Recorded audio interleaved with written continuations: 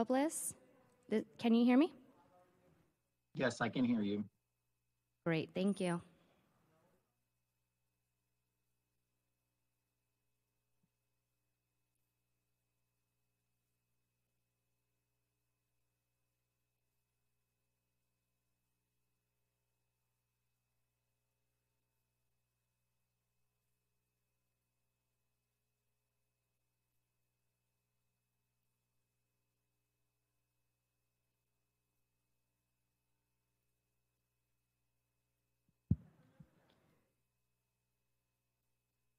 Spanish interpreter? Can you hear me? Hi, good morning. This is a Spanish interpreter. Sound check is good. Quick question: Does my voice sound low or is it um, high? Good volume. Good volume, thank you. All right, thank you.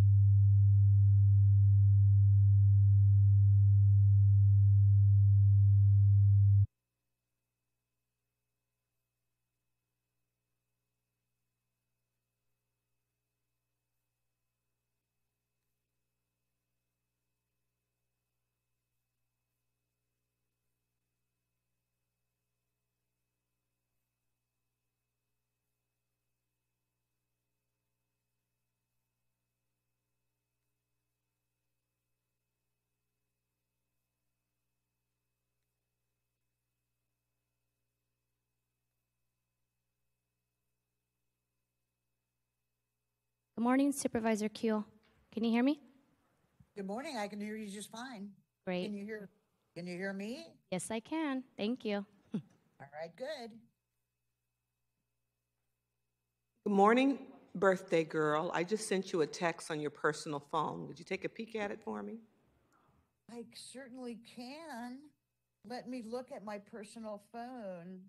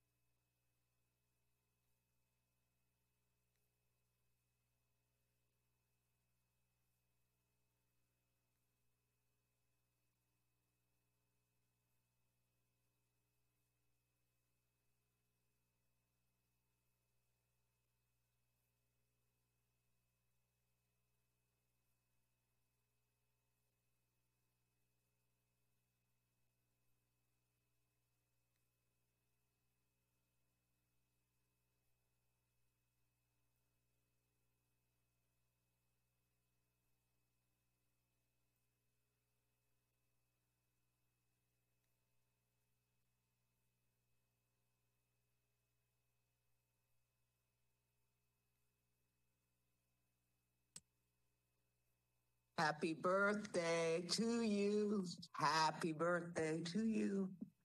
Happy birthday, dear Sheila. Happy birthday to you. Now that's love if I sing because I don't sing. Well, that was pretty good, KB, considering. And of course, tomorrow's the big day, and um, it's funny to have uh, all these birthdays, you know, with COVID, uh, because it's kind of like I always had like giant parties and you know, ice cream and ice cream. Yep. Yeah, out on the balcony, or sometimes churros and hot chocolate. Remember? Yep. Oh no, it was yeah. I hope I can do that one more time before we before I leave. You're not leaving. I'm leaving. Well, Right. happy birthday, Sheila. Felicidades. Feliz Thank you. cumpleaños. Thank you so I- much. Yeah. Or do I have to sing? Estas son las mañanitas que cantaba el rey David. A las muchachas bonitas te los cantamos a ti. That's all I know. I'm impressed. That was impressed. pretty good. That was pretty good. Thank right. you so much. You guys are really so no. I just this is really fun. Who thought a board meeting was fun? Are you no. Certain portions are. Good. Good morning. What a wonderful way to start the board meeting by hearing the fabulous birthday song that everyone loves to hear at least once a year. Again, Supervisor, happy birthday. So, good morning, everyone. Welcome to the regularly scheduled meeting of the LA County Board of Supervisors, which is being held remotely. Today is Tuesday, February 8th, 2022. I'll now take roll call to confirm attendance. Everybody ready? Supervisor Solis, Present. Supervisor Kuehl, Here. Supervisor Hahn, Here. Supervisor Barger, Here. Bijou Davenport, Chief Executive Officer, Present. Rodrigo Castro Silva, County Counsel, Here. Celia Zavala, Executive Officer of the Board. Here. Supervisor Hahn, would you do us the honors by leading us in the Pledge of Allegiance? Yes, Thank you. please stand if you're able. Ready, begin. I pledge allegiance to the flag of the United States of America and to the republic for which it stands, one nation, under God, indivisible, with liberty and justice for all, someday.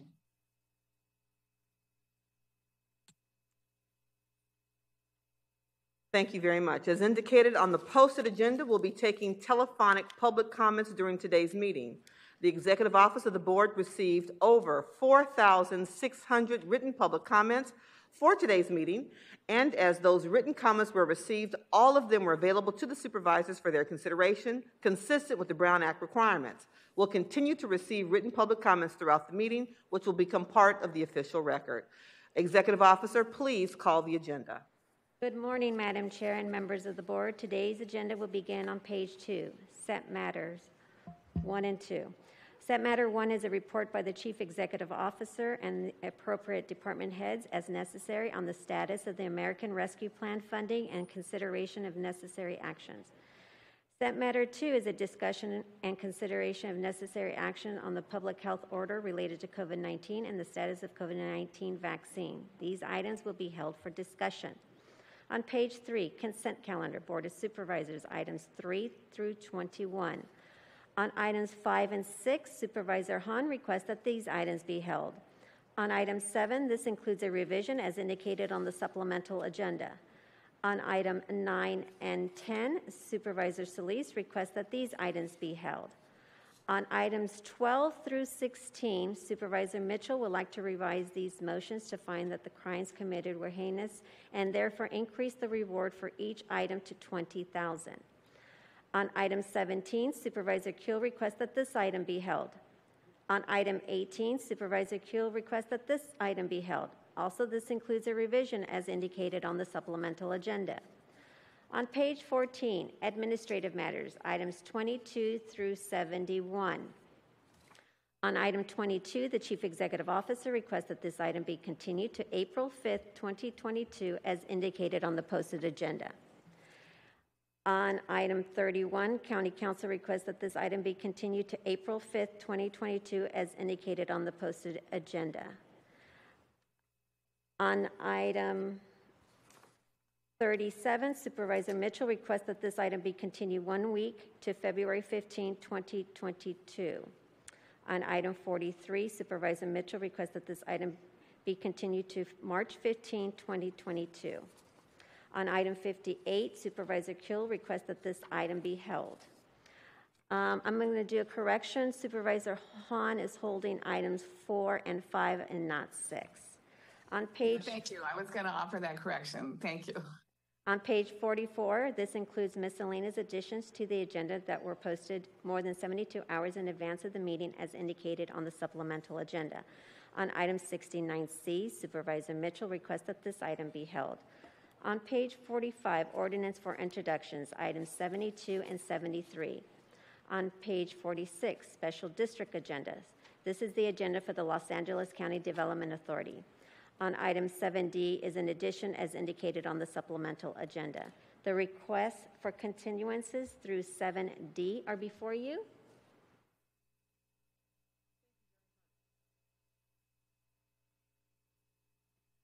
Thank you very much. Moved by Supervisor Kuehl, seconded by Supervisor Hahn to approve these items. Such will be the order. That completes the reading of the agenda, Madam Chair. Next, we will hear from Sheriff Villanueva, who has requested time to address the board with regard to motion, excuse me, item 18. Good morning, Sheriff Villanueva. You will have three minutes. Please begin, sir. Uh, Good morning, Supervisor Mitchell. Item number 18 is going to be a death blow to public safety in Los Angeles County. Right now, we are facing 897 sworn vacancies, 893 professional staff vacancies as of April 1st, assuming no further people call, um, sign up for retirement. We're already at impairments of over 1,500 personnel due to long-term IODs and so forth. And uh, right now, we've lifted the cap on overtime, so each employee can work not just 96. Now we've raised it up to 120 hours of overtime a month, which is an astronomically high level. We can now, we've had to lift the cap on working uh, consecutive days off and, and uh, regular days off. So now employee can work 30 days. And I say can is that we're forcing employees to work these days. And that is with our current vacancies. And the imposing of item number 18 would mean a loss of 4,000 sworn staff members of the department alone. And that would be just a death blow to public safety in LA County. We have uh, fully vaccinated, we have 9,881. And in the last 30 days, 342 tested positive for 3.46% positivity rate.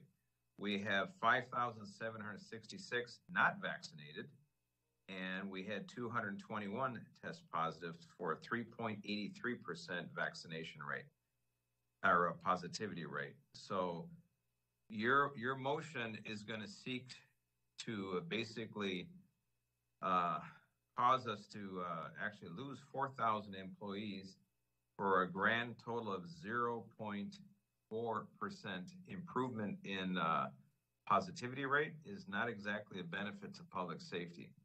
We're coming off two years of a historically high 94% increase in homicide rate, 64% increase in grand theft auto. And this is just not, it's not sustainable. The current situation is not sustainable. The hiring freeze is not sustainable. And this is really, it's, it almost amounts to a suicide pact, which if you care to join it, I think you should leave public safety out of it and leave that to the other county departments. But I have to speak on behalf of the community and on behalf of the men and women of the sheriff's department. And I'll let you know this is ill advised, illogical, and probably in the long run illegal. And uh, by the time you figure out the legality of it, we're going to be past the pandemic, which will make the result irrelevant. So this is going to be your choice. And uh, I just urge you to uh, de escalate and dial back the rhetoric and let's find uh, some common ground testing or vaccination. And we're doing that right now. Thank you. Thank you very much. Appreciate your uh, calling in. And again, for members of the public, um, item 18 will be held, and we'll have a presentation on it later uh, in today's meeting. Thank you very much. We will now take public comment for all agenda items. Executive Officer, please read the call-in information that was also provided on the agenda and explain the speaking rules to those members of the public who are calling in to address the board. As indicated on the agenda, members of the public wishing to offer public comment should call 877-336-4437 and use participant code number 1366786. To repeat, please call 877-336-4437 and use participant code number 1366786. Do not call that number if you only want to listen to the meeting. To listen only, please call 877 873 8017 and follow the instruction. To members of the public calling in, when it's your turn to speak, please state your name and which agenda items you wish to speak on. We will allocate 90 minutes for public comment on all the items posted on today's agenda. You will have one minute to speak on one agenda item or two minutes to speak on two or more agenda items. In addition, those who would like to address the board with general public comment will be provided one additional minute for maximum total up to three minutes. We will continue to accept all written comments that come in during the meeting, which will become part of the record. When speaking on the agenda items, you must be on topic. Our goal is to get through as many speakers as we can. If you're not speaking on topic, or if we cannot tell if you're speaking on an agenda item, you will get one warning from County Counsel or the chair. If you do not immediately or clearly get on topic, or you stray off topic again, you will forfeit the rest of your time, and the chair will move to the next speaker. Please note if you're also listening to the board meeting on a computer or speakerphone, you will need to turn down the volume on those devices as soon as the moderator calls on you. If you do not turn down the volume, there will be an echo. Moderator, may we have the first speaker, please? As a reminder, to address the board, if you have not already done so, please press 1 then 0 at this time. Do not press 1 and 0 a second time or you will be removed from the queue. We will now hear the Spanish interpretation of this reminder. Como recordatorio, para dirigirse a la Junta, si aún no lo ha hecho, presione 1 luego 0 en este momento. No presione 1 y 0 por segunda vez o será eliminado de la fila. Gracias. Thank you. May we have the first speaker, please? Our first participant is Andres Kwon. Please state the regular agenda items you are addressing today and whether you'll address on general public comment. You may begin. Andres Kwon ACLU speaking to items 1864 and general public comments. Uh, on a personal note, I was not expecting to hear uh, Supervisor Solis singing Las Mañanitas this morning. Uh, it, it, made my day. Uh, happy birthday, Supervisor Kuehl. You inspire so many of us to stand strong uh, for civil liberties. Um, esteemed supervisors, we are facing crisis yet again under Sheriff Villanueva, whom we at the ACLU of Southern California have deemed a single greatest threat to our civil liberties here in LA County. Uh, from his repeated violations of law and complete obstruction of oversight, and a special police unit intended to intimidate and harass oversight officials, to the scores of deputy gang violence and that he has enabled, and the dramatic increase in deputy shootings and record level deaths in the jails under his watch, we have the Trump of Los Angeles. In 2021, we witnessed death rates in the jails of at least one person dying every week. More than 90 people died in the jails in 2020 and 2021. On deputy gangs, Villanueva has gone from denying the existence of deputy gangs to claiming that they're harmless fraternities and then adopting a policy that is not only meaningless but does not comply with new state law, all the while defying lawful subpoenas and violating laws on transparency and oversight. And now related to item 18, his refusal to follow the county's vaccine mandate is yet another, yet another one of his little insurrections, behaving as if it's above the law. But we firmly believe and assume you do so too that no sheriff is above the law, not the current sheriff or whoever comes next. And we must, we must act now. What we really need is significant structural change. Supervisors, the buck stops at you. Pursuant to state law, this board has an independent duty to supervise the sheriff, and we cannot wait for the Attorney General to seek a consent decree, which will still be limited. You can do more. And in fact, yesterday, ACLU SoCal was a proud member of a coalition of more than 70 community organizations and labor unions. And we're urging this board to propose to the voters a charter amendment that will strengthen sheriff accountability and create a common sense structure of checks and balances. The last time the board brought a charter amendment directly relating to the sheriff or the sheriff's department was 20 years ago. A generation later, it is past time for the board to bring to voters a charter amendment proposal that would maximize the power of civilian oversight over the paramilitary office of the sheriff. Uh, and this proposal, this proposal is not only not undemocratic, it actually strengthens democratic accountability. For one, uh, the U.S. Congress has a duty and authority to impeach and remove an elected president when necessary. Even more so should the civilian board have the power to impeach and remove an elected sheriff, a paramilitary official akin to an elected general. Uh, and this is not just for the current sheriff, but for sheriffs to come. Uh, don't elect me system of sheriff accountability every four years has proven wholly inadequate, and a recall election is virtually impossible in counties large as LA County. So uh, we're urging you uh, to immediately propose to the voters a charter amendment. We've submitted a letter to, uh, uh to detail what we propose. Uh, we have the Trump of Los Angeles. We have a crisis underway. We all together need to check. Excuse me, your Trump time has expired. Thank you. May we have the next speaker, please? Our next speaker will come from the line of Daniel Gonzalez. Please state the regular agenda items you're addressing today and whether you'll address on general public comment. You may begin. Hi there, my name is Daniel Gonzalez, and I will be speaking on agenda item 69A. Uh, I'm a policy advocate and community organizer at the Los Angeles LGBT Center, and I wanted to say I'm very appreciative of the Board of Supervisors' support for the removal of the ban that prevents many gay and bisexual men from donating blood. At this time, there's currently a severe blood shortage across the nation, which is worse than the nation has ever seen before, and we have a willing population looking to donate. I support the Board of Supervisors' removal of this discriminatory ban. Thank you so much. Thank you. Next speaker, please. Our next participant will be Candace Zena. Please state the regular agenda items you're addressing today and whether you'll address on general public comment. You may begin. Hello, can you hear me? Can. Please begin. Hello, are you able to hear me? Yes, we can hear you. Please begin. Okay, thanks.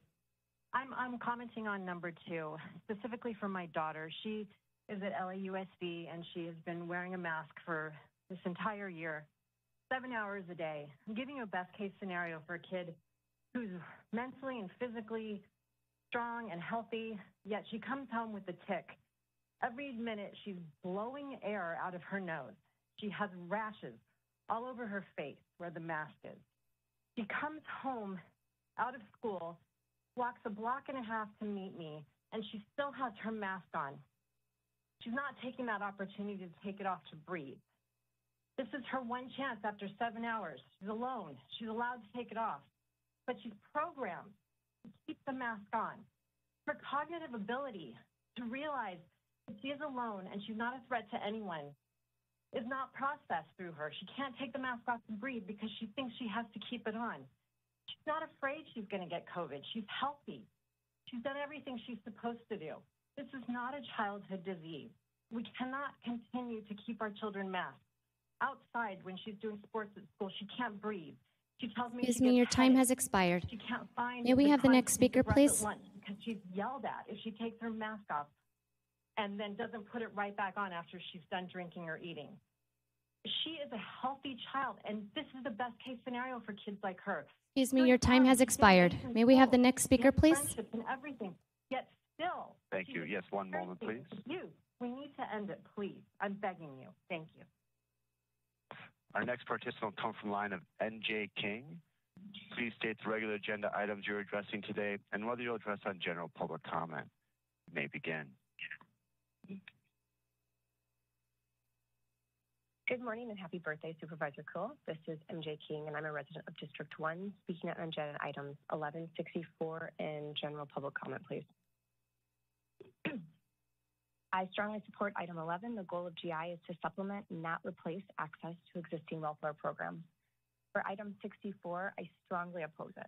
In July of 2020, the board voted unanimously to increase the transparency and accountability of the LASD, including removing LASD patrol from county parks in October of 2020. That same month, the Sheriff's Civilian Oversight Commission voted unanimously to demand Sheriff Villanueva of his resignation. And in May of 2021, the board voted unanimously to protect surviving families from retaliation and harassment by the Sheriff's Department. The board is well aware that we need to divert funding out of the Sheriff's Department rather than emboldening this toxic department with more funding to harm our communities. What the Sheriff's Department is asking for is two military grade tanks that together cost over a million dollars. No municipal department needs an armored vehicle. This is excessive and would be a huge waste of county resources. The board must not approve these requests. We must acknowledge the county's already existing disparities in budget priorities. I urge the board officers to think about a million, what could a million dollars change the life of a community-based organization? Throwing another million at the sheriff's department, who already receives over three billion a year, to purchase unnecessary military vehicles is a misuse of county funds. The sheriff's department must account for their mismanagement of funds before receiving any more funding for equipment. For, uh, for general public comment, two things. First, I support an LA County charter amendment to keep the sheriff accountable. Specifically, the board should propose to the voters a charter amendment that will, one, establish an impeachment process to allow, allow removal of the sheriff for serious misconduct, two, reinforce the board's policy making authority over the sheriff's department, and three, establish permanent and independent civilian oversight. Second, I'd like you to, ur- I would, I urge you to move forward with Measure, Measure J funding. All this talk about the sheriff and their over $3 million budget, and we can't get 300, I'm sorry, um, 3 million, three, geez, the budget is so huge, it trips me up in my words. We can't get 300 million working for the resources that this very board has acknowledged our community so desperately need. The community was heavily engaged in over dozens of planning meetings last year, and you only passed 187 million for the first year. I really urge you to uh, move forward to fully fund the 10% that the voters that we voted for, and urge the CEO to thoughtfully engage our community uh, to make to fully fund these measures. Thank you. Thank you. Next speaker, please. Our next speaker will come from the line of Roy Humphreys. Please state the regular agenda items you're addressing today and whether you'll address on general public comment. You may begin. I'll be on items uh, 9, 11, 31, 52 in general public comment. And number nine, repurposing of the USC General Hospital for housing and mixed use. Uh, but my purpose, uh, my proposal for the repurposing of men's jails has fallen on deaf ears, a profound waste. 11, suspension of the general requirements for uh, guaranteed income transients will love that one. Uh, annual litigation costs. The Me Too group would uh, terminally bankrupt uh, the county and the state of California if all jail and prison sexual assaults were compensated. 52, thank uh, Supervisors Hahn and Solis for excluding Rowland Heights from the traffic safety and perpetuating the ghettoification of my community. You're the best. And general comment of the your evaluation of department heads should include the sacking of uh, regional planning for refusal to post Zoom on-demand links for the uh, Community Standards District meeting, which, as a matter of fact, of a duty and inclusion, and bring transportation pain uh, to Rowland Heights a la ghetto style. The county roads department in Baldwin Park has taken is taking one year to do a six-month project on uh, Otterbein. And uh, Supervisor Solis, Ring doorbell public uh, safety response is unique in a $72 billion budget excess environment. But what the heck, we have a million dollar dog park. What, what's to ask for? And again, you failed to take action with the state, so forth, to get the separation of uh, the jails from the uh, county sheriff's department.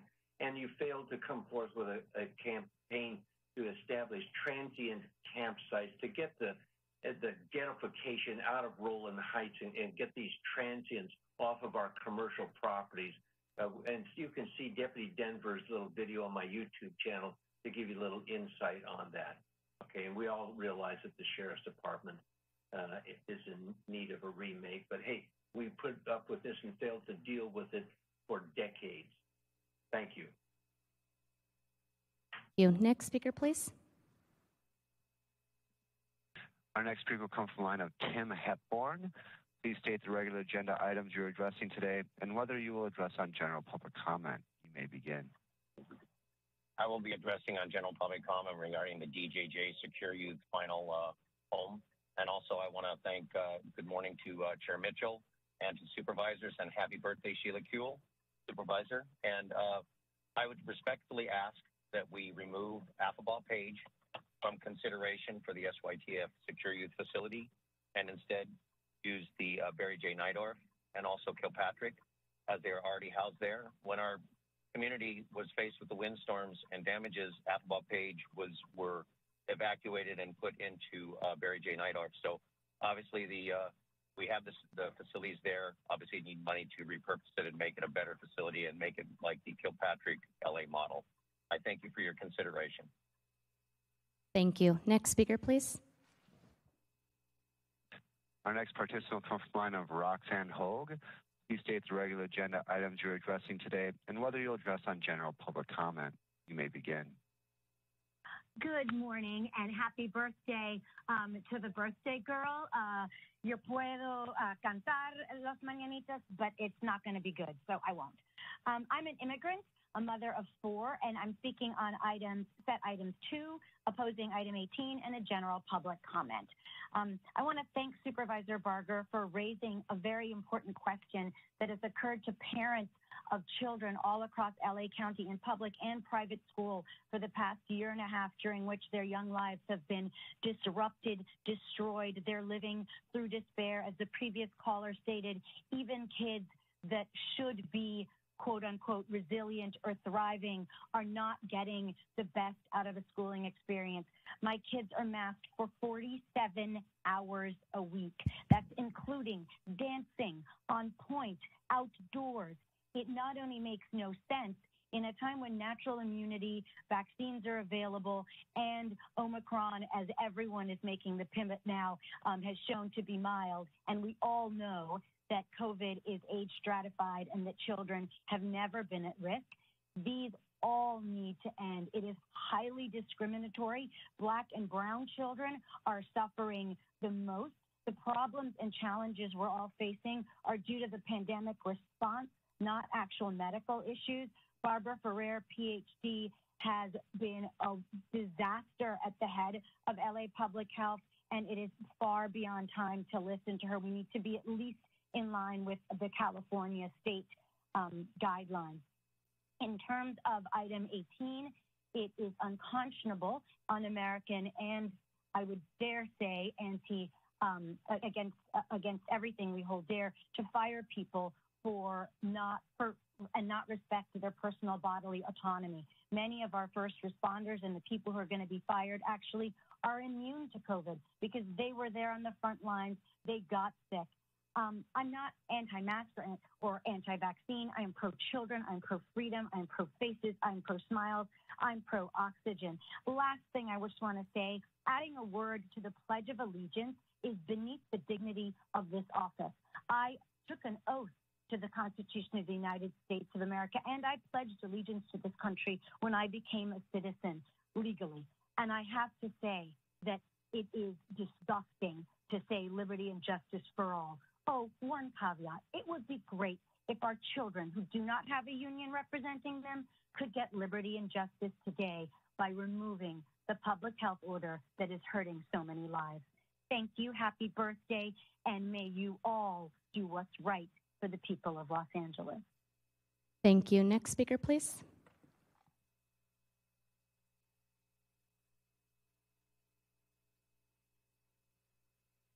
May we have the next speaker, please? As a reminder, to address the board, if you have not already done so, please press 1 then 0 at this time. Now press 1 and 0 a second time, or you'll be removed from the queue. We will now hear the Spanish interpretation of this reminder. Como recordatorio, para dirigirse a la Junta, si aún no lo ha hecho, presione 1 luego 0 en este momento. No presione 1 luego 0 por segunda vez o será eliminado de la fila. Gracias. Thank you. Next speaker, please. Our next participant will come from the line of Brian Smith. Please state the regular agenda items you're addressing today and whether you'll address on general public comment. You may begin. Uh, yes, good morning. Uh, I was going to speak on set matter two and 18 and just piggyback on, and general public as well. So to piggyback on what the uh, last speaker just spoke on, um, this, this, these orders that have been implemented across the Los Angeles County employees and general public is absolutely ridiculous. Uh, the kids, number one, thank you, Barger, for speaking up and starting to move in the direction of getting uh, the mask off our children and getting these mandates off our children. That's that should be number one because we should be leading by example. And you have kids all around this county that are continuing to stand up and beginning to speak out and step out with their masks off and being suspended, risking getting suspended and messing up their school record so that they won't have to be uh, compelled to continue this madness. So that needs to stop, number one. Number two, with the ever changing environment of COVID, we've obviously seen, again, piggybacking on the last comment, that the, the Omicron variant is affecting everybody, the vaccinated and the unvaccinated. You, we have people that are double, triple vaxxed, and some might maybe even getting quadruple vaxxed, and they're still catching it, and they're still getting sick. That makes your uh, vaccine policy completely obsolete. The vaccine policy originally stated that it was set up the way that it was so that those who chose not to be vaccinated were, were viewed as a danger to the workforce and the public that they encountered. However, if they can, if the vaccinated can still get sick, then now everybody is still that danger. So everybody should either be required to test or nobody should be required to test. The questions you guys need to start asking yourself is when will this end? This is a power grab on behalf of all of you that sit in these ivory towers. Jewel, I have no doubt that somebody will catch you on camera later today celebrating your birthday in an unmasked environment around a bunch of unmasked people, just like it happened the last time you extended these orders. This stuff needs to stop now. So you guys are being put on notice now. The public Excuse me, your time has expired. County is aware of what's May we have the next speaker, please? And they will begin to file lawsuits against all the powers. Thank you. Our next participant will come from the line of Carrie Mackinson. Please state the regular agenda items you're addressing today and whether you'll address on general public comment. You may begin. Hello, thank you for your time. I'm speaking on set matter number two. I am a mom and I am a clinical psychologist licensed in the state of California. As helpless as it sounds, I beg all of you women to drop the mask mandate at our children's schools. I do feel helpless as a mom. My heart aches and my anger grows. As a psychologist, I feel afraid for our children's future. I'm not sure how much you know about neurobiology, specifically the brain's development for empathy. Masking our children is detrimental to the development of empathy for others. Motor neurons in the prefrontal cortex are responsible for an empathetic response. When our children don't see facial expressions, and I'm not just talking about smiles, I'm talking about sorrow, hurt, embarrassment, their motor neurons do not fire. In the Middle East, Excuse me, your time has women to wear expired. May we have the next speaker, to please? cover their face in order to stop the empathy towards them. Yeah, our next participant is going to come from the line of Olga Nagel. Please state the regular agenda items you're addressing today and whether you'll address on general public comment. You may begin. Good morning. I'm calling regarding two and regarding 18. regarding two, I think it's so wrong to have these children masked. I do not send, my daughter does not send my grandchildren to school for the same reason. I am so against it. It's inhumane and it's, it has to end. Also, on 18, um, as you know, over the past two and a two plus years, we have learned so much about COVID, and we are at a period where we should focus more on therapeutic and encouraging people to be more healthy instead of forcing these vaccines on people. Um, vaccines that we don't know what the long-term effects going to be on our bodies. Uh, it is very wrong, and I think that um, for you all to be so giddy this morning dealing with these issues is just very disturbing. And I just want to say the last thing is um, only God, only God can decide the fate of these uh, hardworking people. We are not God. We are not. Even you, that you're in that high position and you feel that power, you're not. Thank you.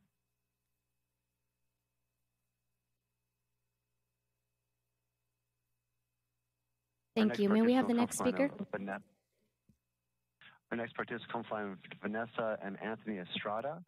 Please state the regular agenda items you're addressing today and whether you'll address on general public comment. You may begin. Yes, I'm addressing item number 18. Uh, We strongly oppose the motion by Supervisor Sheila Kuehl to submit amendments to the civil service rules to discipline the county employees who would refuse to take the, the, the COVID shot. We strongly feel that the board should respect employees' personal freedoms and that any discipline measures against them would endanger public safety. We very much concur with what Sheriff Villanueva shared in his testimony.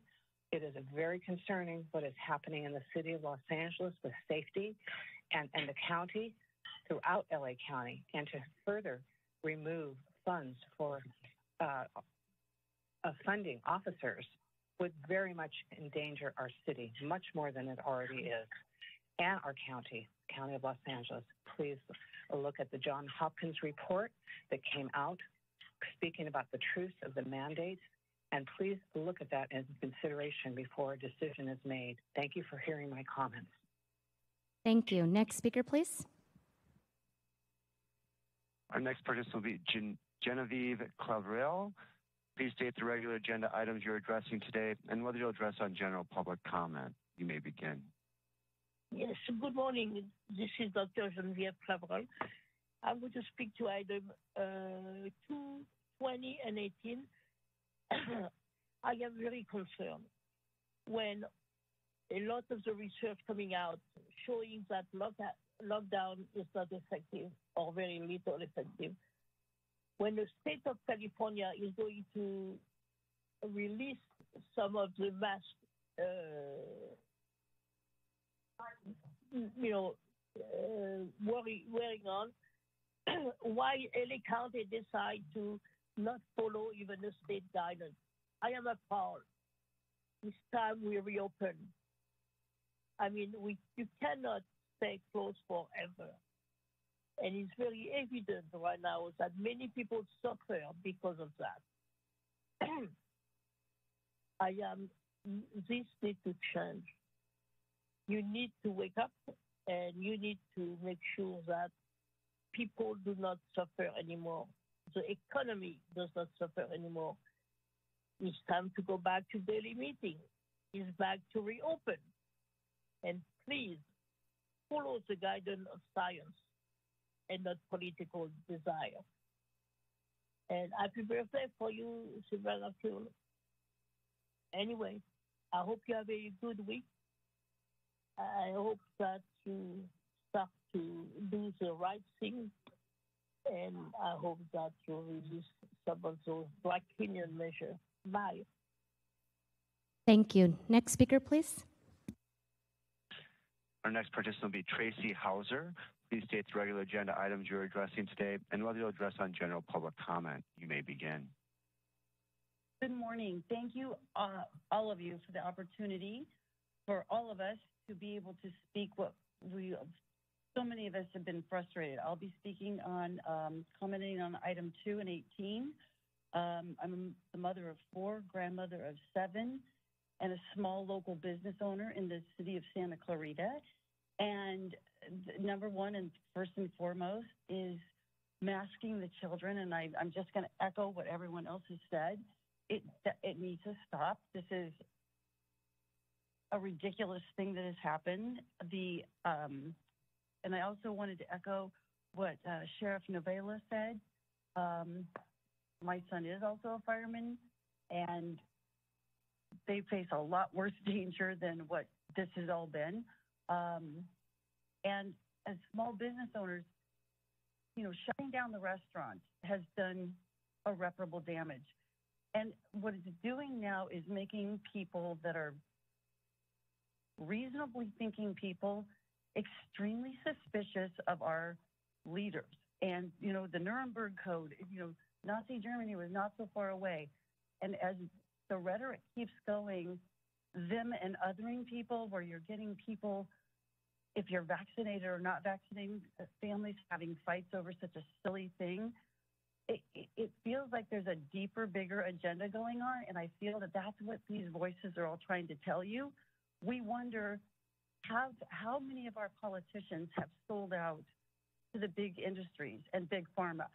We've given big pharma free license to experiment on the American people, and now they're going after our kids. And this is what you're hearing. You're hearing the anger and the frustration of people are going to draw the line at the children. And let me tell you, people that are vaccinated are drawing the line at the children.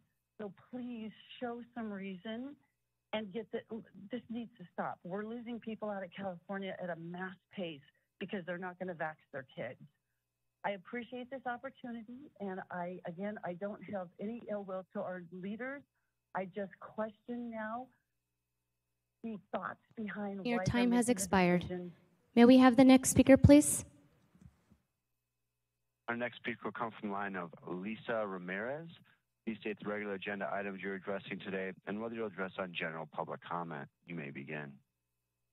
Good morning. Thank you for taking my call. I am addressing a general public comment. I'm speaking against agenda number 18. And I wanted to let you know that as a person of color, I am skeptical of any medical procedure being forced upon me. You take that and the risk of myocarditis with these vaccines, and you can understand our view against forced vaccinations. We have all prayed to God Almighty, and He stands with us. And we hope He enlightens the Board of Supervisors. I am a licensed, unvaxxed, registered nurse at a large healthcare facility in the county of Los Angeles. Several triple backs and at, at our large facility got and spread COVID to one another, all while taking care of patients. I hope you guys really take all of this into consideration. Thank you. Thank you. Next speaker, please.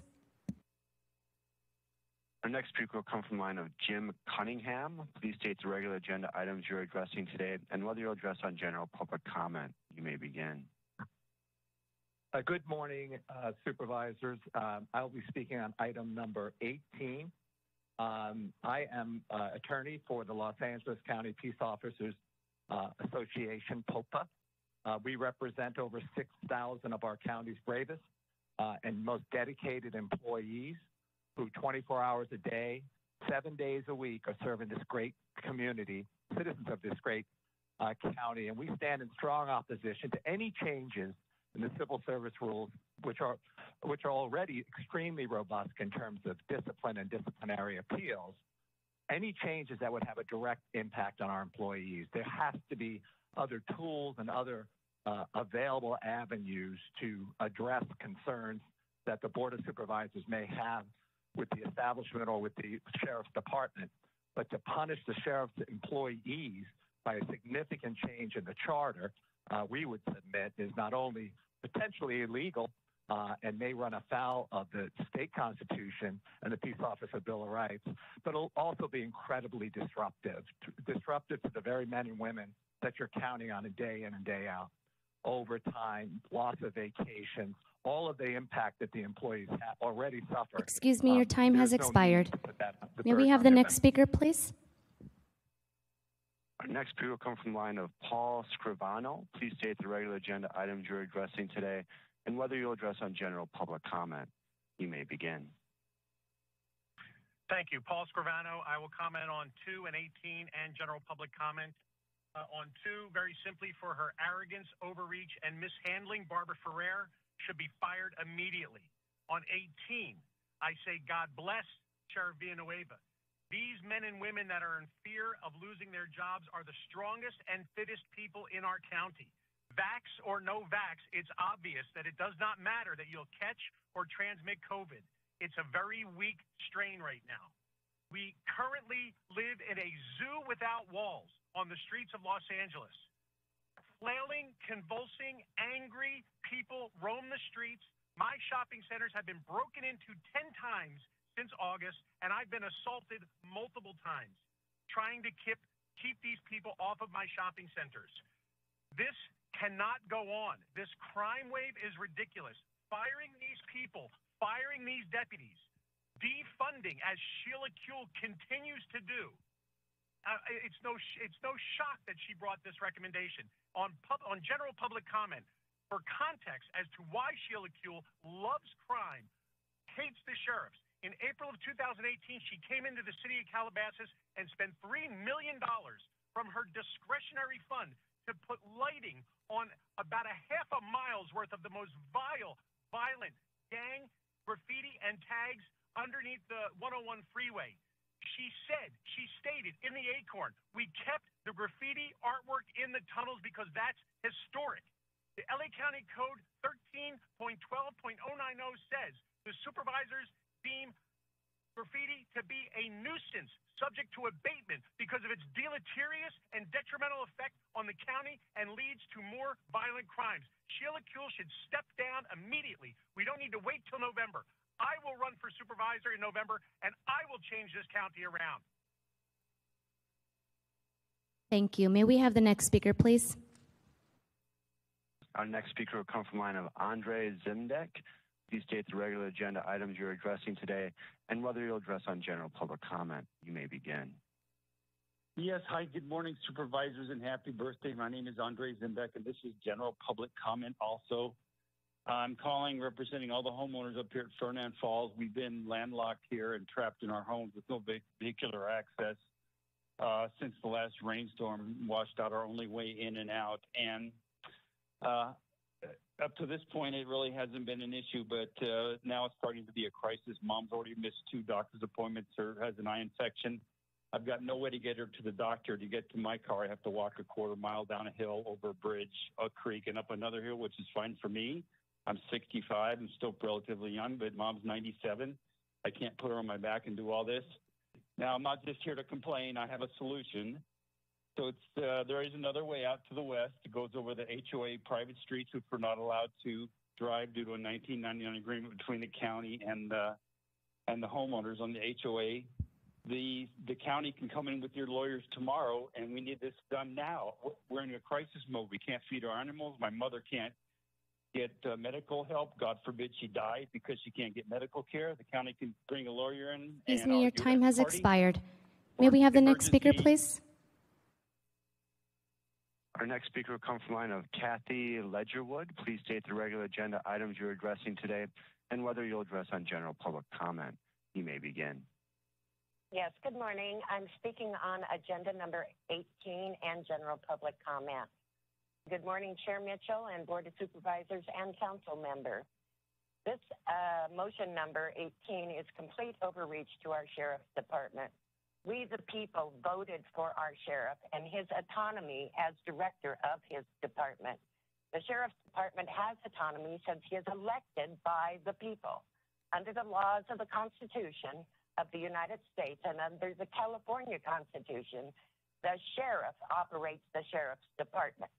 This motion attempted by the Board of Supervisors is illegal. In addition, I would request you fully fund the sheriff's budget and remove the hiring freeze. And finally, our bodies are our own. Again, overreach. To fire county employees who have chosen not to comply with the vaccination violates our freedom within the Constitution and of our Bill of Rights. Many of these employees have had COVID and have natural immunity, which the CDC, as at this point, deemed 20 months of immunity. It's only 20 months because that's all the time that they have uh, looked at it. And let me remind one final thing. The EUA authorization is not an FDA approved vaccine. And so at this point, to require individuals to put a EUA vaccine into people is totally illegal and against our Bill of Rights. Thank you for your time and have a great day. Thank you. Next speaker, please. One moment, please. Our next speaker will come from the line of Brenda Villanova. Please state the regular agenda items you wish to address today and whether you'll address on general public comment. You may begin. Yeah, I'm, I'm going to address item 69A. First of all, good morning. My name is Brenda Villanova, and I am a health policy advocate and community organizer at the Los Angeles LGBT Center. I'm extremely appreciative of the Board of Supervisors' support for the removal of the ban that prevents many gay and bisexual men from becoming blood donors. The ban is discriminatory and outdated, and all donors should be treated equally. As other countries are lifting bans, we believe the United States should follow suit. Thank you. Thank you. Next speaker, please.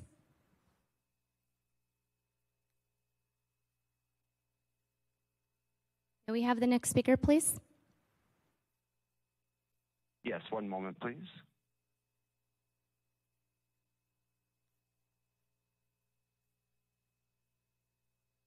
Our next speaker,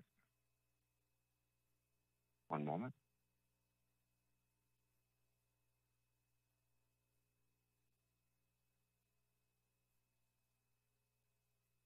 Our next speaker will come from the line of Susanna Shield. Please state the regular agenda items you're addressing today and whether you'll address on general public comment. Please begin. Yes, hi there. Um, 2 and 18, and yes, on general comment. Um, we are in complete, our families in complete support of Sheriff Villanueva and against any type of forced injections.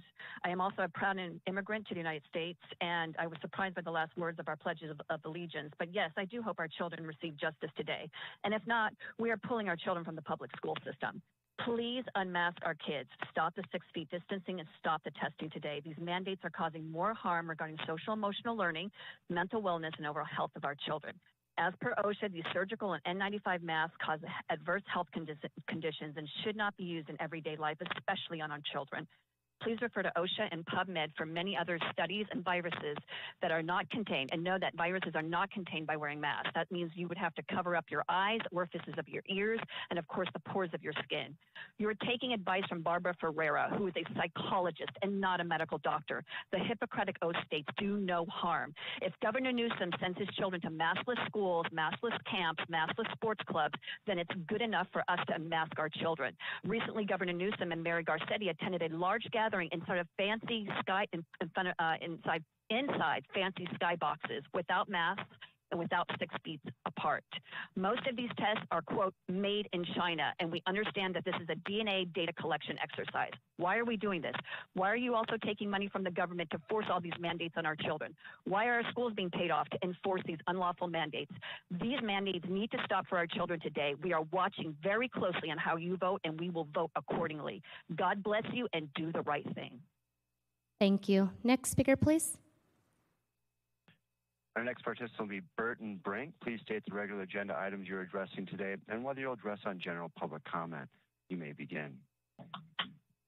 Hi, I'll be addressing agenda item number two and number 18. My name is Commissioner Burton Brink.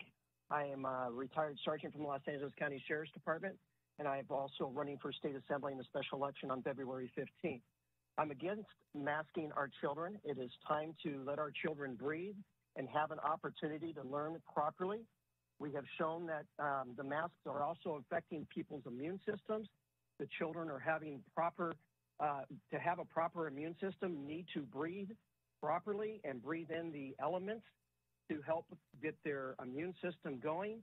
So um, this is really bad, and it's time to uh, address this and stop the uh, mask mandates for our children.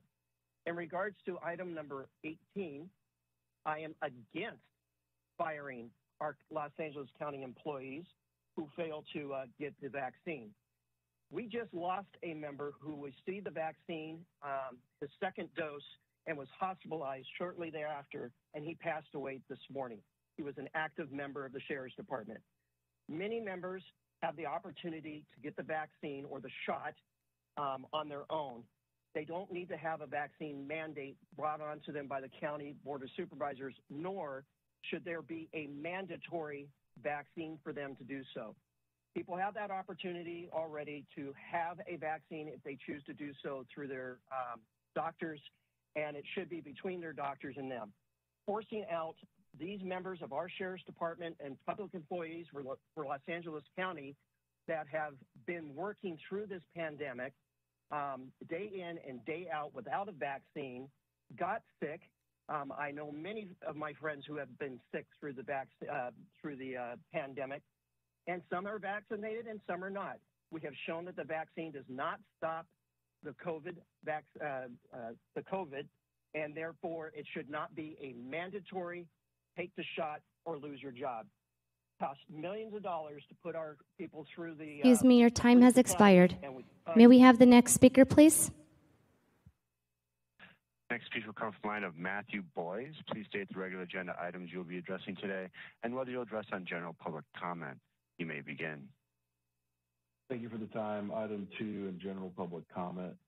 For two years, we've witnessed this board and the health department make decisions for us as parents and our children that did not align with qualified health experts and the CDC. We've had two child suicides amidst COVID distance learning pressures in our community, your community, Supervisor Hahn.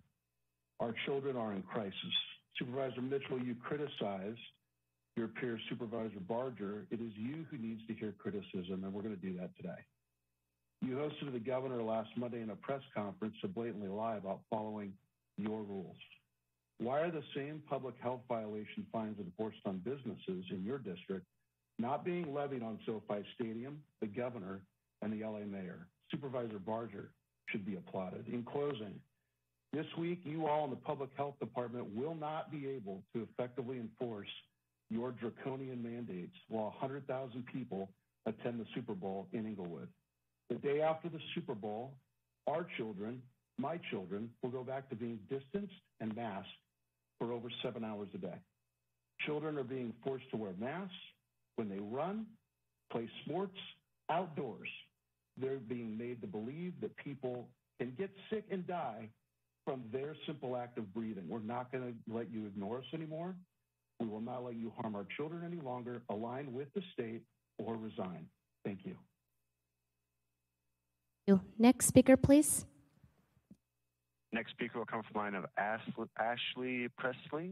Please state the regular agenda items you're addressing today and whether you'll address on general public comment. You may begin.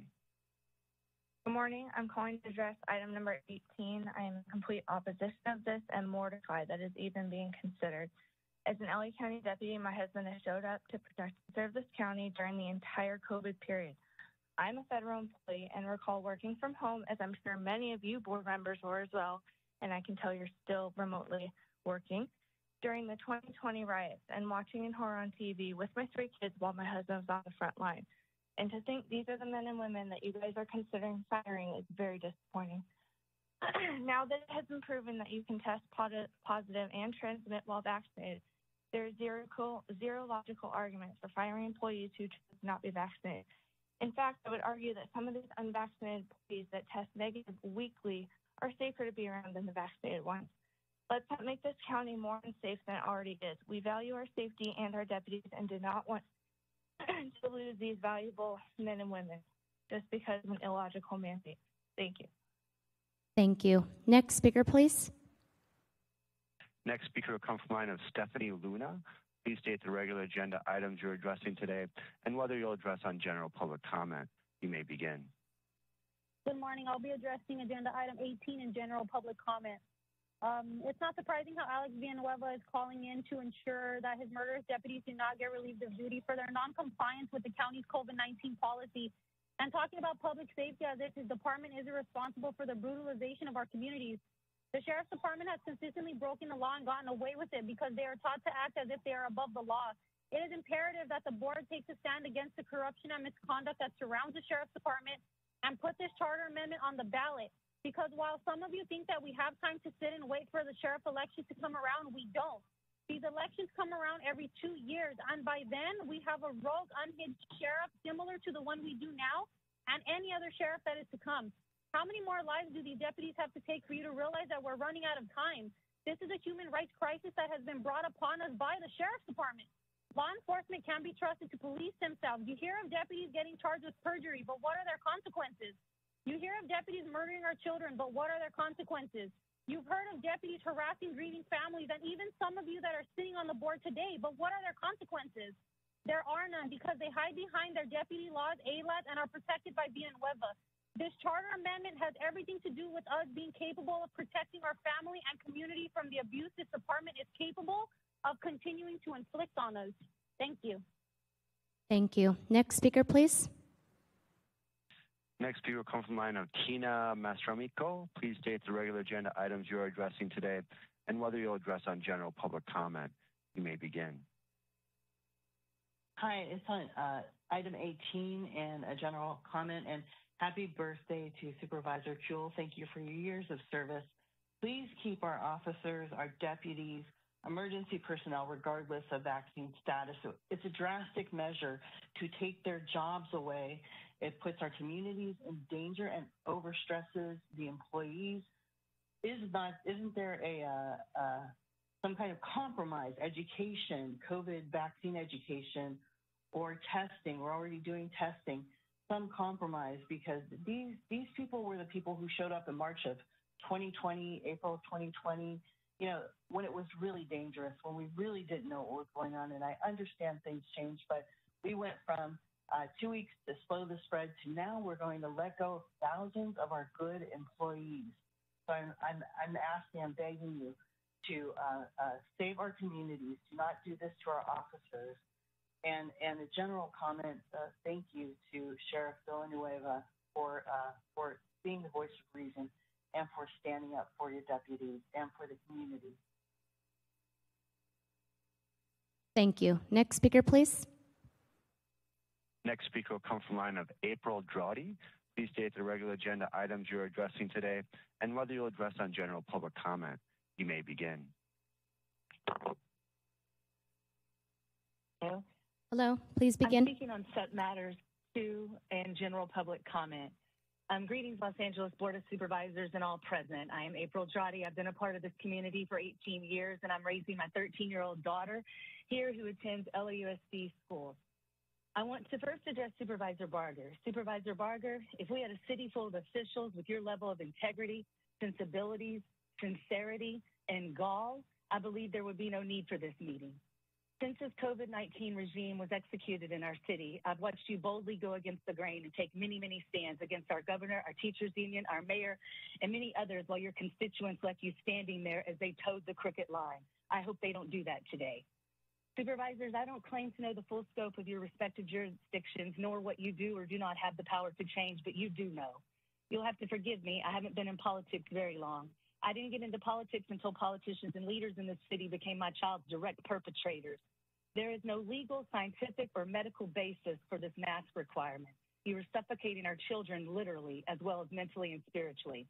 As elected officials, we are asking you to demand that all schools stop testing, injecting, quarantining, and masking children that have a 99.98% chance of recovery should they legitimately contract COVID 19 or any other variant you, if you truly are looking for something to focus on regarding the health and safety of our children, we don't need any more food. We can feed our own children. We don't need food banks. We don't need grab and goes. We need to work and we need our kids to go to school. We ask that you look at LAUSD's admitted dramatic increase in rates of depression, anxiety, suicide, along with the effects of constantly telling our children they are a literal death threat to themselves and others and muzzling their breath and speech to that end. Please look around there is more of a chance of, and threat of our children getting ill from being harmed from tracking in human feces and urine that they step in, in and around our city, or being shot, stabbed, raped, or robbed on our streets than there is of COVID, which is another reason to stop harassing our police and firemen and women along with our children. Thank you for your time. Have a blessed day. Thank you. Next speaker, please. Next participant come from the line of Madison Lee. Please state the regular agenda items you're addressing today and whether you'll address on general public comment. You may begin. Good morning. My name is Madison Lee. I'll be speaking on item number 18. I've lived in the 5th District for 26 years, which has a 43% higher crime rate than other cities and towns of its size. It has a higher crime rate than the national median, and with crime rate, violent crime extremely high and continuing to climb, the Board of Supervisors is focused on taking deputies and firefighters off the street and firing them. The vaccine doesn't, doesn't prevent the spread of COVID, and the personnel have been complying with mask mandates and reporting measures. The employees have also been testing, and this will greatly impact communities, especially those in low, low income areas. The Board of Supervisors are not living in low income areas, so this does not affect them. This is a huge safety risk, and we're rolling the dice on our children's safety. Please vote to oppose this Lastly, happy birthday, Sheila. I can't wait to see your maskless photos later. Thank you. Thank you. Next speaker, please. Next speaker will come from line of Ashley Gardino. Please state the regular agenda items you're addressing today and whether you'll address on general public comment. You may begin. Hello, good morning, board. Thank you for hearing me. Um, I will be addressing line item number two and number 18. Yes, public. Um, First, I would like to thank uh, Sheriff. Um, you are a trailblazer and a leader, and I thank you for what you do. Also, um, Kathryn Barger, um, thank you so much for what you do. I have met you in person at events, and I have always thought that you speak sense in a world of crazy. Um, my children are 9 and 11. They go to public school in Santa Clarita Valley and have always loved school, always loved going, have always been excited to learn and be there, and they have not lately. Um, for the first time, my son is in sixth grade. For the first time, I got a call from school from the vice uh, principal. He wasn't in a lot of trouble, but he's bored and he can't concentrate and they can't focus. And these masks are terrible. It is not okay. Um, I come from a family with first responders, um, a long line of first responders. They were expected to go out there, do their job, and be in what we consider harm's way with um, COVID. And they they went. They did their jobs. They risked their lives. Um, they did everything they needed to do, and to now force this upon them is horrific and wrong. Um, my son, um, I'm not anti-vax. I'm I'm not anti anything. I am protect my children. Um, my son did have an adverse reaction to a vaccine when he was younger, and now I can't get him an exemption because doctors won't give it anymore because they are afraid to lose their license. This is terrible and wrong, and um, I work in real estate in Santa Clarita Valley, and I can tell you right now, the people that we want, the people that contribute. Excuse me, your time has expired. May we have the next speaker, please? Next participant will come from the line of Carla Howell. Please state the regular agenda items you're addressing today and whether you'll address on general public comment. You may begin. Good morning. My name is Carla Blake Patel, and I am the Chief Executive Administrator with the Child Care and Development Division with the California Department of Social Services. I am calling in support of item number 10. Before joining uh, the Department of Social Services, I was an attorney with a community-based nonprofit law firm. And to provide you a better picture of the type of obstacles that child care providers face as they try to open new programs, let me share a client story. Sharon is a savvy childcare provider who decided to open a second childcare facility. And in looking for space and location, um, it became a part-time job. Sharon found a great location at a local park, but the local jurisdiction was unwilling and unable to make property changes to comply with community care licensing. Other locations were identified by Sharon, um, but in order to look at those locations, she had to ask um, herself a question and apply for a conditional use permit. The conditional use permit basically asks the question, can I open a child care center at this location? Sharon discovered that answering this question can cost up to $10,000. Luckily, she applied and got a yes, this location will allow you to run a child care program. However, Your time has expired. May we have to- the next speaker, please? Well, Our next participant will come from the line of Jason. Please state the regular agenda items you're addressing today and whether you'll address on general public comment. You may begin. Hello, my name is Jason Carpenter. I'm calling regarding agenda item number two and item number 18. Can you hear me? Yes, please begin. Okay, thank you. Uh, regarding number two, I have a student who is uh, 16 years old in LA Unified. Calling regarding the masks, um, I guess the latest face ornament which doesn't work would be the N95 masks, which I have in my hand right now, a box that I was given here at my county job, and it does say right on the side that the respirator helps protect against certain contaminants, but it may not eliminate the risk of contracting disease or infection. So I'm wondering why kids are being forced to wear something that uh, the box alone says it doesn't work, as well as if the vaccines and the masks work, then after two years, why aren't they working? Regarding number 18, as an employee who is now under this mandate, I'm unvaccinated, and I it's it's odd to hear that the county's considering whether to let go many of us employees because I haven't even had my religious exemption that I filed responded to yet. So that's kind of odd. My personal freedoms are being violated. Conscientiously objecting is being violated.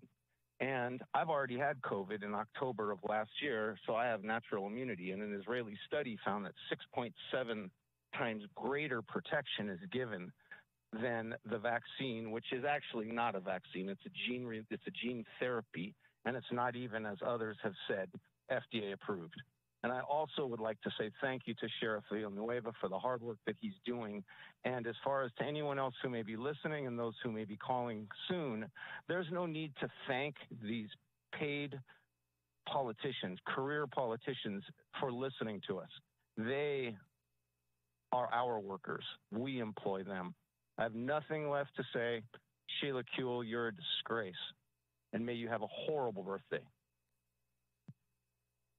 Next speaker, please. Our next participant is Mark Donier. Please state the regular agenda items you're addressing today and whether you'll address on general public comment. You may begin. Um, uh, hello, my name is Mark Donaire. I'm calling in on uh, for general comment about about the youth from the BJ facility for it to be uh, closed down and and the youth be transported to Kilpatrick. At the end of the day, cells are cells, and if we continue to look at the youth as farm animals that basically are used for job security, then that's something that we all need to like come to terms with. Um, rehabilitation centers need to be properly developed in order for them to become mature individuals, so that way they can incorporate themselves within society and feed positive vibes for everyone that exists within our wonderful world. Thank you, and that's all for me. Thank you. Next speaker, please. Our next participant is Saverna Mystery. Please state the regular agenda items you're addressing today and whether you'll address on general public comment. You may begin. I'm speaking on agenda item 218 and general public comment. Our children have not had a normal school year since 2019. For two years, I and several parents have written to this board begging for relief for our children. For two years, you have put the unions and special interests ahead of our children. Experts around the world and our own U.S. Surgeon General have sounded the alarm of a mental health crisis in our children to the pandemic school closures and the continued restrictions. Our children are in crisis and you continue to ignore it. Not a single message has come from LA County Public Health addressing the social, emotional, and mental harm these restrictions are doing to our children. This is an epic failure by this board and by public health. Our children were locked out of their schools and sports for over a year. Now that school doors have opened, our children are distanced from friends, masked for seven plus hours a day with no parties, no field trips, no fun. Children are being forced to wear masks outside in the heat to exercise, run, and play sports. Children are made to believe that people will get sick by their very simple act of breathing. None of these restrictions are enforced on adults. We've all seen the Super Bowl, we've all seen the stadiums and concert halls full, jam packed of adults without masks. This needs to end. We are taking a stand, we are taking control back. Um, this board has utterly failed children in the past. I hate to bring this up, but let me remind you what you have done to children that have been abused, and you have failed them. This needs to end. Um, as for item number 18, essential workers have been working this entire pandemic. Firing unvaccinated workers serves absolutely no purpose for public health other than coercing vaccines. Everybody has already spoken about you can still catch and transmit the disease or COVID-19 uh, even if you're fully vaccinated. Everyone should be entitled to their own personal health choices. You are running LA County into the sewer. You need to end all these restrictions. You need to restore freedom to the people of LA County. I live in LA County. I live in a fire hazard. I don't give a crap whether the fireman that comes to my house to extinguish the flames at my backyard is vaccinated or not. I don't care if I call a police officer to come help me as I'm being murdered in the street if he's vaccinated or not. You need to stop this discrimination or we need to restore faith and confidence in our public officials and our public health department. Thank you. Thank you. Next speaker, please.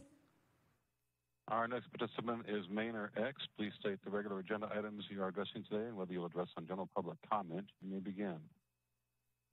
Um, what's up? Good morning, everybody. Um, just general public comment. I'm here to speak on the 15 youth that are on the secure track uh, that are currently still in um, Nidorf. Um, you know, back in July 2021, they it, they passed a motion to move them to Kilpatrick, but yeah, seven months later, they're still there. Um, the BSCC on September 2019 found the facilities unsuitable for anybody to live there, let alone a kid. Um, so yeah, I'm here to say Northern Nidorf moved these kids to Kilpatrick, and also the BOC, com- the commissioners went and they went and, and inspected and, and tried to talk to the youth in the compound, and they said that every time there's a fight, they're locked down for a week regardless if you were in, involved or not involved in the fight and only 40 minutes to shower. If we were to do this to our kids out here in the community, with no doubt you guys would take them away from us. So, but yet you guys are here doing the same thing. So please stop all that shit. Excuse me, your time has expired. May we have the next speaker, please? Our next participant is Richard O'Neill. Please state the regular agenda items you're addressing today and whether you'll address on general public comment. You may begin. Hello, my name is Richard O'Neill, speaking on the agenda item number 18. I oppose it as it is an infringement of our U.S. Constitu- U.S. and California constitutional right to provide for the common defense. Thousands of officers will be terminated, negatively affecting public safety. For those terminated officers, it is a 14th Amendment violation as it does not provide equal protections under the law for those unvaccinated. California Constitution, Article Section Article 1, Section 28, subsection 4 would be infringed as it would violate our voting rights and that we empowered the sheriff with our collective votes and disempowering him is silencing the voice of those people of LA County who elected him. If the people do not like his leadership, then they can speak in the upcoming election. It has been proven that vaccinated people can still contract and spread the pathogen the terminating unvaccinated officers is not protecting others. Furthermore, there are other measures to protect the public which are also effective, such as weekly testing, which is currently Excuse me, your time has expired. May we have the next speaker, please? Our next participant is Waldo Gonzalez. Please state the regular agenda items you're addressing today and whether you'll address on general public comment. One moment, Mr. Mr. Uh, Gonzalez. You may begin.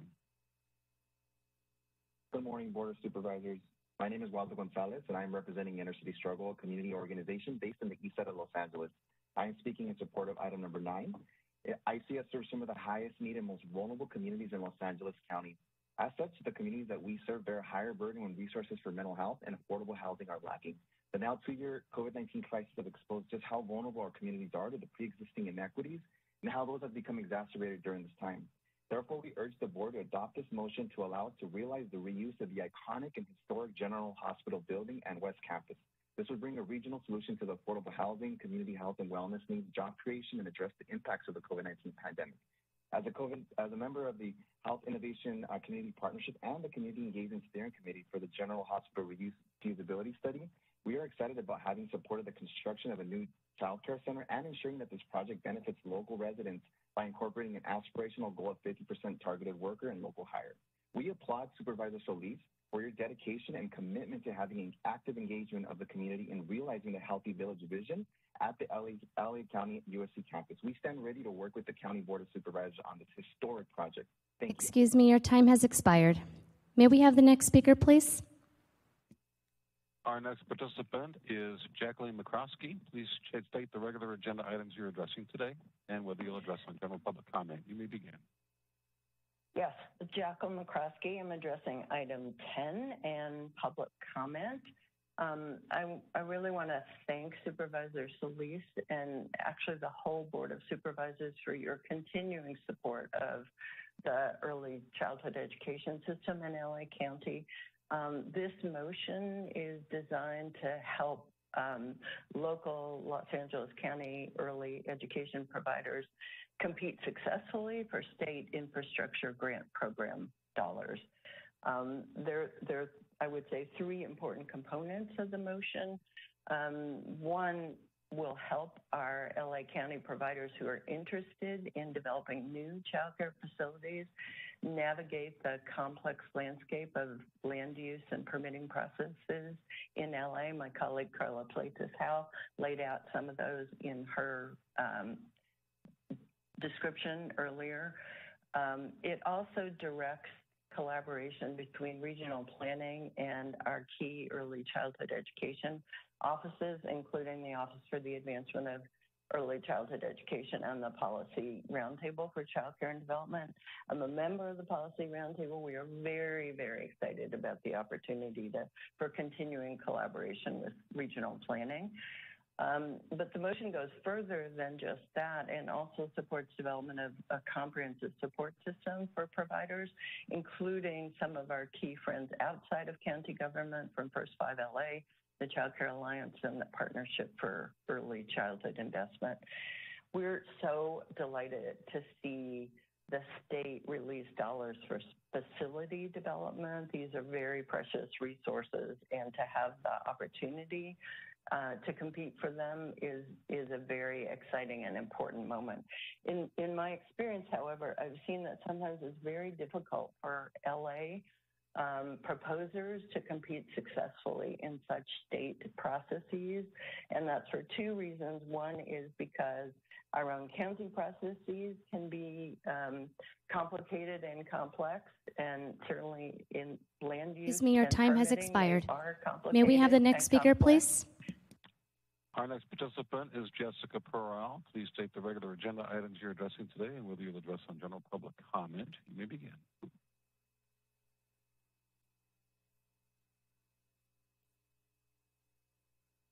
Jessica Peral, your line is open. Go ahead, please.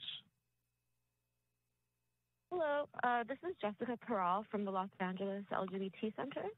Um, I want to thank the Board of Supervisors for moving to support an end to this discriminatory and outdated ban that prevents gay and bisexual men from donating blood. This ban was imposed in an era when HIV was poorly understood, when no reliable and practical test for detecting HIV in the blood existed, and it has still persisted for decades, even as blood screening technology has improved dramatically. Today, every unit of donated blood is rigorously tested to detect any trace of HIV, syphilis, hepatitis, West Nile virus, or other bloodborne diseases. And for this reason, uh, the American Medical Association has called for the ban to end. And I strongly urge the Board of Supervisors to move ahead with their message to the Food and Drug Administration in support of ending the ban. Thank you. Thank you. Next speaker, please. Our next participant is Zoe Rawson. Please state the regular agenda items you're addressing today and whether you'll address on general public comment. You may begin. Good morning, Zoe Rawson from Arts for Healing and Justice Network and LA Youth Uprising. I'll speak to general public comment and also the item on the sheriff's, which I don't know the number of. Um, so I'm a person who's been harmed by uh, probation and the sheriff's facilities.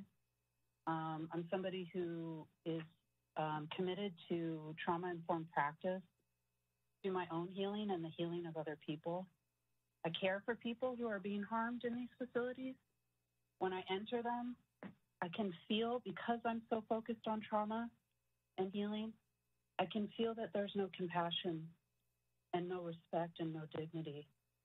And when I push back to um, achieve that for myself and the people I love inside of these uh, barbaric places, um, I, I be I'm treated the same way. So I wonder where where that harm is in this conversation. Nidorf needs to shut down. It's it's harmful and abusive. It's not trauma informed. Uh, I was recently banned from visiting a loved one in Men's Central Jail for a month, and I was not explained um, that there was a written policy for that. I was not explained who instituted that ban. I was not explained how to appeal that ban. And in the meantime, the person imprisoned goes without. It's a young person because we lock up young people in our adult jails. Um, and that person has suffered health, mental health crisis while there. And now he, I'm banned from seeing him. And it's because the sheriffs are abusing their power and treating others without compassion. And um, I'm really upset about it. And because I'm a person that's committed to healing, I work on my Excuse own me, your time has expired. May we have the next speaker, please? Our next participant is Eric Previn. Please state the regular agenda items you're addressing today and whether you'll address on general public comment. You may begin. Yes, thank you. I, I intend to address uh, several items and the uh, a general public comment as well. May I begin? Please begin. You have three minutes. Um, thank you. Uh, I wanted to say, first of all, that this is a very, very dense agenda, and I've been trying to follow along. Um, and also, I wanted to say that last month, marked the 175th anniversary of the Treaty of Cahuenga, which was signed right here in uh, near Studio City in Council District 2 or 4. Uh, I believe now in Barger's district, I'm not sure. Maybe Sheila's district. It used to be Sheila's district. It's where Universal Studios is, FYI, where uh, where one of the lawyers uh, who's investigating the MRT thing uh, works. It's actually his wife. But look, this was a historic pact that was signed right there at the Cahuenga area, uh, Mexican American War, in, during and, and it made LA. It was the first time that LA became an American city. It was a magnificent or magnanimous um, treaty made in the spirit of mutual respect, with the expectation that people of different cultures would live side by side in peace. It guaranteed protections of life uh, and liberty to the Californios, as they were called, and further provided that equal rights and privileges are vouchsafed, sort of quoting here, to every citizen of California, as are enjoyed by the citizens of the United States. So I was reflecting on that. Um, but what these actions have in common is the fundamental principle upon which the Treaty of Cahuenga was based, which is that despite the differences in our background, uh, our ethnicity, and our material wealth, all of us, human beings, are entitled to respect and dignity and peace. And now more than ever, as our nation can seem so divided and so torn by outrage and anger, we need to realize that our future rises or falls for all of us together. But this board, unfortunately, under Holly Mitchell, who I actually tried to help get elected because I was so disgusted by Herb Wesson, her opponent's conduct. Uh, incidentally, uh, Covington Burling, the firm you've hired, was Herb Wesson's uh, lawyer when the federal probe swung through City Hall. So I really think they have to be reconsidered.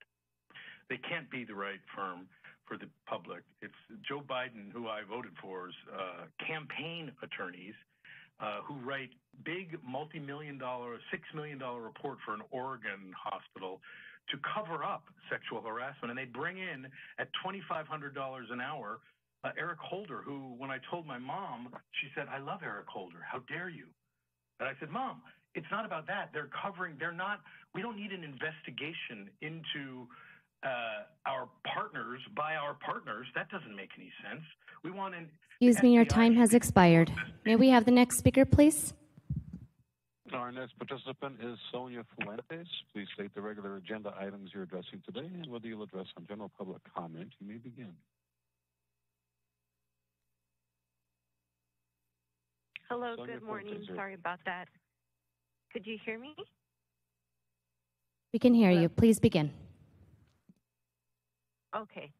Um, this is Sonia Fuentes. I'm a psychiatric social worker with the Department of Mental Health. Um, I work for the mental evaluation team. Um, I have firsthand knowledge on or kind of observation on the impact of COVID and the public policy. Um, definitely mental health has been affected. We, our team, um, and pretty much we're the only field-based teams apart from the psychiatric mobile response team that has been out in the field. Um, it would be greatly affected if, um, uh, in terms of Department of Mental Health, if workers were to be fired.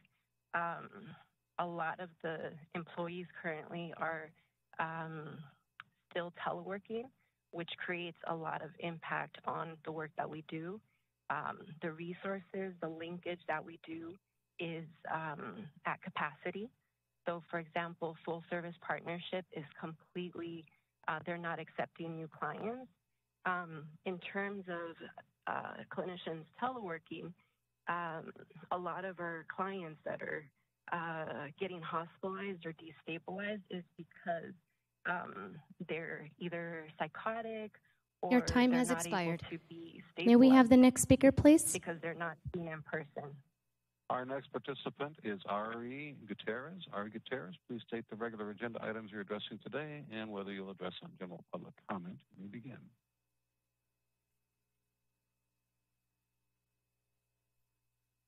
Ari Gutierrez, you may begin. Hello, did you call Ari Gutierrez? Yes, please go ahead. Oh, sorry. I'm speaking in favor of item nine. The residents of Los Angeles have a unique and very special opportunity to return historic General Hospital to full service.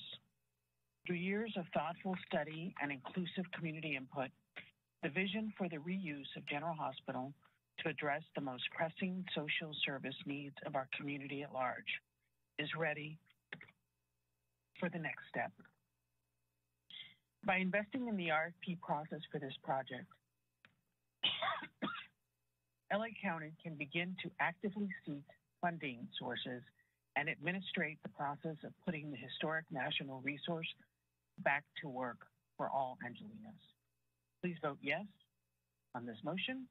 Ari Gutierrez Arambula on behalf of the Latino Equality Alliance. Thank you. Next speaker, please. Our next participant is Kimberly Gonzalez. Please state the regular agenda items you're addressing today and whether you'll address on general public comment. You may begin. Hi, I'm addressing item number 18. Um, as others have expressed and um, have opposed um, this agenda, I agree entirely with all statements that have been said by them and by Sheriff uh, Villanueva. Um, by proceeding with um, this enhancement um, code, it is going to actually um, endanger our communities. There's going to be more violence than it already is in, within the city and within the county. Um, and ultimately, we should all respect our personal choices. Thank you. Thank you. Next speaker, please. Our next participant is Kate Haney. Kate Haney, please state the regular agenda items you're addressing today and whether you'll address on general public comment. You may begin. Thank you, and good morning to everybody. Um, I'd like to start my uh, by saying thank you to Kathryn Barger for standing up and for standing up to unmask our children. I have three children in LA County, and my daughters who do music and gymnastics are masked 50 hours a week, and that's just not acceptable. I don't think that the board members or Barbara Ferreira have any idea of the mental health impact of these masks on children, as well as the vaccine mandates. My daughter plays the tenor saxophone, and she is required to get tested weekly, even though she is vaccinated. I just don't understand why the facts related to mental health on children are not communicated. Barbara Ferrer just states the same facts over and over again. She does not provide any statistics on children and the fact that COVID has children that get COVID have mild symptoms.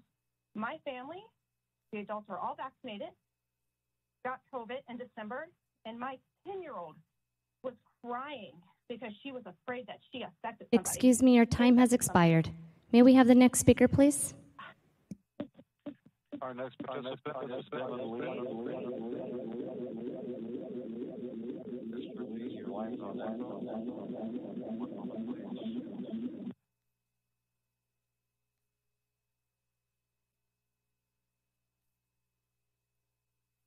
Next participant is Mr. Devin Lee. Your line's on. Our next participant is Robert Field. Robert Field, please state the regular agenda items you're addressing today and whether you'll address on general public comment. You may begin. Yes, thank you. I'm speaking today against the passage of Agenda 18. The proposal in this motion to terminate the employment of 18,000 county employees, 4,000 of which are sheriff deputies, and may include the uh, religious and uh, medical exemptions is reckless. This proposal violates um, numerous labor laws and privacy laws, potentially exposing the county to hundreds of millions of dollars in damages in employee lawsuits. That is our money, the taxpayers' money of Los Angeles County. I urge you to vote against this reckless motion, Agenda 18. Thank you. Thank you. Next speaker, please. Our next participant is Gloria Prieto. Please state the regular agenda items we're addressing today, and we'll address on general public comment. You may begin. Yes, thank you. I'm addressing Agenda 18, in which I strongly object to. To fire 18,000 county employees is atrocious. This is um, these are the same people that we called heroes just a short time ago, and have been able to to perform their jobs with or without the vaccine. It, it doesn't make any sense. The people you're criminalizing the people who have chosen to not be vaccinated and to exercise their right to free, cho- to free choice.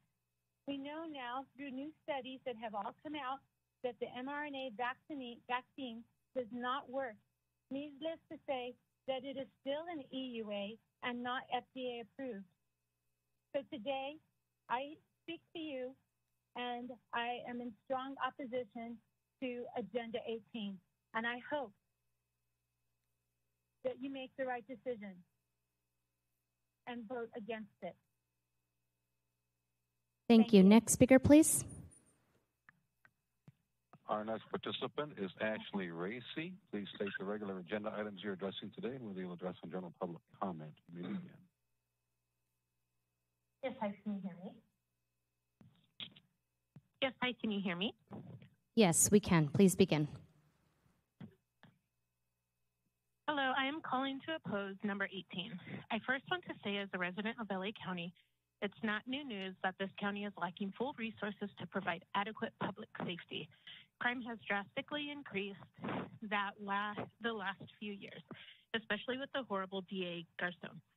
The thought of possibly losing 4,000 LASD members sickens me, let alone the entire 18,000. Most members have natural immunity. The vaccine is not an end all, it does not stop or prevent spread. Sheriff Villanueva, thank you for taking a stand for choice and doing what you were voted in to do. No one should have to face losing their job, feeding their family over a health decision. A mandate is force. Force is not choice. Stop the mandate, stop the vaccine mandates and the testing. I know for a fact when people, when someone is in need of requiring emergency services or healthcare, no one is going to stop someone in a life threatening circumstance and ask for proof of vaccination. If you feel that way, you should not be serving our community. Please take a job transfer to China and work with that communism. Number two, I am also opposed to these mask mandates. Barger, how was that awesome? Excuse me, your time has night expired. May we have the next speaker, please? Our next participant is Clint Milby. Please state the regular agenda items you're addressing today, and whether you'll address on general public comment. You may begin. Uh, yes, my name is Clint Milby. I'm in District Number Five.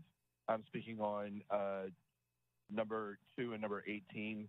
First of all, on number two, uh, recently, I'm sure you are aware, uh, the UK dropped all of their mandates. And on a UK television show, they were interviewing a woman, a young lady. She was about 13, I guess she was 15 now, 13 when the all this started. And she started talking about how, you know, that they were constantly feeling like they were doing something wrong as students, and then you know, but they definitely wanted to talk to each other, so they went into like janitor's closets to talk. And she was telling us, you know, all of the story, and then she just broke down crying and said that, that you know, two lo- two years of her life were gone, and you could sense the pain, and you could sense the loss, and you could, you know, if you could see with the eyes, you know, uh, of, you know, understanding, you could sense that she's going to have PTSD for many years to come. And I really want you to think about the, the visuals on that. Secondly, on number 18, oh, and I also wanted to do general comment, sorry. I, on number 18, I recently spoke with an emergency worker uh, who told me when I was like, you guys get like all kinds of vaccines and stuff like that, hepatitis A, B, C, all of these things every year just to be able to have your job. What was it about this one in particular? Was there something that you were seeing? And uh, he said, yes. He said that, you know, when we roll out to do welfare checks because they haven't heard from Uncle Joe or something like this, um, you know, what they were seeing were heart attacks and strokes that the common denominator in about 90% of them was that the person had been vaccinated within three months of having that event, with having a stroke. And that's the reason why these emergency workers do not want to get this. It's not, it's, it's not a, any type of phobia or they're anti-vax or something like that. That they've seen the effects of what this mRNA gene therapy is doing to people, and they know. Excuse me, your time has expired. job, May we have the next speaker, please? Our next participant is Lisa Lee. Lisa Lee, please state the regular agenda items you're addressing today and whether you'll address on general public comment. You may begin. Hi, can you hear me? Yes, we can hear you. Please begin. Thank you. I'm addressing the number item 18, and this is for public comment. I am perplexed that the vaccine mandate is even on the table for debate um, with everybody, and especially our LAPD. As a young single woman living in Central Hollywood with my Citizens app notifications going off and choppers flying over my house, the last thing that me and my friends want is our LAPD to be fired. It's not a good idea. Um, the crime is rampant in LA, and we all know that the vaccines don't actually prevent the spread, so it's a complete fallacy. And if you decide to vote that they should have the mandate, you guys should be held responsible for all the crime that is about to ensue in this city. Thank you.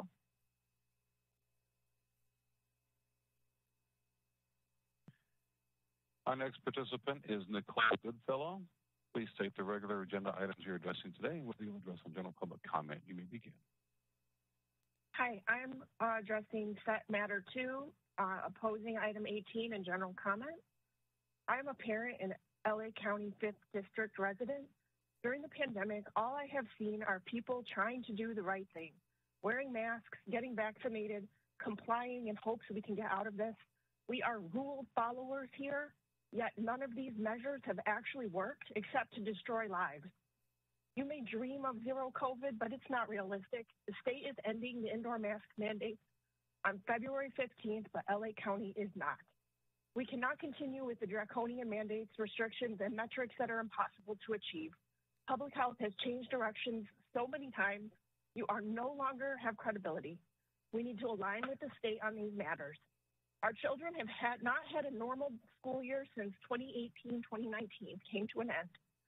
2019 2020 was abruptly halted on March 13th, 2020, when we learned in person education is not essential. Faces are not essential, smiles are not essential, human connections are not essential. All that is essential are the demands of organized labor and the government attempts to do something, anything, regardless if it helps or harms. I oppose item 18. Many who have chosen to remain unvaccinated are essential workers and first responders that were already exposed on the job. Natural immunity does actually exist per the CDC. While you sat home on laptops at peak COVID and pre vaccine, millions of Angelenos went to work and hoped for the best. We called them heroes. Their reward now to lose their jobs if they don't take a vaccine that many don't want or need. It's disgraceful to even consider firing county workers and first responders over a vaccine mandate. It's time to move to a vaccine and mask optional situation for students, workers, and all Angelenos. We cannot allow you to continue to take the path of least resistance with mandates on our children because of unscientific demands of labor unions. When the state and local restrictions end, the union and school district restrictions on our kids must end too. The majority of Americans are living in a mask and vaccine optional environment and doing just fine. We deserve the same freedom of choice in Los Angeles County. Thank you. And thank you to uh, each and every member of the general public who took your time today to call in and express your perspective. We appreciate you. Uh, with 90 minutes having lapsed, our time for public speakers has ended. Again, thank you to all who called in. If you were unable to provide your comments orally, you may submit written comments as indicated on the agenda. We will continue to accept all written comments that come in during the meeting, which will become part of the public record. Executive Officer, please indicate the agenda item numbers on which we will be voting today. The following items are before you 3, 6 through 8, 11, 12 through 16 as revised, 19 through 21, 23 through 30, 32 through 36, 38 through 42, 44 through 57, 59 through 68, 69A and 69B, 72 and 73, 1D, 2D, and I am going to read a statement. 1D is a recommendation to adopt resolution authorizing the issuance, sale, and delivery of the Vermont Manchester notes in an aggregate principal amount not to exceed $46,338,493 for a 118 unit affordable housing project and the Vermont Manchester Senior Project Notes in an aggregate principal amount not to exceed $26,094,717 for a 62 unit affordable housing project, both located in the city of Los Angeles. 3D through 7D are before you. Thank you. Moved by Supervisor Barger, seconded by Supervisor Hahn to approve these items with the exceptions noted by the Executive Officer. Executive Officer, please call the roll. Supervisor Solis. Aye. Supervisor Solis, aye. Supervisor Kuehl. Aye. Supervisor Kuehl, aye. Supervisor Hahn. Aye. Supervisor Hahn, aye. Supervisor Barger. Aye. Supervisor Barger, aye. Supervisor Mitchell. Aye. Supervisor Mitchell, aye. Motion carries five to zero. Thank you. We will begin with set matters one and two, and then proceed to agenda items four, five, nine, 10, 17, 18, 58, and concluding with item 69C. We'll begin with set matter one, the American Rescue Plan funding. We'll hear a presentation from Fesia Davenport, Chief Executive Officer, and Dr. Barbara Ferrer, Director of Public Health. Good morning, Madam Chair, and good morning, Board of Supervisors. Um, I will go ahead and get started talking while the PowerPoint, thank you, is being brought up. Um, so today's presentation will be the fourth in our series of regular presentations on the county's progress implementing phase one of the county's American Rescue Plan, the spending plan. As your board will see from today's presentation, departments continue to make steady progress finalizing their federally compliant program designs, each of which incorporates your board's equity mandates and moving into an implementation phase. But the initial focus of our presentation this morning will be on the larger systems change instigated by your board. As your board will recall, weeks prior to considering and approving the phase one spending plan, your board directed my office to create specialized tools and a funding formula to support the development and launch of a new equity-based service allocation that is tied to your board's approval of the ARP spending plan.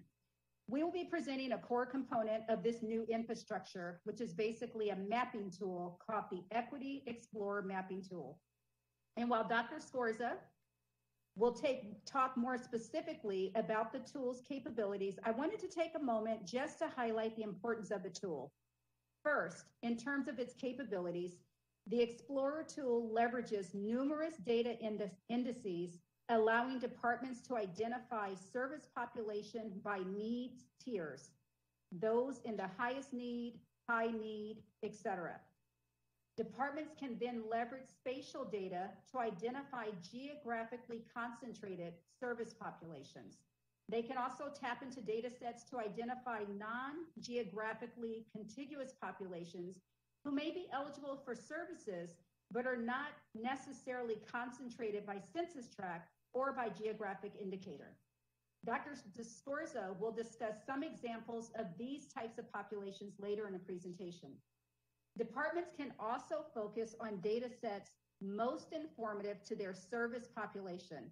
For example, the Economic and Workforce Development Agency will essentially focus on data sets that are most informative to their service population.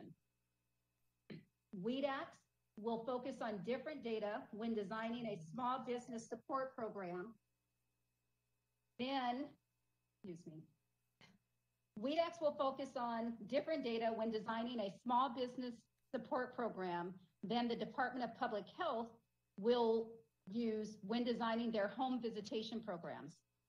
Second, the Equity Explorer mapping tool marks an important evolution in the way county departments evaluate how to deploy limited resources to those most in need. In short, an equity-based process that can be replicated in programs from ARP to CFCI and beyond. I also wanted to quickly note that your board's efforts are receiving national recognition for its efforts to ensure equitable investment of ARPA funds. Last month, the Department of the U.S. Treasury issued its final rule governing, governing, governing the expenditure and reporting of ARP funds. The final rule calls out your board's Care First, Jails Last programming as an example of local strategies using ARPA funds to invest in holistic approaches in violence prevention that are rooted in targeted outreach and addressing root causes. They highlight this use of ARPA funds as an example of ARP eligible programs that aim to replace arrest and incarceration responses with health interventions. Next slide, please. So the next slide essentially uh, shows what we will be covering today. As I mentioned, Dr. Scorza will address items one through three by providing an overview of the Equity Explorer mapping tool and a status update on ARPA implementation. And then Dr. Barbara Ferrer, Director of Public Health, will present on item number four. She will spotlight public health ARP funded programs focused on home visiting and nurse family partnership. And with that, I will turn the presentation over to Dr. Scorza. Thank you so much, Ms. Davenport. Good morning, board. Uh, it's a pleasure to be here with all of you today. Uh, next slide, please. As um, our CEO has mentioned, um, we worked closely with our partners in ISD to develop the Equity Explorer mapping tool which uses your board's directed COVID-19 Vulnerability and Recovery Index to indicate areas of highest, high, moderate, low, and lowest need tiers in order to assist departments with their project design efforts.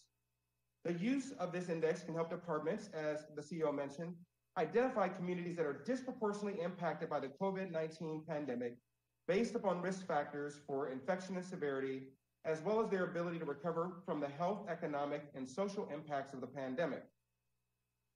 Using this information, departments can best target their ARPA program funding and resources towards communities with the greatest need. RD also provides departments with training and guidance on how to use the mapping tool in their project designs in order to inform the decision making and better align program investments with recovery need. The mapping tool is now publicly accessible on our ARPA website at the link you see on the screen, um, which is now at ceo.lacounty.gov slash recovery. Next slide, please. Race, class, and place are closely linked in Los Angeles County, and the impact of the COVID 19 pandemic has disproportionately affected individuals and families who live at the intersections of these factors for several reasons. Decades of discriminatory housing, banking, and economic policies have limited opportunities for African American, Indigenous, Latino, Latina, Latinx residents, Asian American, Native Hawaiian, Pacific Islander, and many marginalized communities who reside in the county who need our services to maintain their economic security and, and weather crises.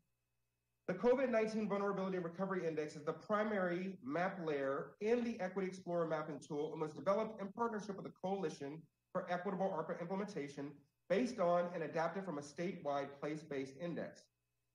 The county's index uses census tract, zip code, and neighborhood level data to help identify populations according to need, tier, as well as identify, again, communities that are most impacted by the pandemic and in need of long-term economic recovery interventions based upon relative risk. The index assesses risk factors for COVID-19 infection and severity and includes measures that were meant to measure the health risks of communities and the long-term social and economic impacts. The need tiers are based upon an analysis that uh, categorizes risk, severity, and recovery needs using indicators that are known factors for risk of COVID-19 infection, including high degrees of vulnerability to severe challenges if infected, and the need, again, to recover from the health, economic, and social impacts of the pandemic. This slide shows the current list of indicators under each of these three indices um, and their subcategories, risk, severity, and recovery need. The communities are also at greater risk to, of exposure to the virus due to their increased likelihood of being essential workers, public transit dependent, and living, living in housing that's far from supermarkets and other essential businesses.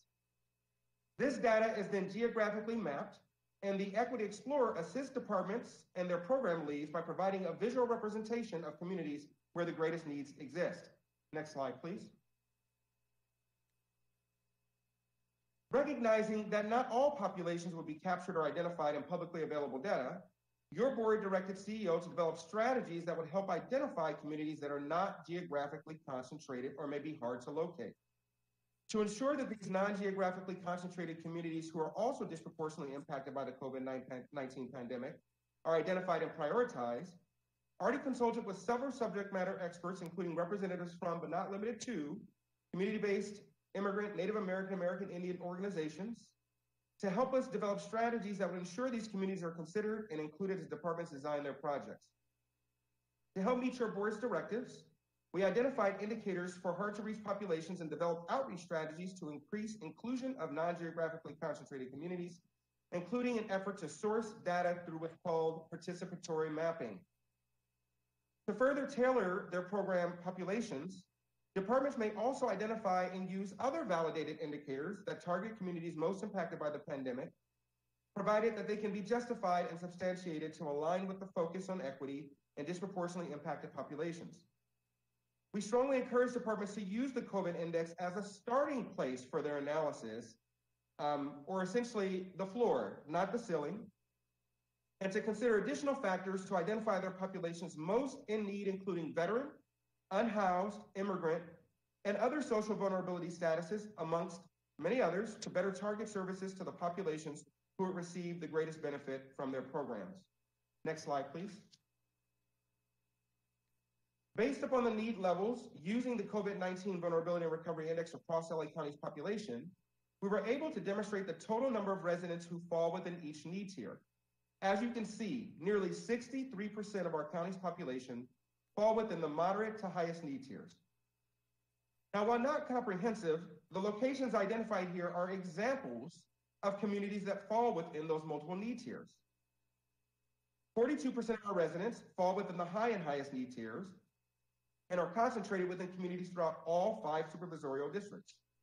These neighborhoods are often communities where high degrees of concentrated and accumulated disadvantage exist and are disproportionately impacted by the pandemic at higher rates than in low and lowest need neighborhoods. Zip codes within the highest needs on the index have nearly four times higher uninsured rates compared to zip codes within the lowest need. Zip codes within the highest need on the index have nearly four times the rate of individuals living below 200% of the federal poverty level compared to zip codes with the lowest need. Overall, these data show that roughly three out of five residents fall within the moderate, high, and highest need tiers, where highest need communities were often between four to seven times more likely to be at greater risk for infection, severely impacted by the pandemic, or in need for recovery support. Next slide, please. Now, given the infusion of ARPA dollars in our county, your board has directed that LA County acts upon our commitment to advance equity by implementing strategies to allocate funds fairly and transparency, transparently. Your board's approved spending plan, aligned in strategic pillars, calls for equity as a primary consideration in allocating resources and supportive services in order to advance an equitable recovery systematically implementing our countywide equity principles and the use of the Equity Explorer will help fulfill and further your board's directives by prioritizing the individuals and families in our county who are most impacted by the pandemic and need the most resources to recover from the pandemic's disproportionate effects. By using the Equity Explorer mapping tool, as you can see here on this, this slide, departments and now the public can explore census tracts throughout LA County to identify areas of highest, high, moderate, low, and lowest needs when either conducting project design planning or examining projects themselves.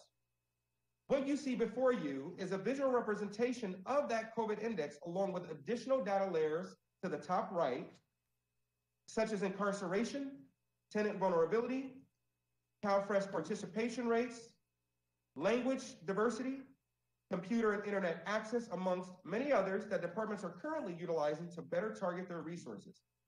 We're even able to identify communities that have been historically redlined to better locate neighborhoods where disadvantage has accumulated over time.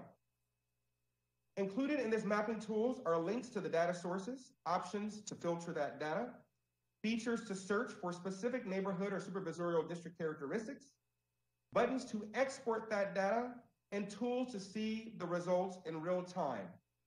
I'd like to thank and acknowledge our partners in ISD, including Steve Steinberg and his team, who helped us drive and develop this tool. Next slide, please. As you've requested, as your board has requested, this slide provides you with a current update on where projects are in the design, development, and approval process. RD continues to partner with departments to develop and complete project designs that comply with your board's directives and U.S. Treasury's guidelines. The focus on equity will ultimately lead to investments in communities hardest hit by the pandemic and at greatest risk for a slow recovery. As of February 4th, 59 projects are in the design and development phase. This includes efforts to clarify the goals and outcomes of each project, the project's potential impact on reducing disparities, and strategies to measure that impact. I should note that Treasury requires a strong focus on evidence and evaluations, and departments must be able to demonstrate the improvements occurring in communities most impacted by the pandemic. One project is currently under RD and County Counsel review, and a total of 23 projects have been approved for launch and implementation. As CEO shared, the total number of projects approved for launch has more than doubled from 11 to 23 within the past month, and projects, some projects have begun implementation. Next slide. During our last board presentation, you asked us to track estimated pro department project launch dates and report on the projects currently launched. This slide details those projects that are now made available on the ARPA website. The website was an effort in response to your board's comments last week, um, um, two weeks ago, to provide a single place online where the public can view which programs are available and which ones are coming soon. We will continue to refine this site with information as we receive it from departments, and for the time being, programs that have launched or are on the way to launch may have an estimated launch date and are currently listed on the site, where more will be added later. I would like to note that while we are working to get this information um, quickly and out to the public, we will continue to refine and improve over time. Many programs are at multiple stages, and others have approved program designs and are moving towards implementation. Next slide, please. Next, Dr. Barbara Ferrer, Director of Public Health, will highlight two of their ARPA-funded programs to showcase some of the initiatives the county is supporting during our first phase of ARPA funding.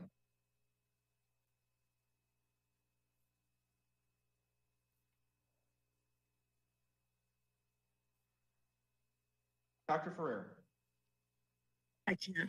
Oh, great. Thanks. Uh, uh, thank you so much, uh, supervisors, uh, uh, Ms. Davenport and, and Dr. Scorza for the opportunity to discuss with you how the Department of Public Health is administering the ARPA funding to support two essential home visiting programs, Healthy Families America and the Nurse Family Partnership. Uh, for some background, as many of you know, home visiting is a prevention strategy used to support pregnant moms and new parents to promote infant and child health, foster educational development and school readiness, and help prevent child abuse and neglect. Across the county and the country, high quality home visiting programs offer vital support to parents as they deal with the challenges of raising babies and young children. Home visiting models vary, they may rely on nurses, social workers, child development specialists, or trained paraprofessionals. All come with prescribed training requirements, and public health supplements the required training with modules on mental health and trauma informed care. Home visiting clients also often vary by program model. Across programs, clients include high risk first time pregnant women, new parenting families, homeless women who are pregnant, survivors of violence and trauma, and teenagers in foster care transitioning from juvenile and criminal justice services. LA County provides home visiting through the department's public health nurses and through contracts with 19 community based agencies who implement three evidence based models of care. In addition, we're partnered with First 5 LA, and they provide a low touch model called Welcome Baby, which is evidence informed. This model allows us to offer a single contact to a large number of women, identifying those with needs that call for referrals to other programs. Home visiting is part of the county's continuum of services for pregnant women and families of young children. This continuum of services is vital to achieving county goals around improving birth outcome equity and averting risk, including the risk of abuse and neglect. It provides non judgmental, culturally appropriate, uh, and competent education and support to families with a wide range of health and social needs. We're grateful for the $11.9 million in ARPA funds that have been directed by the board for these two home visiting programs, with $5.6 million of funding for the Healthy Families contracts and 6.3 million funding for the Nurse Family Partnership. These dollars filling gaps in home visiting funding, allowing us to mitigate the decrease in home visiting services that resulted when there was a funding reduction uh, from the Department of Mental Health in this last fiscal year. It provides funding for seven permanent county public health nurses under the Nurse Family Partnership and allows us to continue with programmatic and administrative services for both uh, the Nurse Family Partnership and Healthy Families and the Healthy Families uh, uh, program as well, uh, Healthy Families America. Uh, the ARPA funds for the Nurse Family Partnership will allow us to serve at least 175 new clients, adding to the current Department of Public Health caseload of over 3,600 clients. The ARPA funds for Healthy Families America will allow us to serve at least 600 new clients. Combined, the intended population is over 775 clients who are low income, high risk, and high need, pregnant and, fa- and parenting families identified using the COVID 19 Vulnerability and Recovery Index. Targeting the populations that are noted on this slide, including those that are involved in foster care uh, and those experiencing violence, homelessness, and or substance use. The ARPA funding in particular is critical uh, at the present time, given the challenges imposed on low income families by the pandemic. These families, especially families headed by women of color, have faced unique stresses due to employment in essential positions that entail high levels of risk, often without the protection of paid sick leave, particularly severe loss of employment that has been uh, that has not been recouped with the reopening of businesses and the need to homeschool older children, often with inadequate technology and minimal support. Their numbers have swelled demands for emergency food and shelter and services across the county. We can go to the next slide. The project's goals, as I briefly, I think you can go to the next slide. The project's goals, as I briefly mentioned earlier, are to widely screen, identify, refer, advocate, and coordinate successful mental health and family support linkages, thereby preventing trauma risks for young children and strengthening all expectant and parenting families to have healthy, safe, and ready to learn children in the county.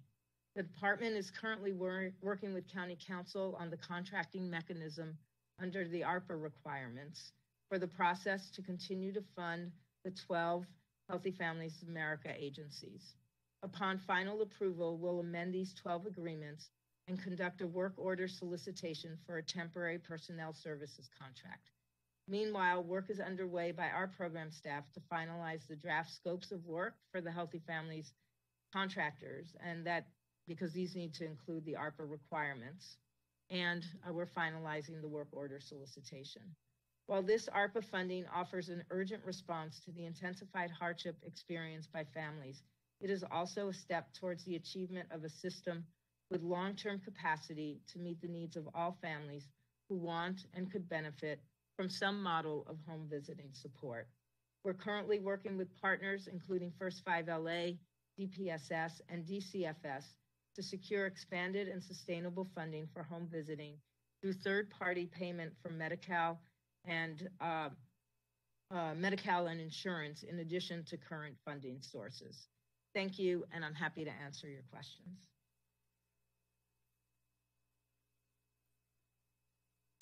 Thank you very much for that presentation. Are there members who have questions?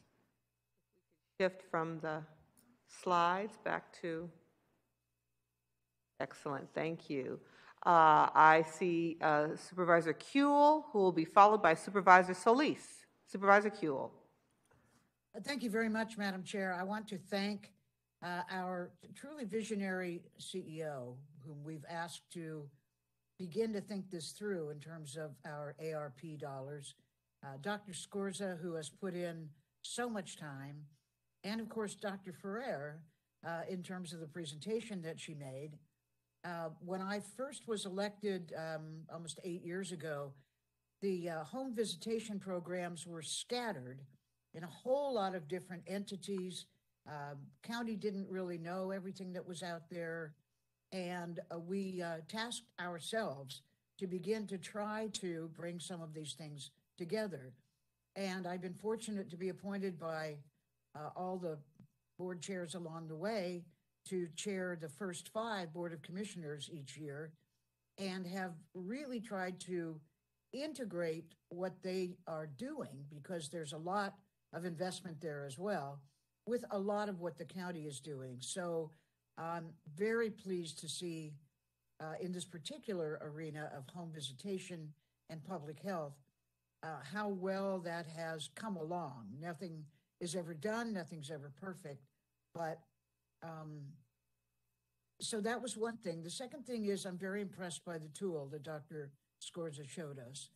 Uh, you know, we envision an outcome when we pass any set of motions, uh, and then hope that someone will figure out how to get from here to the outcome that we want, which takes a lot of steps. And uh, this tool looks to me to be a very, very important one, um, informative and um, complex for sure, but the overlay of all the different indicators of need are complex in and of themselves. So I simply wanted to praise the work and um, thank everyone uh, for all the time that they're putting in on this. It's going, I hope, to help us really focus our ARP funding uh, in an equitable way and in a transparent manner. Thank you, Madam Chair. And thank you. Supervisor Solis? Yes, thank you, Madam Chair. I also want to extend my thanks to Fesia, Dr. Scorza, and Dr. Ferrer for the presentation. I know a lot of work's gone into this, and quite frankly, I hope that we can use this tool for all of our funding that we have to oversee because it makes sense. And data and uh, looking at trends are very important to how we plan out uh, where we need to go as a county. So I'm really very impressed with uh, the agility and the efficiency in putting all this work together. I think it's very commendable. But I do have, I continue to have some concerns because I know we have a ways to go. And part of it uh, deals with contracting opportunities that we have with our county departments and making sure that they really do understand these tools and the usefulness of them. And I hope that we can really uh, create standards with all of our uh, departments so that they all fully understand what it is we're looking at here. Uh, and, and I, you know, again, just want to ask the questions, how are we going to reach out to these organizations so that they know how to apply for the funding? And part of what I'm already learning in my new district is that we have uh, significant uh, linguistic barriers. The fact that we don't have many of our materials in other languages. I was just visiting out in the uh, west, the east, no, it's not west, the East Hollywood area where a large number of the Thai, Thai community resides.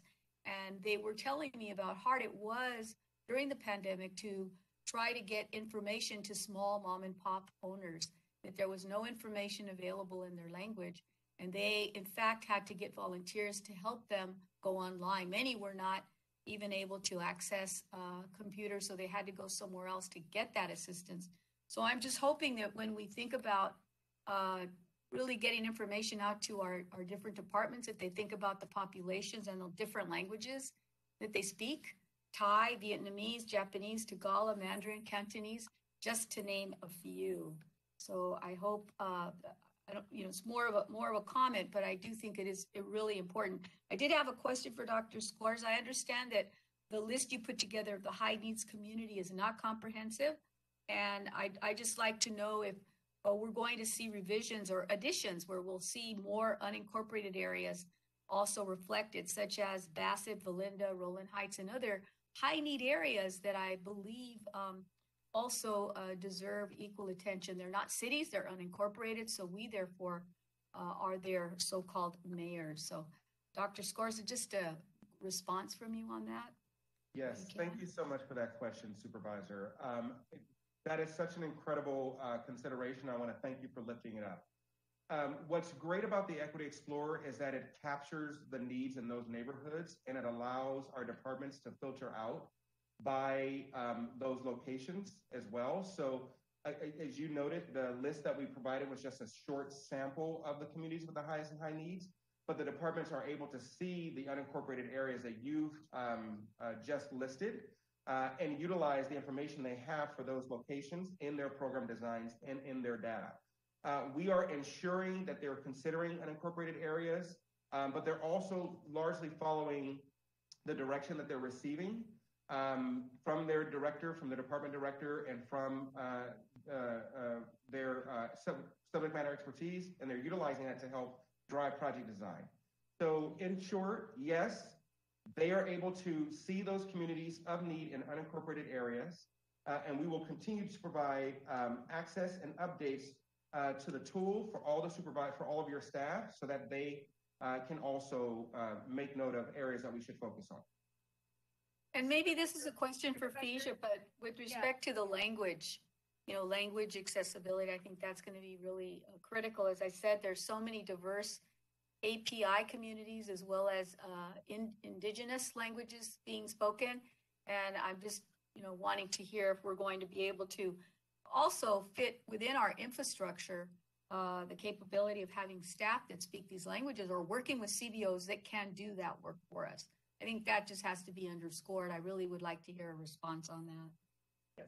Thank you, Supervisor. If I could just respond to your first question also to Dr. Scorza. One of the things that we can do, we know that sometimes when we show information to um, uh, preview information, whether it's for our departments or anyone else, people might think that that is the set list. So Dr. Scorza has already indicated that departments can use the data, they can slice it and dice it to kind of cull out uh, for example, unincorporated areas. But I also think we can update the list just um, in terms of it being illustrative as an example to the department so that it doesn't just include uh, census tracts and cities, but also in unincorporated areas. So we'll work on that. On the issue of uh, the diversity of languages, so um, we are in the process of, or we actually have secured uh, translation services for our art materials. We want to have them translated. I think it's, is it 12? Seven, seven Oh, Okay, so in about seven or eight different languages, that information we actually want to push out in a very specific way uh, to the community, to the relevant communities that speak those languages. Um, and we want to do it in a very intentional way using social media, providing toolkits, et cetera. On the issue of contracting, I believe you mentioned with community-based organizations to carry that message I think we actually have an infrastructure uh, for that already that we've actually funded with CRF, and we also set aside uh, funding under ARP. Your board did tranche one for hyper local um, communication, and I think that that's where that falls. That's where that effort would fall. So we will make sure that as we translate these materials, that we don't just push it out using social media, uh, but that we will also include it as part of our hyper-local um, ethnic media outreach. Thank you. And, and then just lastly, thank you, Madam Chair, for the time. I wanted to thank Dr. Ferrer uh, for her work on the updates on this critical program, the home visitation program, and especially the nurse family partnership. In fact, I know my team recently met with representatives from your department as well as DPSS, DCFS, and DMH regarding the program and its future viability. DPSS and DCFS shared how critical the work uh, that you all are doing with the NFP is to support some of the most high high acuity clients. There's no doubt in my mind how important this program is. And I was glad to help advocate for ARPA funding to support the program and also lead a motion to support NFP. And I'm thankful for your presentation today. But I know the long term funding for the program remains an open question. And I want to begin there. How long will this funding support ARPA program and what are DPH's plans to preserve the long term viability of the program? And if you can, discuss some of the past funding challenges and what support you could use from other departments and the board to sustain the program. And beyond simply sustaining the program, what support do you think would be needed to help us expand and elevate the level of services provided by uh, the NFP uh, practitioner, practitioners? Those are my questions for Dr. Ferrer. Yeah, thank you. Thank you so much, uh, Supervisor Solis, and, and also want to thank all of the board for, for their support and leadership uh, and recognition of the important role that home visiting plays. And, and there are lots of different models. Um, and the nurse family partnership model uh, obviously is, is one of the more intensive models uh, because it requires clinical uh, providers to help round out that team. But many families are asking for different levels of support. And I'm proud that here in LA County, um, you know, e- even before we had this amazing uh, new investment uh, with the ARPA funds, you know, we had, you know, probably close to uh, $30 million invested in a variety of home visiting efforts. Um, and, you know, DPSS has, has been really one of our most important partners, and, and we work with them through the CalWorks program uh, to provide a lot of support uh, for for their um, eligible residents um, around you know the additional support that people uh, need as they're transitioning into a work environment. So you know we've just been really pleased with uh, that partnership.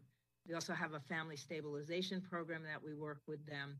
And then we've received a, a lot of funding as well, or a significant amount of funding that we get from the state around expanding some of our uh, maternal, infant, and early childhood home visiting investments. So I, you know, I, I feel that we've we've carved a path with multiple sources of funding. Um, but you're right. I think the vision here in LA County is that every single family um, that's welcoming a, a new child uh, has an opportunity to get the support that they need. And that support will be varied uh, depending on those individual circumstances. And, and ideally, um, in some ways, there's a menu that families get to select from so that no families uh, feel unsupported during what can be some of uh, the most challenging times, with a particular emphasis on those uh, families and individuals that are already uh, facing significant challenges. So I, I, love the fact that we're able to use the ARPA funding to actually extend uh, services and support for some of uh, our individuals and families who, who have, you know, really significant needs uh, that we as a county can be helping with. So I, I want to recognize uh, what you said was, was really important, Supervisor, about connecting to other departments, uh, both because oftentimes uh, they may uh, be working with or supporting a family who would benefit from home visiting, and, and we'd love to get make sure those referrals are happening. But also, there are times where a family receiving home visiting services would benefit from some of the services and support that are offered across our many departments. Um, so I think, uh, again, opportunity here to strengthen uh, both the county network and then our network of supportive services from our community based organizations that also uh, provide a lot of support for home visiting. Thank you. Thank you very much to all. And thank you again, Madam Chair, for me to ask questions. Of course, helpful information. Any questions from any other um, supervisors? Okay, thanks to the team for, um, again, bringing us valuable information in this standing item. I think the Equity Explorer tool just shows you the power of data collection and the power of technology that, that um, creates opportunity for us to dig very deep on a granular level to really understand the needs of our communities um, and ways in which we can use these funds to meet their needs. And as Supervisor Solis said, to rethink our budgeting process based on that, that really micro level of data analysis. So thank you very much. This report is received and filed. Hearing no objections, that will be the order. Set matter two We'll now hear a presentation once again from Dr. Barbara Ferrer, Director of our Public Health Department, and Dr. Christina Ghaly, Director of our Department of Health Services. Dr. Ferrer, we'll begin with you.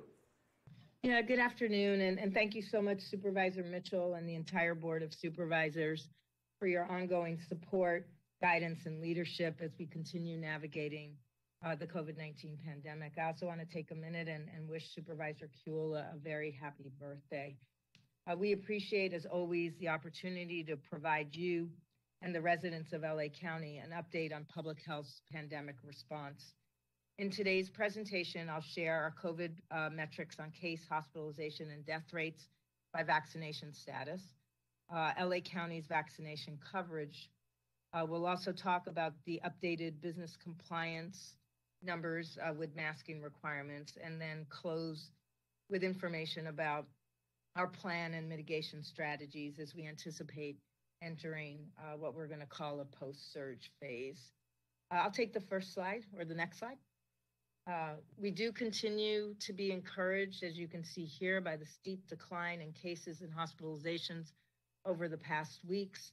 Uh, this slide shows cases, hospitalizations, and deaths over the course of the pandemic, and it clearly shows that we recently experienced the steepest increase in cases, that's that green line, and a corresponding significant rise in hospitalizations, that's the orange line, during this winter surge. The good news is that we're experiencing this rapid decline in cases and a steady decrease in daily hospitalizations. However, as you can see here, our case and hospitalization numbers are still almost as high as they were during the peak of last winter's devastating surge. And tragically, uh, the blue line at the bottom uh, shows that our deaths are not declining yet, and we averaged about 70 deaths a day over the past week. Take the next slide. Uh, as you'll see on the next few slides, case hospitalization and death rates vary significantly by vaccination status. On this slide, as in the next few slides, you'll see COVID 19 trend lines for three groups unvaccinated individuals, represented by the dotted lines, individuals who are fully vaccinated but didn't receive their booster dose, represented by the dashed lines, and individuals who were fully vaccinated plus had their booster dose, and that's represented by the solid lines at the bottom. For all groups, although case rates are still very high, we're relieved to see these sharp declines. For the week ending January 22nd, individuals who were fully vaccinated but had not received a booster about, were about two times less likely to be infected with COVID 19 than unvaccinated individuals. Meanwhile, those who were fully vaccinated and had a booster dose were about four times less likely to contract COVID 19 than unvaccinated individuals. Next slide. If you look at our uh, latest hospitalization data, you see even more striking differences in outcomes between vaccinated and unvaccinated individuals. For the week here that ended January 22nd, residents that were fully vaccinated but hadn't yet received a booster dose were six times less likely to be hospitalized for COVID 19 than those who were not vaccinated. Those who were fully vaccinated and boosted had even higher levels of protection and were about 22 times less likely to be hospitalized than unvaccinated individuals. I'll take the next slide. During this winter surge, as COVID 19 hospitalizations rose, we also saw an increase in the number of COVID 19 patients requiring care in an intensive care unit. As expected, the data show that unvaccinated individuals were the most likely to require intensive care, uh, care intensive care, care in the intensive care unit, and that COVID 19 patients who were fully vaccinated with a booster dose were the least likely to be admitted to the ICU. For the period that ended January 22nd, residents who were fully vaccinated and had a booster dose were about 31 times less likely to need care in an ICU than those who were not vaccinated. Fully vaccinated individuals who did not have a booster do- dose were about eight times less likely to be admitted to the ICU than unvaccinated individuals. Next slide. When reviewing death rates by vaccination status, we can't calculate stable rates yet for vaccinated individuals separated by booster status because there are just so very few deaths of people who are vaccinated and boosted. So we're only comparing deaths between all fully vaccinated people, that includes both boosted and not boosted, and unvaccinated people on this slide. When looking at deaths, unvaccinated individuals had worse outcomes than vaccinated individuals. For the period ending January 15th, individuals who were fully vaccinated were about 12 times less likely to die from COVID than those who were unvaccinated. It's evident that vaccines continue to provide significant protection against COVID 19 and especially against severe illness and death. And the booster dose provides an important extra layer of protection against disease and severe illness. Next slide. We, uh, given the importance of vaccination coverage, we continue, oh, uh, given the importance of uh, understanding what's uh, going on uh, uh, by race and ethnicity in terms of our outcomes, we also looked at case rates by race and ethnic groups, as well as hospitalization rates. And as you can see here, I and I want to call attention to the differences for folks who are vaccinated. Race and ethnicity uh, plays a critical role as well as vaccination status in affecting uh, both whether or not people are infected and whether or not uh, those that are fully vaccinated uh, end up hospitalized. And, and unfortunately, uh, as you can clearly see here, Black and Brown residents in LA County who are vaccinated have a higher rate of infection when compared to white and Asian residents. And the same thing holds true uh, for uh, those who are fully vaccinated and uh, end up needing hospitalizations. And here, the difference is twofold. Um, a possible explanation for the fact that uh, fully vaccinated individuals don't all enjoy the same level of protection is most likely related to two facts. One is that Black and Brown residents have higher rates of underlying comorbidities uh, that place them at greater risk um, for illness and severe illness um, from COVID. And many of our Black and brown, brown residents are also essential workers who have more exposures both at work and in their community settings. Next slide. Um, given the importance of uh, vaccination coverage, we also continue to track our incremental progress in vaccination rates, uh, noting that 69% of LA County residents are fully vaccinated, 90% of adults 65 and older are fully vaccinated, and 73% of those 5 and older are fully vaccinated. While there are almost 8 million residents vaccinated, there are 1.7 million residents currently eligible for vaccines that haven't received their first dose, and 526,000 children under five that are not yet eligible. Among the 6 million LA County residents ages 12 and older currently eligible for an additional booster dose, 2.7 million eligible residents, uh, that's about 45% of eligible residents for boosting, didn't get uh, their booster dose yet. Given the waning protection of the initial vaccine series, it is important that those who are eligible for a booster dose receive that dose as soon as possible. Next slide. Uh, the graphic on this slide uh, highlights the results of a study published by the CDC based on data collected and analyzed by scientists from the California Department of Public Health and the University of California at Berkeley. The study analyzed the effectiveness of face masks or respirator use in indoor public settings for preventing COVID 19 infection based on a case control study that enrolled randomly selected California residents who had received a COVID 19 test result between February and December of 2021. Similar to other studies, wearing a mask in indoor public settings was associated with lower odds of uh, having a positive test result, especially when compared with never wearing a face mask or respirator in these settings. And wearing the respirators provided the most protection and was associated with 83% lower odds of a positive test result compared with not wearing a face mask or a respirator. The next best protection was provided by a surgical mask associated with 66% lower odds of a positive test result compared with not wearing a mask. These findings showed consistently wearing a face mask or respirator in indoor public settings significantly reduced the risk of getting infected. This is particularly uh, this is a particularly important layer of protection to use when there are large numbers of breakthrough cases, as we have seen with Omicron, and during times of high transmission. Next slide.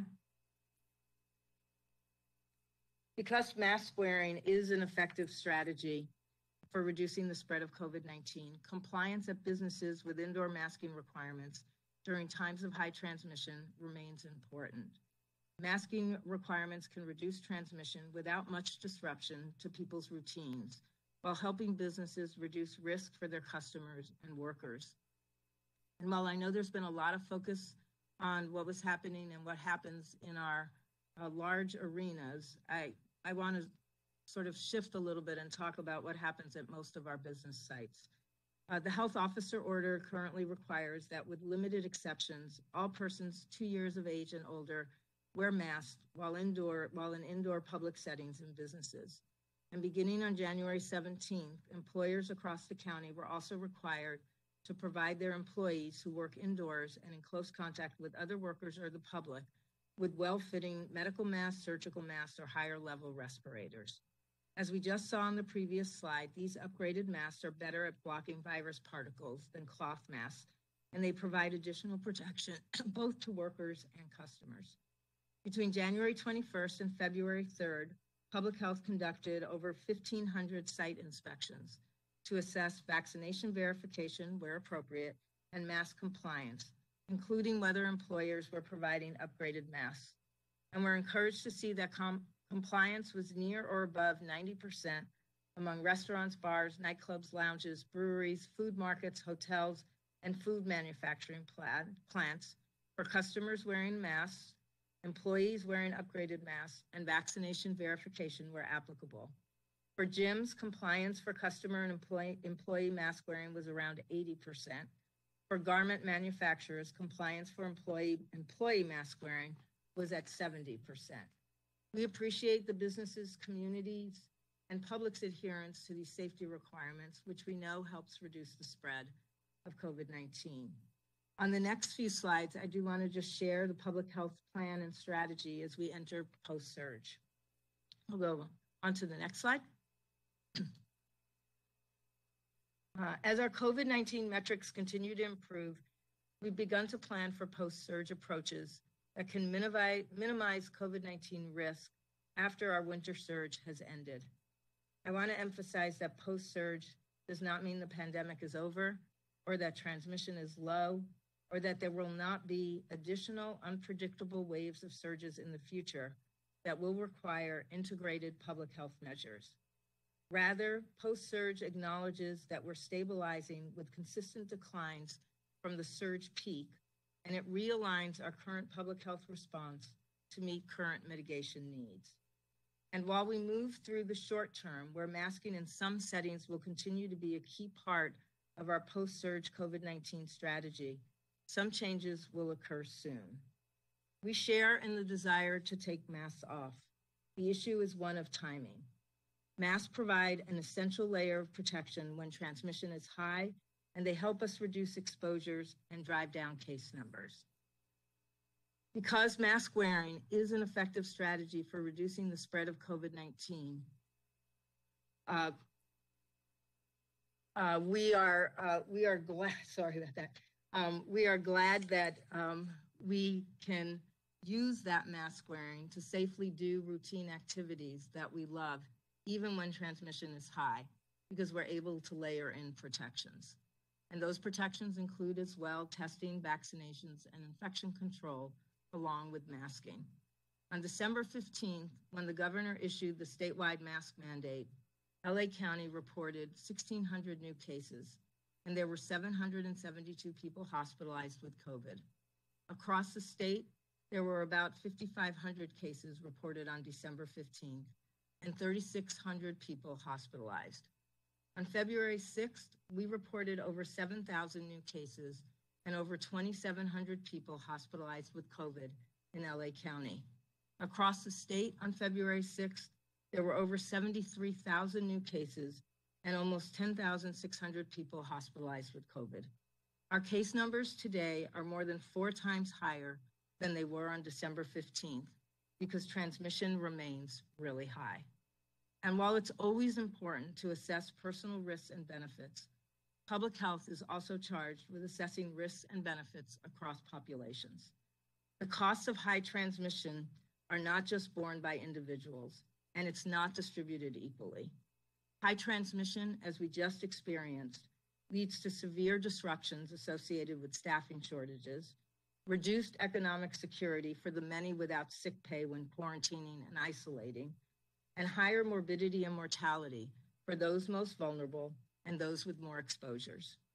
In the month of January, there were over 841,000 new cases of COVID in LA County, including 265,000 cases among children.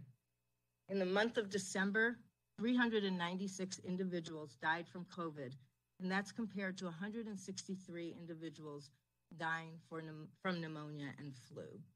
And there remain unknown, there remains a lot of unknowns around the burden of long COVID and MISC in terms of ongoing disabilities and disruptions.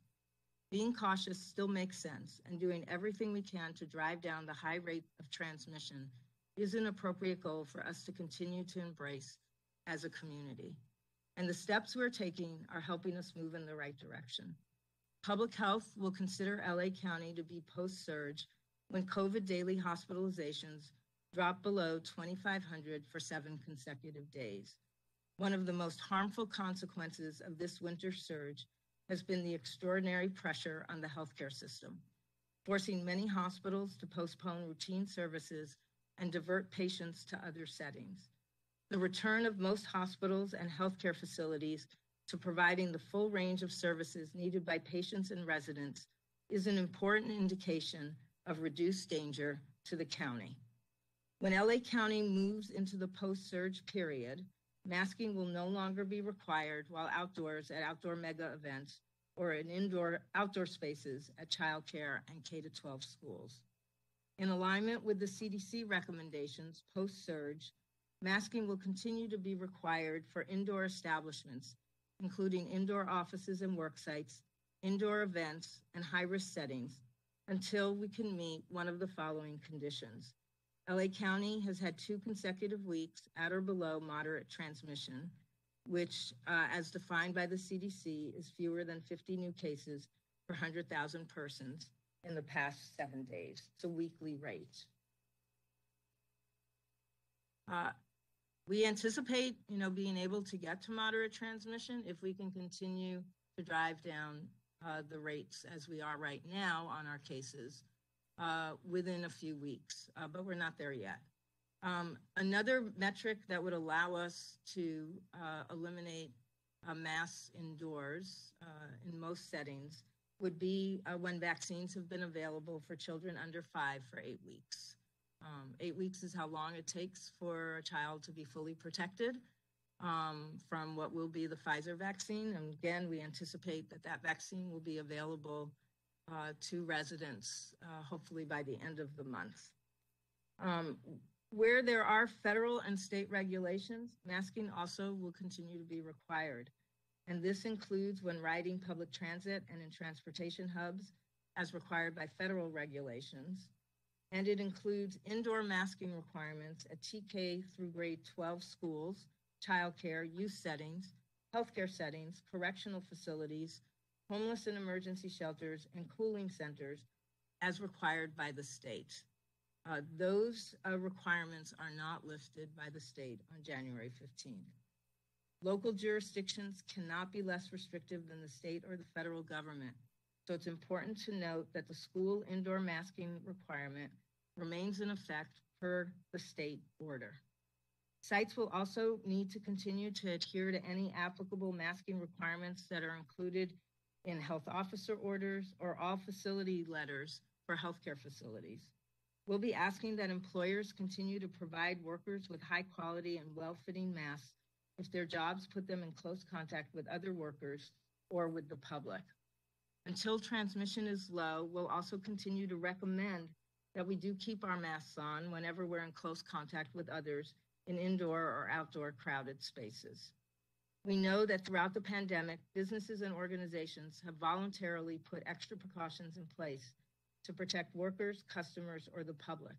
They'll continue to have the discretion to require masking of workers, customers, and the public. As we've shared many times, masking is one of the easier steps we can all take to reduce the spread of COVID 19. And we thank residents for continuing to take this action to protect themselves, protect workers, protect those who cannot get vaccinated, and those at high risk of severe illness while transmission rates remain so high. I just want to move on to the next slides and just briefly note some additional important strategies in our post surge plan that will position us to mitigate risk. Um, it's really important that vaccination, testing, and contact tracing uh, play important roles in post surge. Vaccination verification will continue to be required at mega events and in the indoor portions of bars, lounges, nightclubs, wineries, wineries, sorry, uh, breweries, and distilleries. Uh, testing uh, will continue to be required by businesses, local or state health officer orders, Cal OSHA or state off facility letters in high risk settings. This includes testing at nursing facilities, uh, long term care facilities, healthcare facilities, shelters, correctional facilities, and schools. Testing continues uh, to be required for entry into mega events for those not fully vaccinated, for exiting quarantine and isolation early, and for outbreak management. Otherwise, testing is optional. And case identification and contact tracing will also continue to support the isolation of positive cases and quarantining of close contacts, at least until we're at lower levels of community transmission. We'll focus in four areas of post surge. Uh, we'll continue electronic communication with those who have a lab reported positive test result that they can get information about isolation and notification of their close contacts. We'll prioritize contact tracing in settings where there's high risk for transmission or severe illness. We'll maintain our call center so those with a positive test result can call us to get information and support. And we'll be disseminating information at testing sites about how to handle a positive test result. These strategies will continue to help prevent COVID transmission and protect, protect our workers and our residents uh, from, uh, from COVID 19. On to the next slide. Another important strategy for mitigating the worst effects of COVID is improving access to and distribution of therapeutics, especially of the approved oral medications for people with COVID 19. While currently there's a really scarce supply of the newer therapeutics, we are working to build an infrastructure that will ensure that those in hard hit communities and those with less access to healthcare will be able to get information and access to therapeutics as they become more readily available. And here our efforts include expanding our network of providers with information, supply of therapeutics, and prescribing ability. Expanding our network of distribution sites, including pharmacies and community clinics that will be able to distribute the oral medications We'll be establishing a call center where residents can get more information about and how to access about the therapeutics and how to access the therapeutics. And we're considering using some telehealth platforms at public health clinics or other community sites to uh, improve access in places where uh, we think uh, there's not enough access. Next slide. When we move into the post surge phase, public health's equity focused response will remain focused on protecting the medically vulnerable, protecting essential workers, protecting hospitals and health system functioning, and supporting a subset of vital institutions, such as those that provide government services, schools, childcare, and emergency response.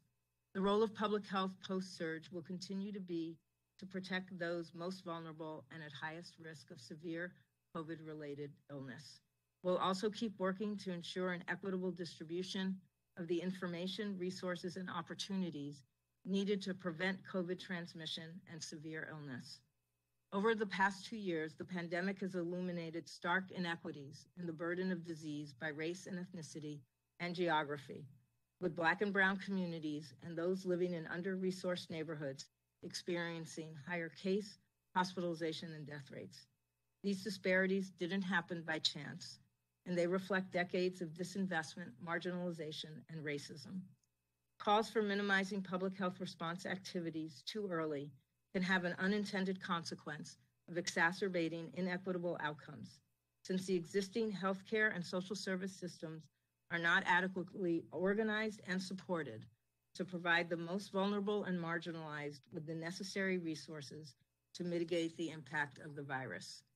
The post-surge plan we have laid out takes into account systemic health and social inequities, the continued disproportionalities that the data consistently shows, and acknowledges that there are steps we can continue to take collectively to keep our economy open while reducing the burden of illness and devastating deaths caused by this dangerous and unpredictable virus. Thank you, and I'll gladly take any questions after Dr. Ghaly's presentation. Thank you. Dr. Ghaly.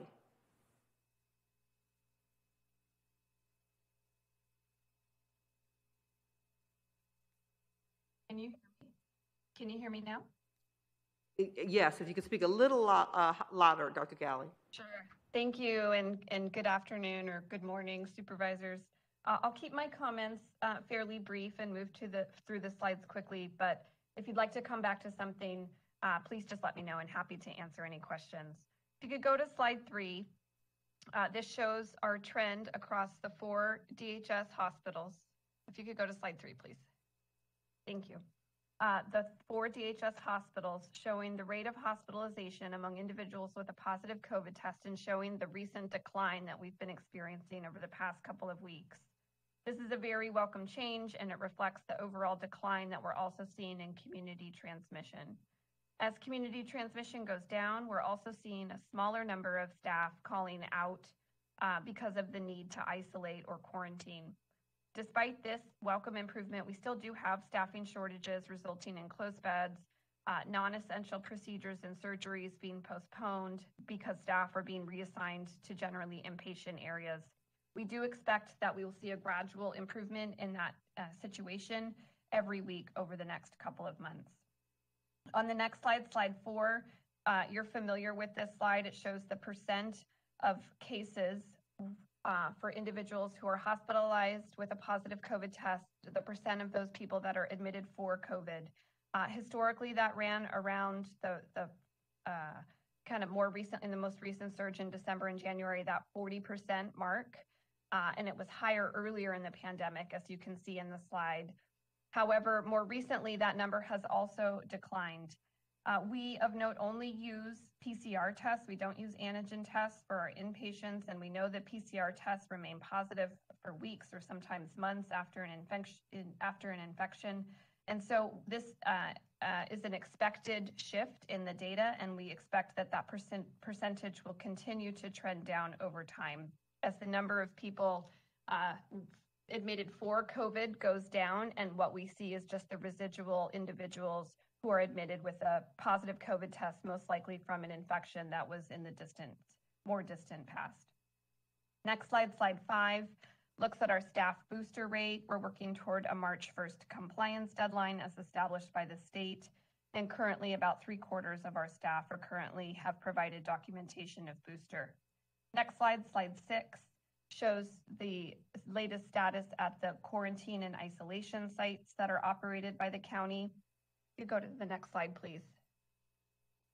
Thank you. Uh, as you'll see, we have both greater capacity and also a greater share of that capacity that is currently unutilized. As cases are now declining in the community, we will begin to decommission sites uh, to lower our overall Q&I footprint. Uh, specifically, we will be downsizing the beds at MLK beginning uh, next week. We'll also be transitioning the Sobering Center in downtown LA back uh, out of Q&I operations to shift back to its original role of being a sobering center. And then we'll also plan to end operations of the shelter hotel at the end of February. Now I'll shift to testing. If you could go to the next slide and the next slide again. Uh, this sh slide shows uh, our effort to increase testing capacity throughout January and February. Uh, we continued to increase testing capacity through February with additional test sites that are still slated to launch this week, and I'll go over those in just a minute. Next slide, slide nine. Our overall testing demand is coming down as the Omicron surge subsides. Uh, if you look on the far right of the slide, the blue shade is completed tests, and the yellow and green shading is unused tests. and you'll see that currently less than 50% of the capacity is currently being used as of the most recent data available. All county and state sites uh, that are in operation have same day appointment access and are taking walk ups. Next slide, slide 10. The COVID, the county's COVID testing website is available as a resource for county residents. Residents can search for county, state, and other partner sites by location and availability. The test sites have been vetted to ensure that they offer an EUA approved test to all county residents with no out of pocket costs.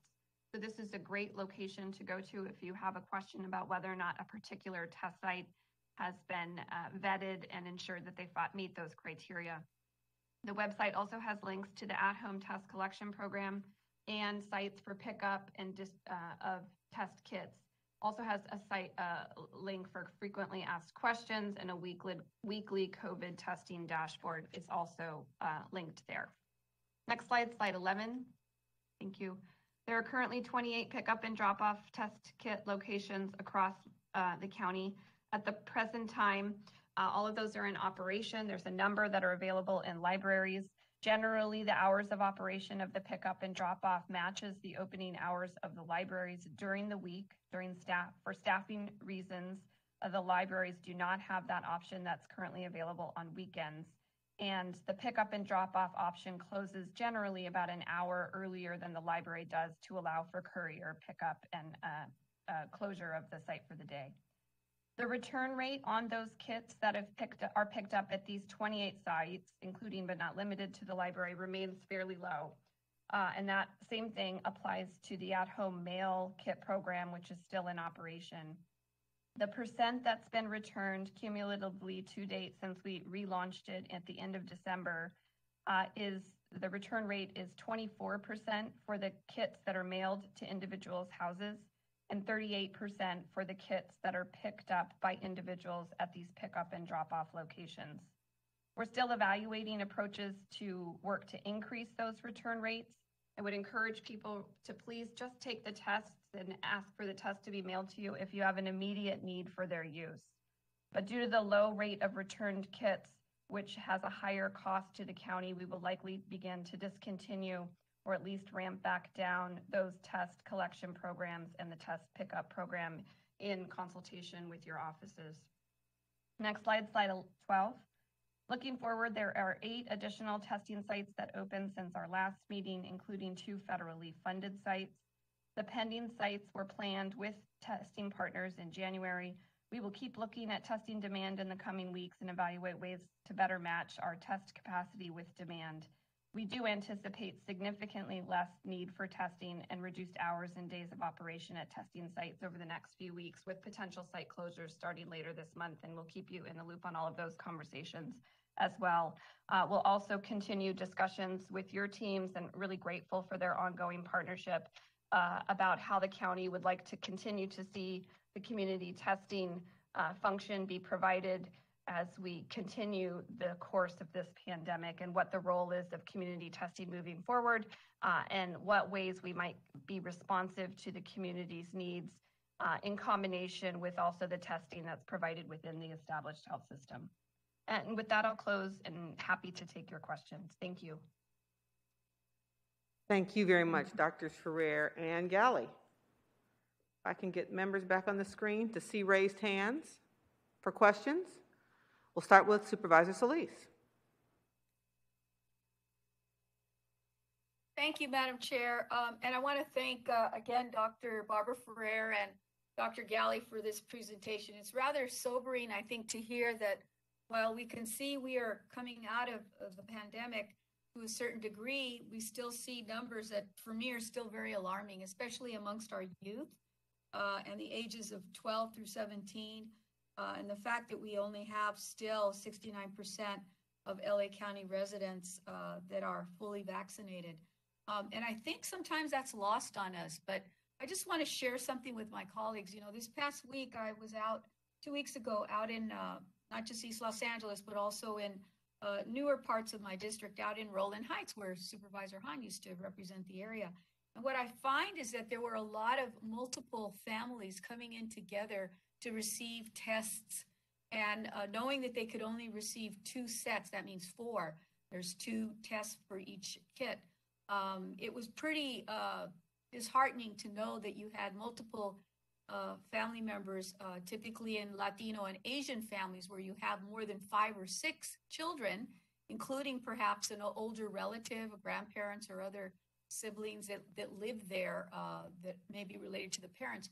And I, I really think that uh, we may not have a full uh, picture or view of what the need really is in, in some of our areas that we represent. So I really do want to see how we can continue to target this population and make sure, uh, if, if I can suggest, that we use, as we did early on, uh, younger people to help convey this message. Because I really think that hearing from myself or perhaps people who are in the know may not translate in the manner that we need to see with our young people and with our parents. Because our parents also, I think, in our, at least in the uh, Latino community, I can see where many parents are still hesitant to get their younger children vaccinated between you know 5 and, and 17 they're not encouraging them enough and i think that that's uh, that's going to take us in the in the wrong direction and prolong this um, this effort that i think uh, many of us want to see resolved but we need to have very very strong messaging and i hope that that's something that we can do dr ferrer dr ghaly uh, as we do that and and with respect to the mask i mean it's pretty clear to me that we do have to have uh, people still wearing masks, particularly the younger population, as outlined in your presentation. The people that um, have not been vaccinated is that quartile. And then looking again at um, trying to make sure that people have access to the masks. And I'm finding that that is something that uh, people in in parts of my district don't have access to. They welcome us giving them out, but uh, it's limited. And I do think that we have to continue to still be a lot more vigilant uh, with respect to that. Um, I do want to mention and, and thank Dr. Ghaly also for um, working with CDC. I know there are two uh, federal uh, testing sites that are opening up this week. I think Santa Fe Dam in our district is opening up, and that uh, will be, I believe, open seven days a week from 7 a.m. to 7 p.m providing a thousand tests, but it isn't just limited to the surrounding cities around Santa Fe Dam. I would encourage us to make sure that we get outreach done to Pomona uh, and other areas that have been really hard hit by COVID and uh, still remain without access to um, the test, masks, and vaccination. So I hope uh, moving forward that you can uh, help us with this. And I'd love to hear your responses on that also from both of you, possible. Dr. Ferrer, Dr. Ghaly. Oh, sure. Yeah, thank you so much, uh, Supervisor Solis. And I couldn't agree with you more. You know, that there always is going to be a lot of work we need to do around communicating effectively, making sure that those resources are getting out. I do want to note that um, there is a contract that's being signed uh, with an organization to help with the distribution of uh, higher quality masks and test kits. So you know, we're aware that, you know, particularly for workers in lower wage jobs, uh, in, and I'm working in, in, in businesses where uh, the owners may not have a lot of resources either, that, you know, we have to do a better job on the distribution there. So, you know, I'm, I'm, I'm pleased that we're able to, I, I think it's, it's, you know, allocate about $7 million to help support that effort uh, to get both, you know, test kits, and we've been working separately on the on the mask uh, issue as well. Because I do agree that it's important, and you know, I want to thank uh, your office and and everyone else's office for uh, really being very good about letting us know where there are communication and information gaps, so that we can get our teams out. I do want to know we totally agree with you on you know the messenger makes a big difference. Uh, we have a, a launched a two you know, we have like three community ambassador programs in addition to, you know, the expansive community health worker slash promotora program. Uh, but we have a community ambassador program, a parent ambassador program, and a student ambassador program, which really is about peer to peer leadership. Uh, folks come in uh, to a virtual training opportunity with us, uh, and then ongoing, you know, we have ongoing like chats where we can answer people's questions so that they feel well informed about being able to talk to others uh, about protections around COVID-19. And, and we have thousands of people enrolled in those programs at this point. So, uh, you know, we'll continue. We work very closely with the schools, obviously, on trying to encourage parents and students uh, to become ambassadors. And really, as you noted, uh, be able to provide a wealth of accurate information and answer questions uh, to people in their social circles and in their work circles. So thanks, thanks for that, because uh, we we completely agree with you.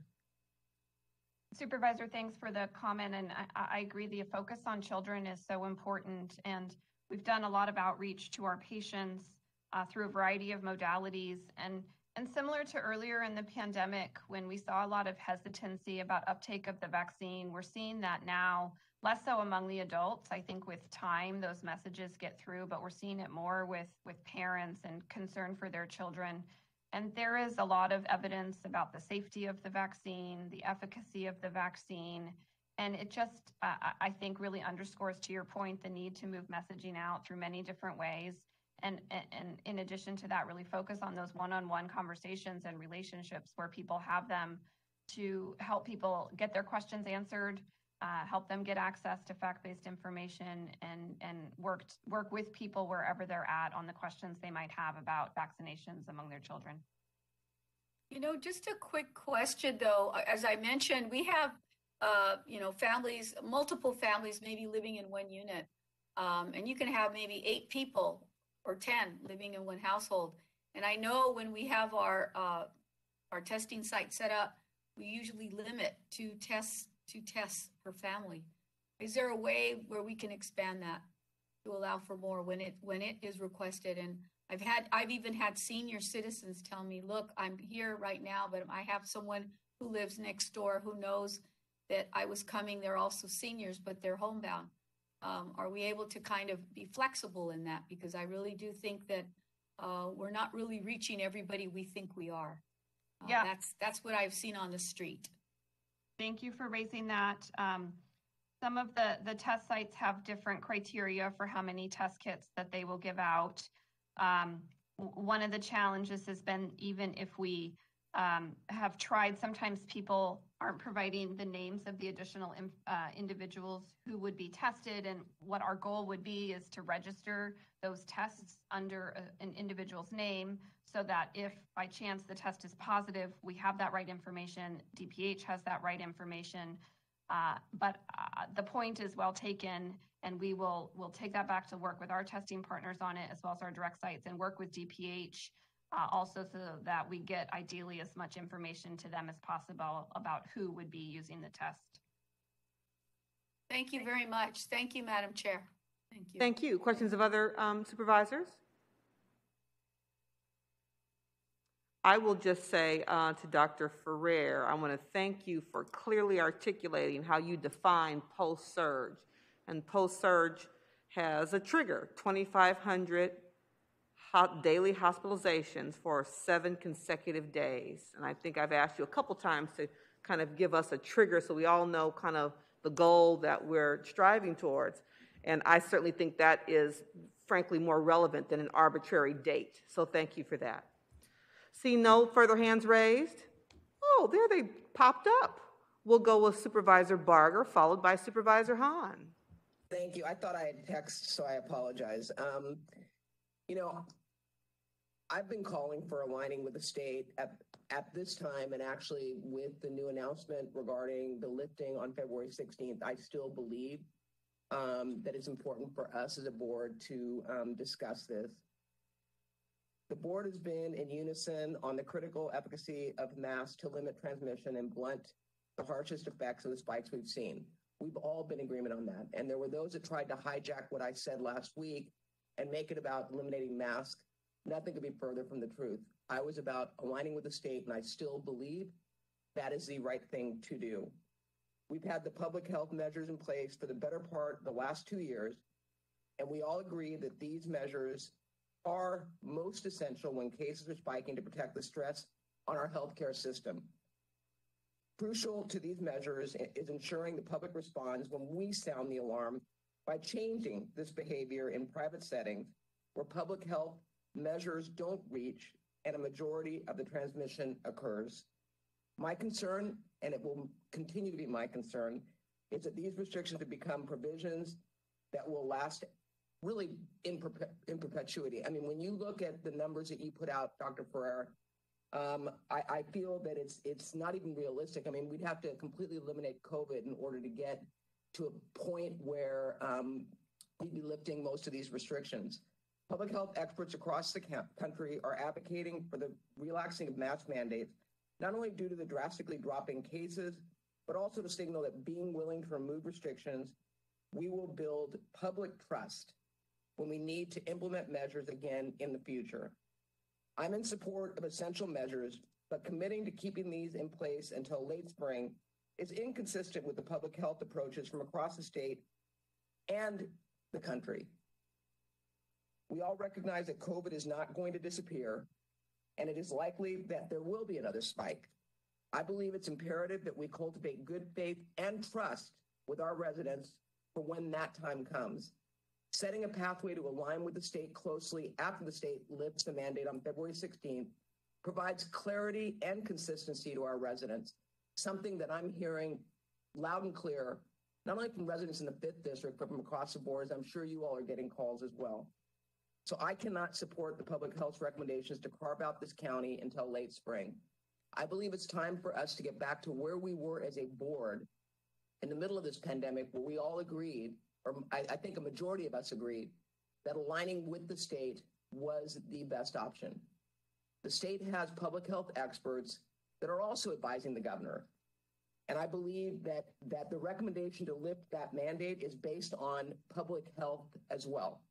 And so I just find it very frustrating that once again, we are being the most restrictive with, quite frankly, I don't believe the science to back up that when you look at what happened at uh, the stadium last last week, it told me that the inconsistency is creating confusion. And there are those that are coming in from other counties that don't realize the mask mandate that we have here in LA County. And I hear from businesses that are on the border that they're frustrated because it's pushing their business into other counties based on these mandates moving forward. So I just want to set the record uh, put on the record that I will be opposing the health orders it relates to keeping in place our mandate when the state is going to be relaxing that portion of it. So, having said that, I have a couple questions for you, Dr. Ferrer. Most major cities across the country and other counties in the state have moved forward with lifting mask requirements in fully vaccinated environments like offices and gyms. Not only does this public policy recognize the efficacy of the vaccine, but it also is shown to encourage people to get vaccinated, something that as a board, we all agree with. Vaccination is the first line of defense against getting hospitalized or death. But I, um, so um, I want to ask that when the state lifts the indoor mask mandate, is this an approach you would consider for LA County?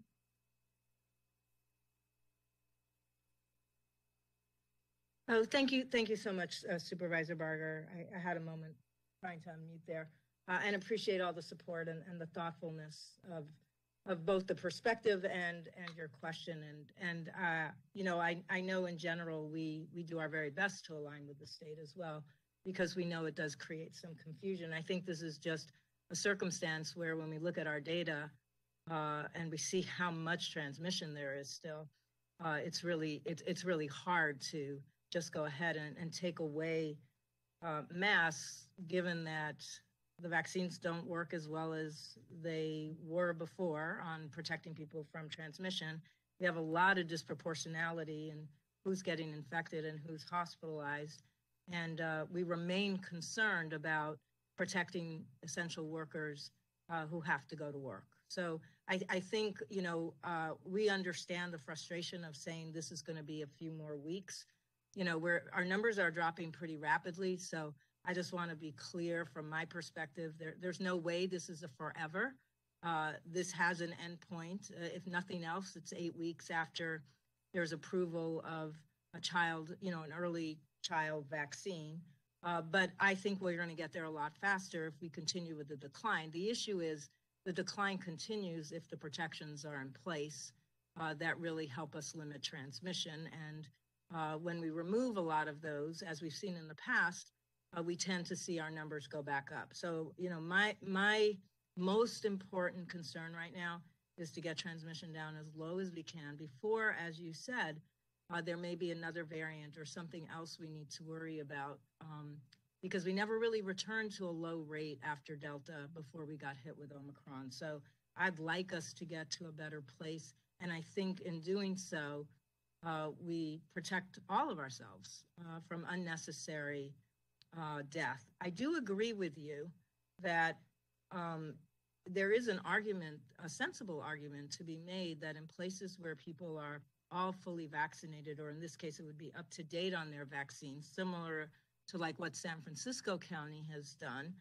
Uh, as we're as our numbers are dropping, uh, the risk is so much lower in that environment. You could conceivably think that those are environments where it's safe to go ahead and and remove the mask. But for us to do that here would require us to impose uh, a new vaccination verification requirement in so many settings we only, you know, after talking with the board, we decided to stay rather narrowly focused on the highest risk settings with the vaccination verifications being mega events and bars, lounges, et cetera, with that vaccination verification requirement. So in order for us to create, as you noted, you know, some other possibility for people to remove their masks, we would have to put in place uh, a vaccination verification requirement at places like gyms or restaurants or offices. Um, but if that's something that this board wants us to take back and consider, uh, we're happy to do that. So, I mean, I'm talking about, just for point of clarification for my colleagues, um, in office settings where everyone is 100% vaccinated, currently under the mask requirement, all are required to wear a mask in that office space. And um, I've been approached by some of the businesses asking why that is in place when we know that you know we're we're, we're uh, telling people to get vaccinated, um, and when they're 100% vaccinated, they don't feel that a mask is necessary in the in that environment. So that that was where my question was coming from. Um, I appreciate the department setting benchmarks and thresholds. I think that's very helpful. Um, that the public can monitor to trigger our our county's progression through rolling back public health measures Per my review of the data, it's my understanding that LA County has only qualified for the CDC's moderate transmission for a few weeks late last spring. Given that our case numbers were even higher this winter than they were last winter, I would expect, and correct me if I'm wrong, that it's going to take longer uh, for our cases to drop to a point where we reach the moderate transmission and potentially, possibly April or May. Many Bay Area counties previously used the moderate transmission threshold, but moved away from it as they felt that it was unreachable. As we've discussed, LA County does significantly more testing per capita, something that I think is commendable, uh, which elevates our case rate.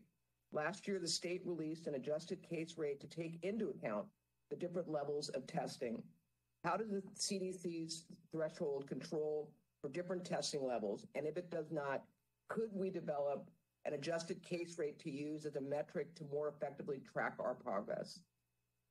Yeah, thank you, Supervisor Barger. And and again, I appreciate that suggestion. And um, you know, there there is always advantages to sort of weighting um, some of the data that we use to set these thresholds. And you know, we're we're happy to look at that. I mean, at this point, we're aligning with um, the CDC, which is where uh, lots of folks were. And, and I want to note that I think what was really, uh, what's really important is to take in account, you know, sort of those uh, those overall vaccination rates. You know, I think uh, San Francisco County is 84% or 82% of all of their residents fully vaccinated. We're at 69%, uh, in spite of having the most extensive access uh, to vaccinations uh, of really any county in the entire country. Um, we're still, you know, moving forward, but moving much more slowly. Um, I don't, I don't, I, I don't know that it will take us weeks, and I don't know that we should look back at history of last spring, um, mostly because we didn't have vaccinations then. So I think vaccinations still provide, as I showed today, you know, two times less likely to get infected, four times less likely to get infected if you're boosted. Um, so I think having vaccinations may be able, having vaccination coverage is not great, but it's decent uh, here in LA County will help us, you know, get back to moderate transmission. Um, and I think we can do this. Um, I'd be the first one to say, you know, if this really ends up looking impossible, then we've got to revisit. And one reason for adding in the threshold around those 535,000 children having the opportunity to get vaccinated was to again reduce risk uh, among people who, at this point, you know, even if there's small risk to them, uh, have risk, and they also have risk, as we've seen, of spreading to others. So, um, so I, am happy to to think about if, if a waiting strategy works um, for us, because we do do a lot of testing, particularly you know in during the week. Um, but uh, and, and, then get back to you, uh, you know, with with some way to to include a, a modified metric there that takes into account the testing. We're not trying to set the bar too high at all. Uh, we're actually trying to set a reasonable bar that says to us it's much safer uh, for our workers and our most vulnerable people uh, to have masks off when there's not as much transmission. And if there's a way to rethink what that threshold is and not align fully with CDC, I'm completely open to that. Uh, what I what I think our team doesn't feel comfortable with, and, and which is why we've given you this proposal, is an arbitrary date that's actually not tied to the conditions in the community. Um, and and we don't we feel like our risk is just way too big right now uh, with the rate that we're at. So so knowing that and and that that actually leads me to that last question, and that is, um, can you explain why you think the state's data is is where it is and why they are lifting it? I mean, I don't think they're being arbitrary on their date because their their announcement was based on public health experts who felt that the, the dropping cases and decreasing hospitalizations statewide, I mean, they said statewide, um, were such that they felt that lifting the restriction, but still maintaining the fact, and I've said this all along, first line of defense, vaccination. You should still continue to wear a mask um, where you, you know, in a market. I mean, I, I still wear a mask in in areas but not mandated. And so I'm trying to figure out what the state knows that we don't. Yeah. Uh, thanks so much. And, you know, I appreciate the question. I, obviously don't have the, the answer necessarily, but I, I would I would point to a couple of pieces of information that may help clarify. Uh, when the state imposed the mask mandate, uh, they put an end date on that mask mandate of February 15th. And all that's really happening on February 15th is that the man, mask mandate is expiring. So they had set uh, this time period when they initially imposed it uh, and obviously feel comfortable uh, with the fact that it will expire. Um, and you know their their considerations, I, I think, are, are, just as you noted. I think they're heartfelt. I think everybody who's working uh, on trying to you know really mitigate uh, COVID and and respond to the pandemic is coming from a place of, of trying to do the best thing. Uh, I do think that there are probably two ways to think about a path forward right now. One is to allow people, because we have tools, to make choices about what tools they want to use and when they want to use them.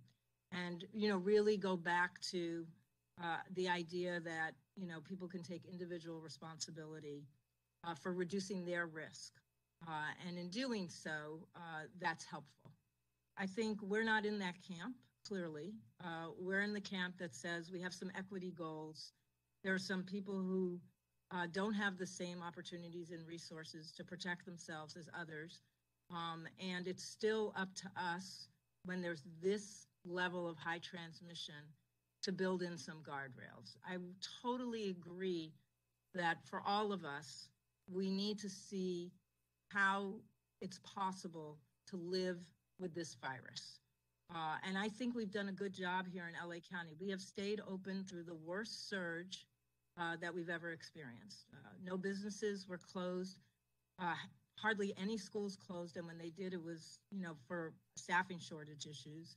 Um, and so I think we are getting better at living with the pandemic, but I don't think we have to do that uh, at the expense of not recognizing our responsibility um, to really protect workers um, who will be in situations when there's this much transmission of uh, extraordinary amount of exposure still without a level of protection that we think would really be helpful.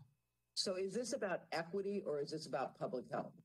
Because I know looking at it through an equity lens, but when you look at the numbers, um, based on public health, um, you feel that the mask mandate should remain in play based on public health, not on an equity lens, because you just said you're looking at it through an equity lens. Yeah, I'm sorry if that was confusing. I, I think you know we we use different lenses whenever we're we're trying to make policy decisions, and we weigh you know it's all you you weigh your risks and your benefits you know depending on on you know what that lens is. But I will say unequivocally that uh, we should not be lifting a masking mandate uh, when we're reporting thousands and thousands of new cases every day. Uh, that doesn't make sense to us here at Public Health. Uh, that we think that rate needs to come down uh, significantly in order for us to be able to continue protecting each other and getting to a place where it is sensible uh, to reduce the uh, safety measures that we're all living with. But we don't, we just don't think we're there yet, Supervisor. I, I just and, and then I'll let go. But but so we're tying the lifting of the mask on the um, mega outdoor to 2,500 or less hospitalizations over a seven day period. Correct? Yes. So in that instance, it's not tied to the number of cases. So we're still at 4,000 cases per day. Yeah. Still going to make that recommendation. So it's more, it's tied to the hospitalization. So uh, how do you differentiate? What's your yeah. decision in doing that based on hospitalization versus number of cases being reported? Yeah, it's it's a great question, and and uh, you know we obviously here went back and forth on thresholds. Um, I think the first priority for all of us during surges to really uh, protect our healthcare system because we all need that and we need it to work well and functional for all kinds of health issues. Um, and uh, post surge for us, it really means when we've declined enough that there's no longer a threat um, to our healthcare system. And we feel very comfortable that when we get to a no longer a threat to our healthcare system, uh, we can go ahead and in the outdoor settings, uh, lift uh, that masking mandate, knowing that in the outdoor settings, the risk has always been lower than in the indoor settings. Um, so that would be one place to start. Um, and at the time that we were developing this plan, uh, that would have aligned us with the state because at that time, the state hadn't announced uh, that they were lifting indoor masking. So we didn't really know that. Um, but again, we were feeling good about the decline, that it was consistent. Uh, and it was allowing many of our hospitals, not all, as you heard from Dr. Ghaly, but many of our hospitals uh, to feel like they were approaching a time where they could reopen for all of their customary services. Um, and, and, we think that's really, really important and a place to, to continue to pay attention and to start. Uh, we also know that while protecting the healthcare system is really important, as you see, I outlined protecting essential workers, protecting those most vulnerable, including residents in skilled nursing facilities, as equally important. Uh, and we think for, for that piece of the work, it remains essential to reduce transmission. I don't think we can just say we're at a point right now where trans- trans- transmission doesn't matter any longer, that that's not a driver, that we don't have to worry about how many cases we have. Uh, cases still drive uh, the number of people that are hospitalized, and they still drive our deaths. Um, and we still don't have all of the tools we'd like to have to say getting infected is no big deal. We're getting closer when there are therapeutics, oral medicines that people can take before they develop symptoms that would help them avoid getting ill or getting, you know, significantly ill. You know, that again, another tool in the toolkit that allows us to reassess what other mitigation efforts we need. But we get 3,000 courses every two weeks of Pax, Paxlovid, Paxlovid, which is the oral therapeutic that everybody uh, feels has the most promise. So, you know, we're, we're a very big county. That's obviously right now being uh, doled out very carefully to the highest risk folks and not really available to most people. So we got to be in a better place with those therapeutics as well for us to think that we don't have to worry so much about the numbers of people that are getting infected. Right now, I think we do have to keep keep we have to continue to pay attention to that. Okay, thank you. Those are all my questions. Thank you. Supervisor Hahn? Thank you, Madam Chair, and I really appreciate the the discussion we're having. I, I really, uh, and I think it's important to the public um, to listen to the back and forth that we just had uh, between Supervisor Barger and Dr. Ferrer. I, I, really like that we're doing this in public.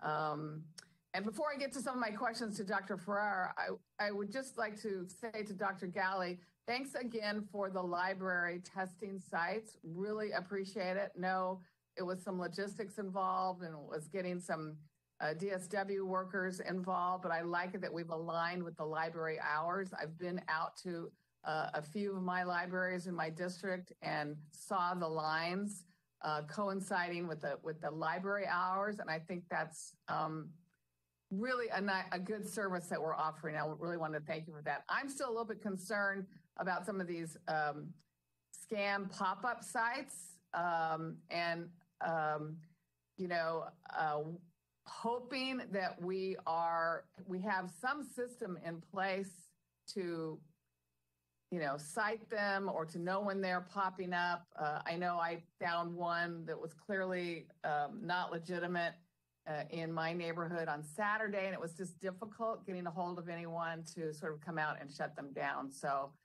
and I know we've instructed County Counsel and uh, our Department of Consumer and Business Affairs to sort of get involved in that. I'm wondering, uh, Dr. Ghaly, from your point of view, or Dr. Ferrer, is you know, do we are we worried about these, and do we need a better system that, uh, particularly on the weekends, that we can really shut them down? And maybe my my my uh, twin uh, comment on this is li- looking at your list of all of legitimate sites that we've got going up with libraries and parks and other places, maybe we could just um, up our game in terms of marketing and and alerting LA County residents on where the legit sites are. I don't know if either one of you wanted to respond to that. Yes, thank you, Supervisor. Thanks for the kind comments on the libraries. We're glad to have it launched. Uh, and yes, I share the concerns about the illegitimate sites very sad that there's people out there taking advantage of the public with these sites to make a profit. Um, we uh, are working closely with DCBA, who is the lead entity on the enforcement side, and uh, we're working as the subject matter experts, uh, also pushing out messaging about to, to the public what to look for, what are the red flags, what should what should alert you that this is not a legitimate site, and we will keep pushing that messaging out there through as many um, media angles as possible. And, and, and I'm happy to work with CEO communications potentially on how we can push that messaging out more broadly than just through DHS's channels and DCBA.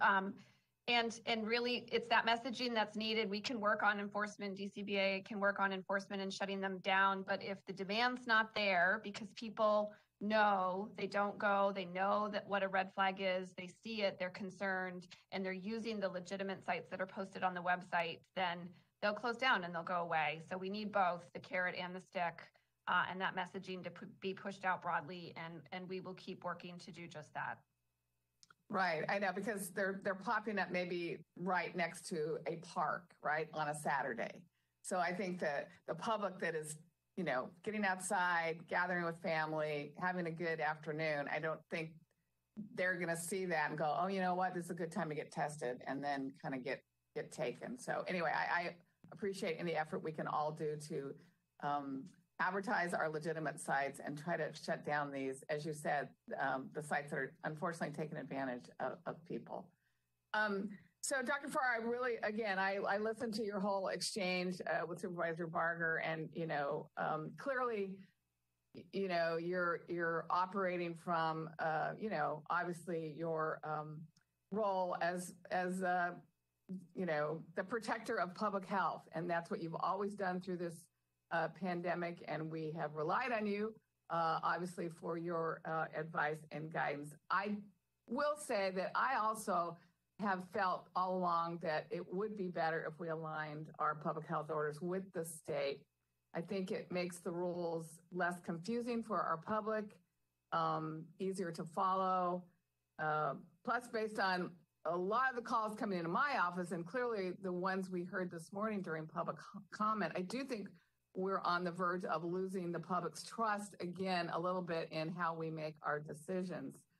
Uh, you know, I picked up both of my morning papers, LA Times and the Daily Breeze, front page, you know, the in, in bold, bold, bold, you know, state uh, lifting mask mandates. And I, I do think right there that that leads to, um, you know, some conflict with us and some confusion and some anger and, and frustration with the public.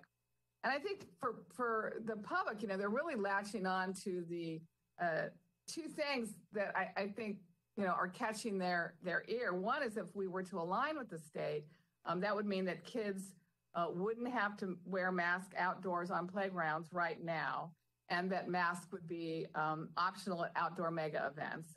And it would also mean lifting the indoor mask requirement at the same time as the state does, which is on the 15th, which you said um, kind of related more to their uh, expiration of, of, the previous mandate than, than any data. But nevertheless, I think the public is looking at February 15th as sort of being this day um, when uh, the indoor mask requirement could be uh, lifted. And I, you know, I think again, the, I think a lot of the public listened to the state uh, yesterday, and I think they heard the state make some compelling reasons on why this is the right time to loosen restrictions. Hospitalizations have stabilized. Statewide cases decreased by 65% since uh, the peak of Omicron. And here in LA County, even though we still got numbers, right? Our numbers are even better than the states. Our hospitalizations have stabilized. We saw a 90% drop in cases from the peak of 45,000 cases on January 9th to uh, a little over 4,000 uh, reported yesterday.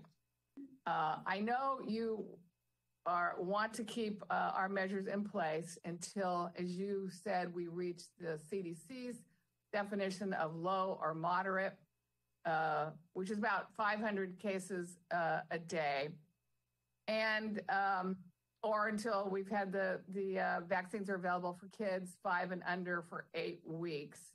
Now, I did hear you say that we might get that vaccination by the end of the month, but I do think everyone, myself included uh, is wondering if we will ever get to that 500 cases per day threshold because even last fall, um, between the Delta and the Omicron surges, our case, cases never dropped that low. I heard you say it, I think, to in, in an answer to Supervisor Barger, but maybe once again to the public.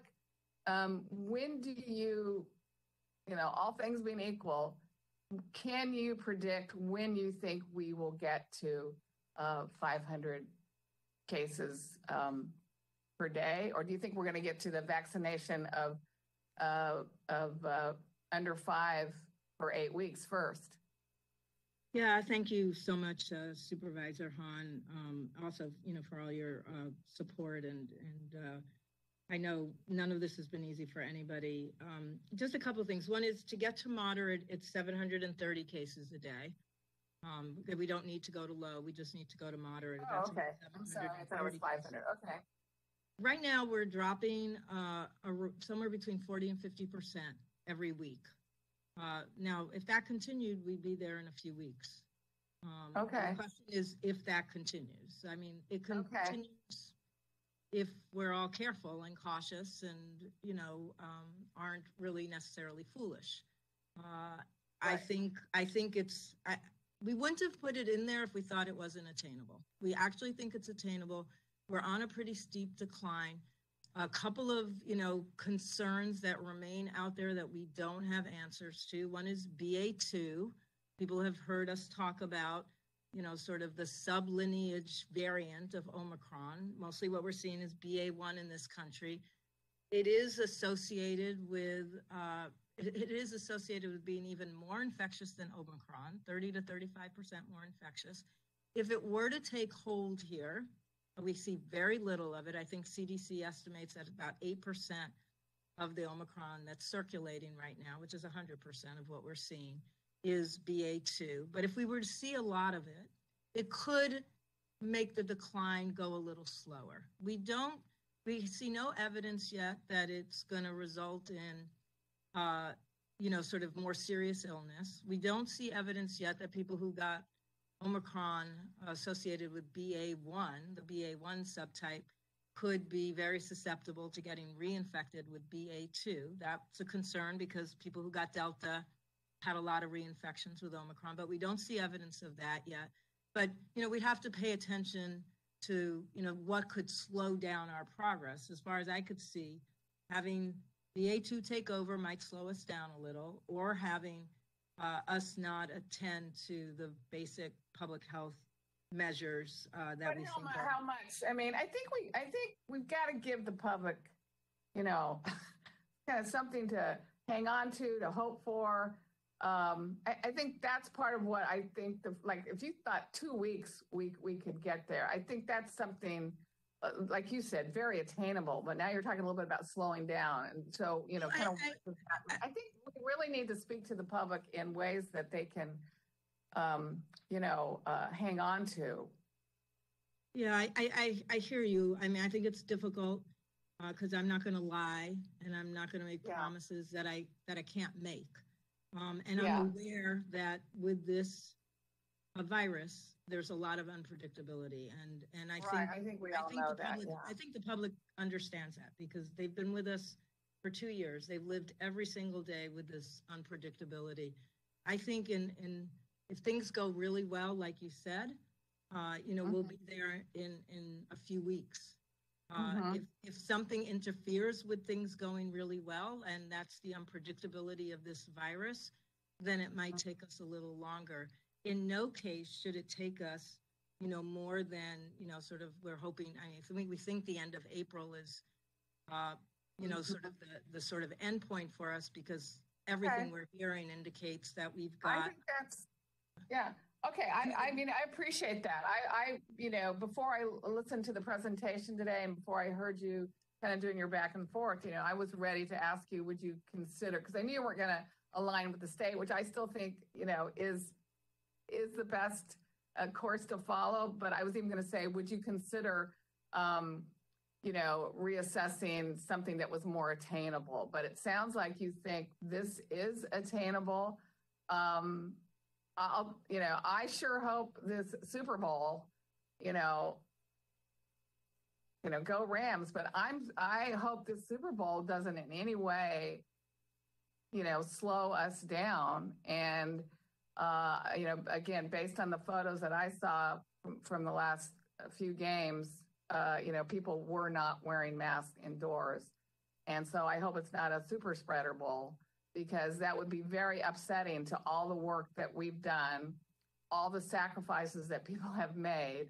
That if, you know, one game on, on a Sunday afternoon in LA County in any way uh, negatively impacts our, our progress or, um, you know, the ability for, for, for kids uh, to, to go to school or play outdoors without a mask. So, uh, you know, everybody should, should definitely do their part, but I, I worry about that. And I hope we won't be, I hope it won't count against us, some of those cases. Thank you. Thank you, Supervisor Hahn. Supervisor Kuehl. Thank you, Madam Chair, and thank you uh, to both of our doctors. All the questions I was going to ask have been answered in terms of the data, and I just wanted to say uh, sort of two things. Um, I, this I love this board because it is filled with hope.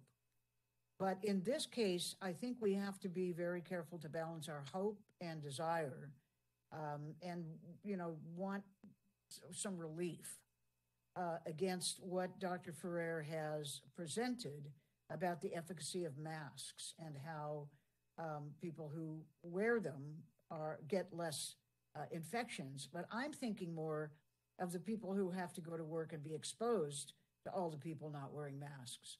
Um, we were very hopeful a couple, you know, a year or so ago when we reopened our businesses, and um, it, it turned out not as well as we hoped. We had a, uh, you know, a surge. We didn't see it coming.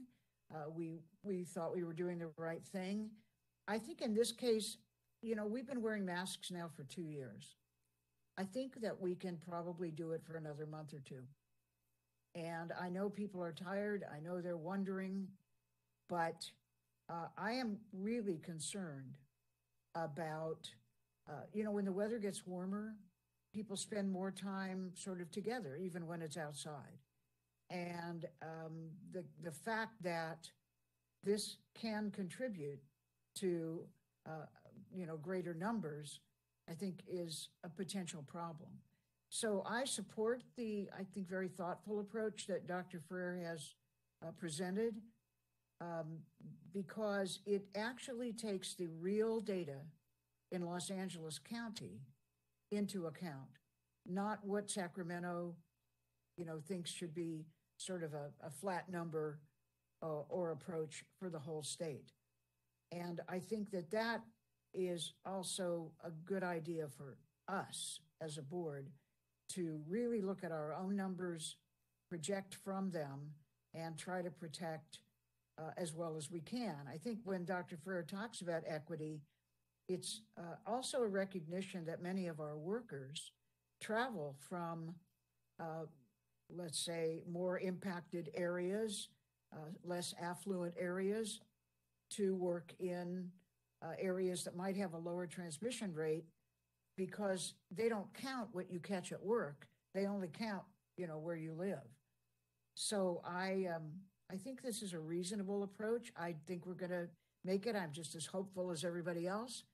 Uh, I'm dying to see the end of this, but uh, you know, a, a, um, a disease that's killed more people in America than World War II did in uh, battle, and um, uh, you know, a disease that is the highest cause of death among law enforcement officers. I think we have to continue to take really seriously and follow what I think is a reasonable approach to the science. So thank you very much, Madam Chair.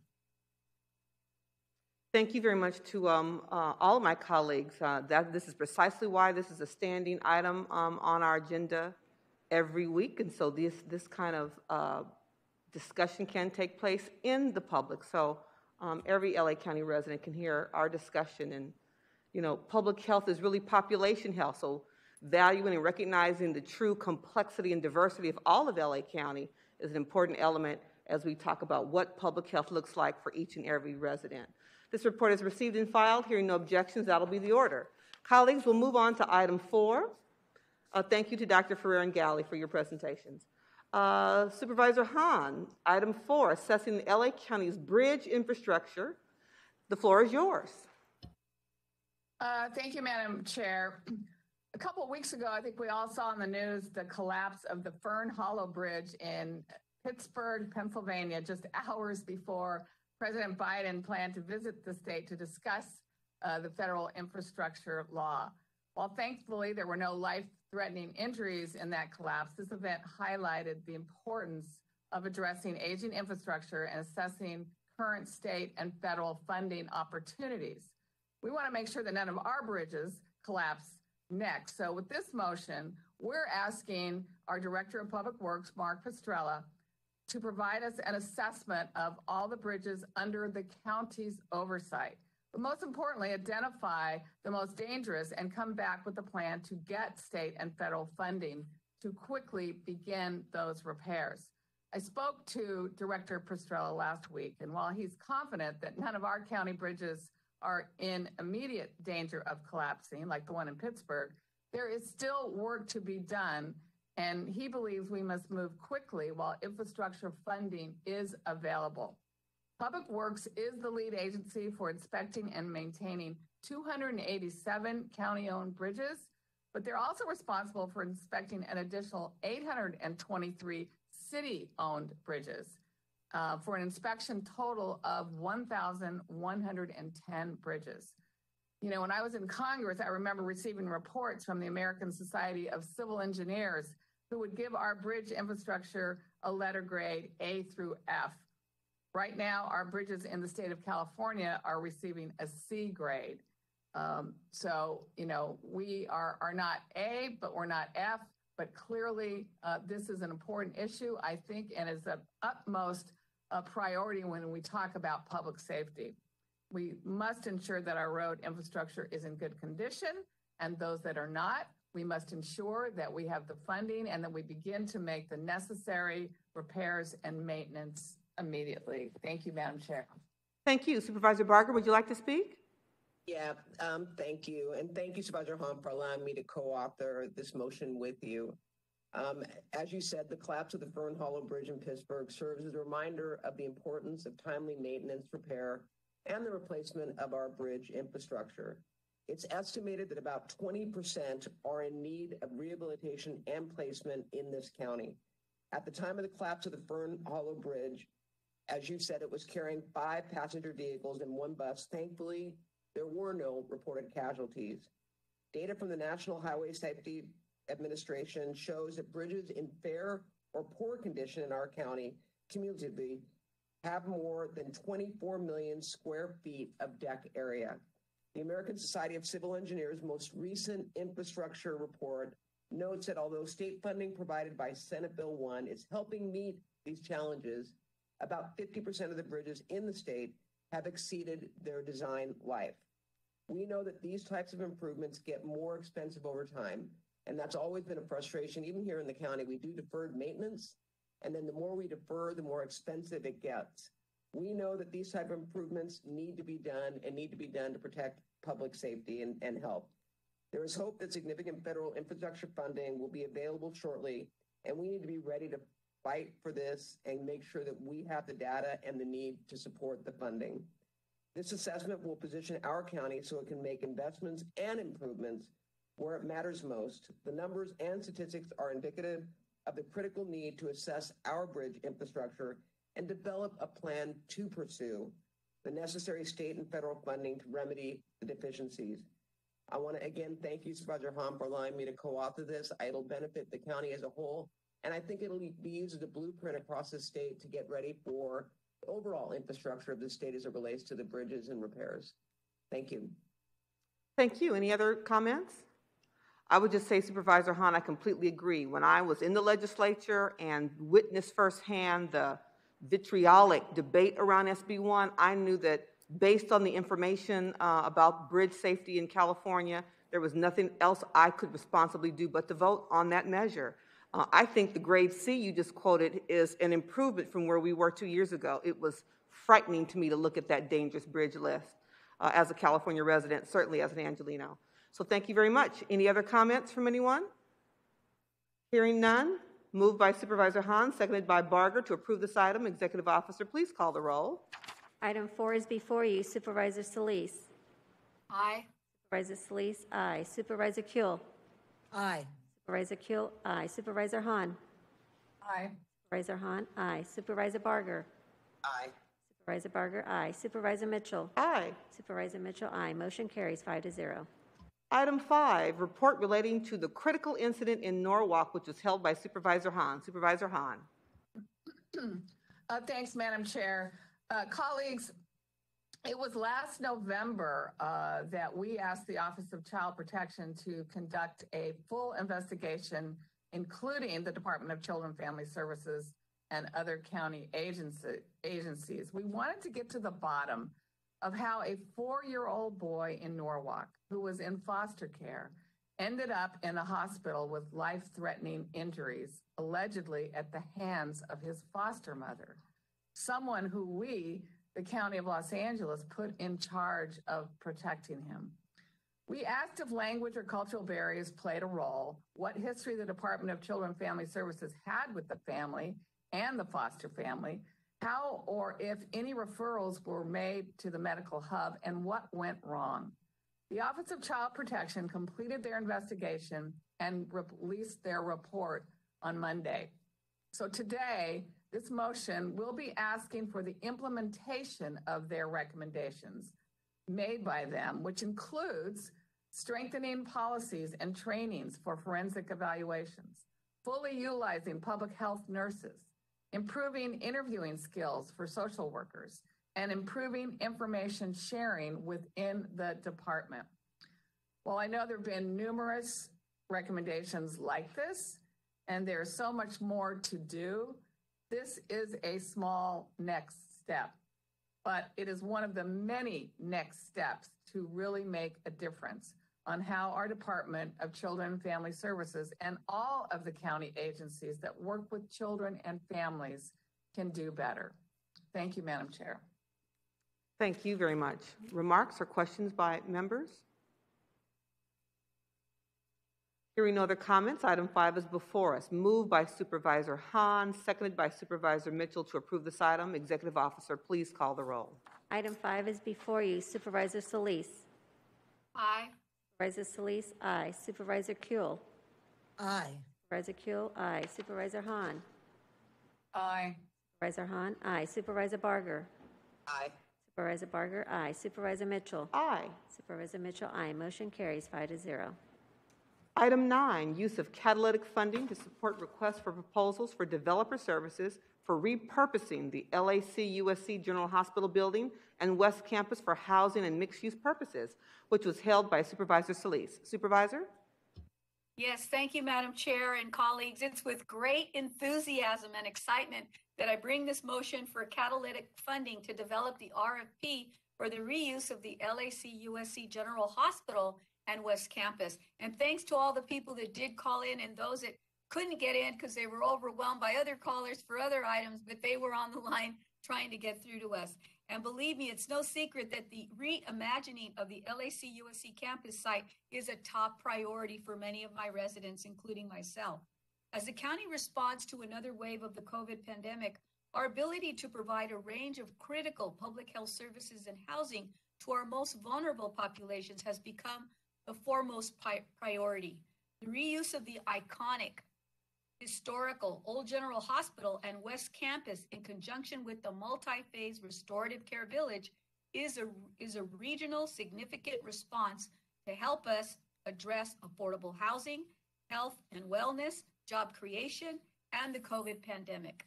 And over the course of the time that I've spent on the board, I've introduced various motions members in alignment with the community to move forward for our collective vision of a healthy village a vision at LAC USC Medical Campus. And I'm so very proud that by working with our community, we've been able to accomplish many things. Following up to my motion back in 2017, we established an actively engaged stakeholder process known as the Health Innovation Community Partnership, which consists of more than 50 community leaders representing hundreds and hundreds of our residents. The Health Innovation Community Partnership has grown to become a regional force with its members comprising of leaders and residents of the various surrounding communities El Sereno, Boyle Heights, East Los Angeles, Chinatown, and Northeast Los Angeles. Completion of the 160 restorative care beds, consisting of 96 recuperative beds and 64 crisis residential treatment beds, are now there. This phase of the Healthy Village also incorporated beautiful murals, and I would extend a visit for all of you to go by and see it once we prepare our ribbon cutting ceremony there. It's beautiful. And it is reflective of our community surroundings. In fact, the community participated in what type of artwork would be provided there. So it does enhance our culture, our cultural beliefs, our values, and it also helped to lift up our local artists.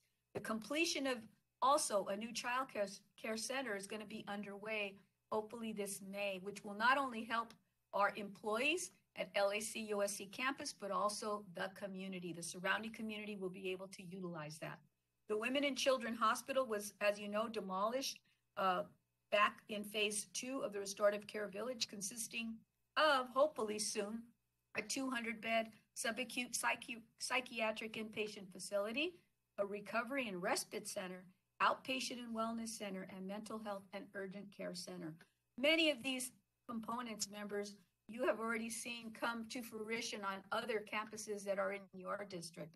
All I'm asking here is that we move this agenda forward so that we can also come up and be realistic in terms of meeting the needs of our community in every point and corner of the county. Uh, modern times, a job developer consultant was brought in on board to establish a regional pipeline for achieving not only targeted worker and local hire policy goal of 30%, but actually they set an aspirational goal of 50% local hire. And as of January the 10th this year, I'm proud to report that they've exceeded our 30% goal.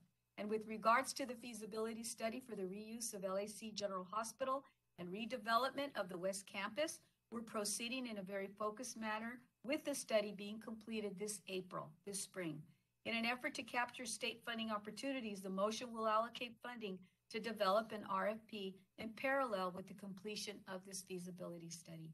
Members, this is a tremendous effort, and it's no doubt that a good team and partnership effort was conducted. And I especially want to thank the following partners our Chief Executive Office and consultants, the Department of Health Services, the Department of Mental Health, the Arts and Culture Department, Department of Public Works, state legislative partners, and the Los Angeles County delegation.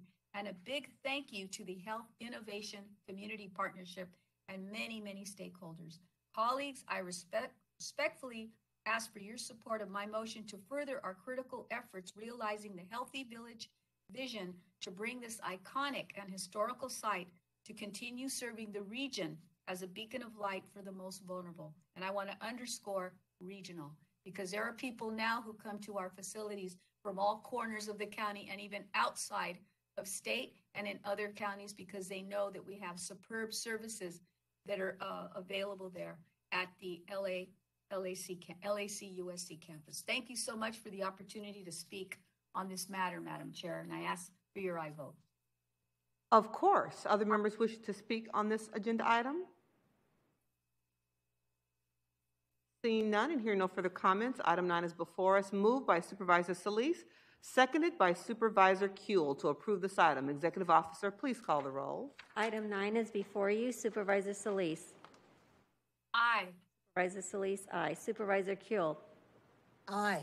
Supervisor Kuehl, aye. Supervisor Hahn. Aye. Supervisor Hahn, aye. Supervisor Barger. Aye. Supervisor Barger, aye. Supervisor Mitchell. Aye. Supervisor Mitchell, aye. Motion carries five to zero. Item 10, Building LA County's Early Care and Education Infrastructure, which was held by Supervisor Solis. Supervisor Solis. Yes, thank you again, Madam Chair. Um, as many of you know, early care and education should be fundamental, as known as really a human right, I think, for all of our children. But in this county, which is home to almost 400,000 infants and toddlers, where over half are eligible for California subsidized early learning programs, only 6% are being served by state subsidies. This is, you know, a travesty, especially when you consider the number of passionate and committed ECE providers working in the County of Los Angeles, which is why the early care and education is an issue this board has taken head on. The board has approved several motions to make sense of the complex funding streams, access county facilities like libraries to leverage ECE sites, and allocate millions of dollars in CARES Act funding for child care vouchers and much, much more. And now I believe we have a responsibility to ensure that our ECE providers can access the historic investment of $250 million in funding from the state and federal government to create an infrastructure for child care facilities with a focus on child care deserts. This funding will support both minor and major facilities construction, allowing ECE providers to acquire, construct, develop, and renovate facilities for our children. But we know Los Angeles County has a role to play in helping our ECE providers navigate the various local licensing, zoning, permitting, and other regulatory processes that may pose barriers to the development and expansion of such facilities. And as a result, this motion will result in a plan to remove barriers in ECE facilities, land use entitlement, and permitting processes. It will also engage partners like First Five LA and the Child Care Alliance to develop a support system for ECE providers applying for the state infrastructure grant. And in closing, I want to acknowledge what it is incredible uh, for those individuals that have really been working on this together. And I really want to shout out a, a, high five to the following departments the CEO, DPH, the Policy Roundtable for the Child Care and Development, and even regional planning. This motion before you, colleagues, is possible thanks to the partnership of our departments with the leadership of Deborah Coleman and our director of the Office of Advancement in Early Care and Education. And it's through working with her and my commissioners, Carla Letz Howell and Jesse Perea, and this board that I know we can move mountains and help our children. I respectfully ask for your aye vote. Thank you, Madam Chair. Thank you. Any comments or questions?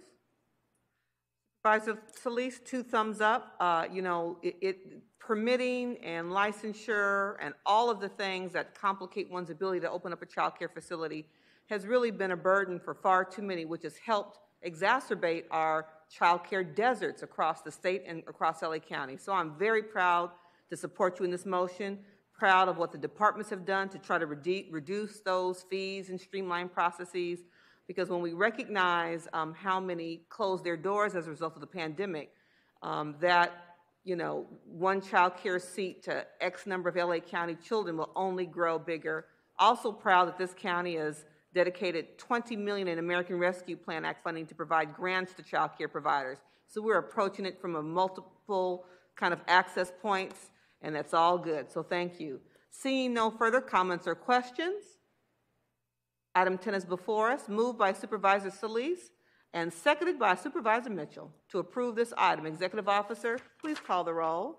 Item 10 is before you. Supervisor Solis. Aye. Supervisor Solis, aye. Supervisor Kuehl. Aye.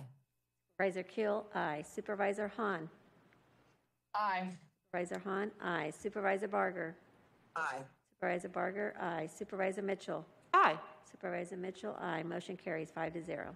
Thank you. Supervisor Kuehl, we are now taking up item 17, the Woolsey Fire Action Final Report and Conclusion of Citygate Oversight. Floor is yours. Thank you very much, Madam Chair. Um, in 2018, uh, three and a half years ago now, the Woolsey Fire erupted in the Santa Monica Mountains and became one of the most devastating wildfires in the entire history of the county, forced thousands and thousands of residents to evacuate their homes, consumed almost 100,000 acres of wildlife habitat and property. Uh, shortly thereafter, I uh, brought a motion to this board, which passed to hire a third party independent consulting firm to do a deeper dive, really, than we've ever done in an after action report, and to analyze ways that we can, as a county, improve our emergency response and recovery processes from lessons that we learned after the Woolsey fire. So as a result, Citygate Associates came up with an after action plan, and we involved, uh, I would say, maybe 60 people who met several times from all the different jurisdictions uh, to work with Citygate. And the plan included 86 recommendations. And I am happy to report about 80% of those have already now been implemented. And they will go on to improve overall safety during states of emergency countywide. So none of this work could have been done without the strong leadership from our Office of Emergency Management. Uh, shout out to Kevin McGowan, to uh, numerous other county departments, uh, especially regional planning, public works, county fire, animal care and control, and my very good friend, the sheriff, uh, that have participated in the process to really shift the way we look at emergency response, recovery, and safety. These departments also managed to continue this very difficult and ongoing work through the COVID 19 pandemic, and that was really not easy. So I also want to thank Citygate and Stu Gary uh, of Citygate, a, a real leader of this process, for their oversight and management of this after action plan, and highlight just a few of the improvements put forward that our departments have already been able to implement. For instance, regional planning made amendments to the existing North Area Plan to introduce new fire hardening requirements and provisions for those who are able to rebuild their homes in order to improve resiliency and home protection. Public Works developed a private property debris removal local program that can activate response without the state's assistance from Cal OES or Cal Recycle. This is a real improvement in efficiency, and it was tested. This is not just about the Santa Monica Mountains on my end. It was tested during the Bobcat and the Lake fires recovery, which included a state and county partnership that shared resources to maximize the program's effectiveness, both for disasters that have been declared or not declared. LA County Fire also acquired a new mobile command software that's been field tested and will be deployed department-wide use next fire season, in addition to their new handheld and vehicle-mounted mobile radios and computers being deployed for all operational units. Animal Care and Control constructed 50 additional stalls at the Castaic Animal Shelter for emergency sheltering use and um, are currently collaborating on draft MOUs for more sites. The Sheriff's Emergency Operations Bureau completely overhauled their incident management team process and conducted a number of training sessions on the updates. So, although there's plenty of work still to be done, you can see that improvements have been made both on the ground and system wide. So, I give my heartfelt gratitude to OEM. They are going to take up the torch of overseeing the remaining recommendations and uh, all the departments that have really put forth an effort to continuously improve safety for all of our county residents. So we are required to bring this motion in order to close some of these elements and let us get on with the next uh, part of implementation. And I ask for your aye vote. And thank you. Comments from members? Seeing none, item 17 is before us, moved by Supervisor Kuehl, seconded by Supervisor Barger to approve this item. Executive Officer, please call the roll. Item 17 is before you. Supervisor Solis? Aye. Supervisor Solis, aye. Supervisor Kuehl? Aye. Supervisor Kuehl, aye. Supervisor Hahn? Aye. Supervisor Hahn, aye. Supervisor Barger? Aye. Supervisor Barger, aye. Supervisor Mitchell? Aye. Supervisor Mitchell, aye. Motion carries five to zero. Thank you. We'll now move on to item 18, amending the LA County Code to enhance compliance with and enforcement of the county's COVID-19 vaccination policy, which was held by Supervisor Kuehl. Supervisor, you have the floor. Thank you very much, Madam Chair. Well, we heard a lot about this item today uh, in public testimony, so I want to take uh, just a few minutes to say kind of what it really does and what we have been doing in the county. Because I think it's important to get accurate information uh, about what has been done, what is being done, and what might be the result of taking this action. So, first of all, I want to thank uh, you, Madam Chair, for co authoring this. Also, to thank County Counsel, our CEO, and the Department of Human Resources for their support in thinking through the motion's directives. I want to thank the many department heads who are already doing everything in their power to promote compliance with our vaccine mandate uh, and um, to continue to promote and help their departments to comply. You know that this board already adopted a vaccine mandate for all of our county workers. And we did so because we have a responsibility to keep our clients safe when they come and seek our services, to keep our employees safe in their workplace, and by reference, to keep our employees' families safe at home. We know that the vaccines work. We know that they're safe. We saw the whole report today. Unvaccinated people are 20 times more likely to die of COVID 19 than fully vaccinated people.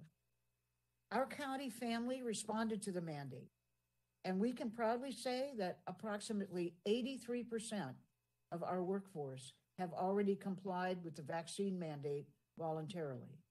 They have documented that they are vaccinated or, as allowed by the state, they have requested a medical exemption or a religious exemption. And we have an independent panel, not overseen by us, that hears all of those requests for exemptions and makes decisions about whether uh, they are um, valid. But six months have now passed and we don't have 100% compliance. And the refusal to get vaccinated or to request an exemption, that is not even to register in the system and do one or the other, really puts county lives at risk, and it is simply unacceptable. So, working with our labor partners, as you all recall, we gained um, assent to a uh, countywide uh, progressive discipline process and it's really a, a five chance process. You have five separate chances to get your vaccination to register or register in the system for an exemption. The process starts with uh, a, a reminder. Essentially, it says to you, you know, this is the uh, process, this is what you must do, please get vaccinated. If you don't, there's a warning, um, a write up, perhaps, a conference to discuss these expectations, just to make sure that every employee in every department understands that it's required. Eventually, after quite a long time of allowing you to uh, get your vaccination and provide proof of it, there is a suspension without pay for five days. After the suspension, though, you come back and there's like another 45 days that you have to get your vaccination and put in the proof. Ultimately, of course, at the very end, after these five chances, it can result in an employee's termination. So far, that's happened, as we know, only in a handful of cases. And I honestly, and I think the rest of us would really like to keep it that way. Uh, but to protect county lives, including our clients, not just our employees and their families, we have to enforce this mandate. Every department head must be serious about enforcing departmental and county-wide policies. We can't say, oh yeah, you just pick and choose the policies that you want to enforce. That's not how it works. The county has policies uh, across all of our employees. They must be enforced. And in the case of our countywide vaccine policy, not all of our department heads have recognized that this policy is critically necessary and will save lives. So, given what's at stake, this country, as I mentioned before, has lost nearly 900,000 lives. The United States of America has had more, almost a million people die, and that is more than twice the number of Americans that died throughout the entirety of World War II. That is just unacceptable. We have to do everything we can. So, this motion says to our department heads we are not going to permit county lives to be jeopardized by an individual decision not to comply with county policy. This is not allowed. And you, county department head, if you will not take this matter seriously and enforce it in your department, the county director of personnel is willing to do so. And this motion is to give her that authority.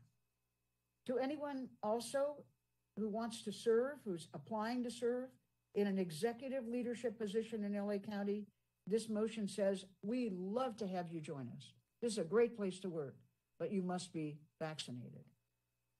So the questions that were raised today, really, I think have already been put to rest.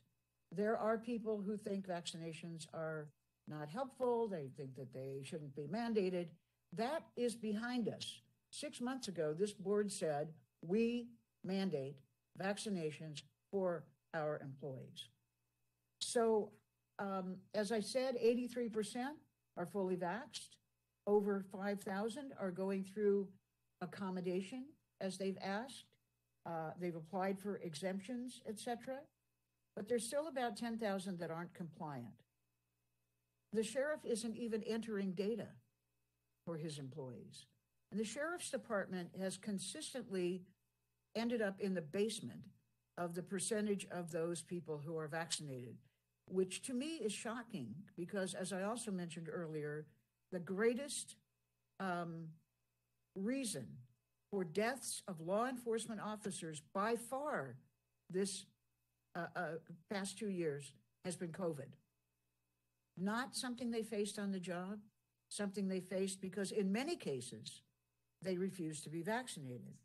So um, this motion essentially would give the ability to the director of health, of the Human Resources Department to be the person who enforces just this mandate. This is not every other countywide mandate. That remains with all the department heads. Just the vaccine mandate and also would give her the ability to say, this department is doing pretty well.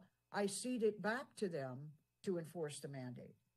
But in the case of departments that are not doing pretty well, that enforcement would be um, given to the Department of Human Resources. So before I close, I want to ask our county counsel, because people have said to me, can the Board of Supervisors do this? Which to me is sort of funny because it's kind of saying, can the Board of Supervisors set policy for how their employees are supervised? I, I would think it'd be an easy answer, but if I may turn to our county counsel for a brief answer, does the board have the authority to vest this power in the uh, head of the DHR? Thank you, Supervisor. I think I can give you a very quick answer to that question, and the answer is yes. The board does have that authority.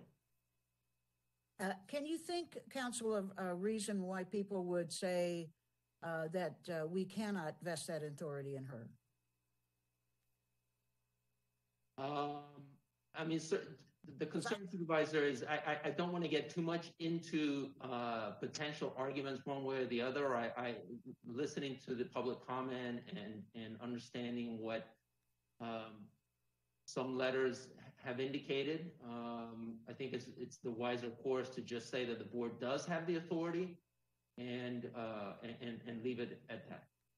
All right, I, I thank you for that. Um, I think that we really do need to have this vaccine policy enforced.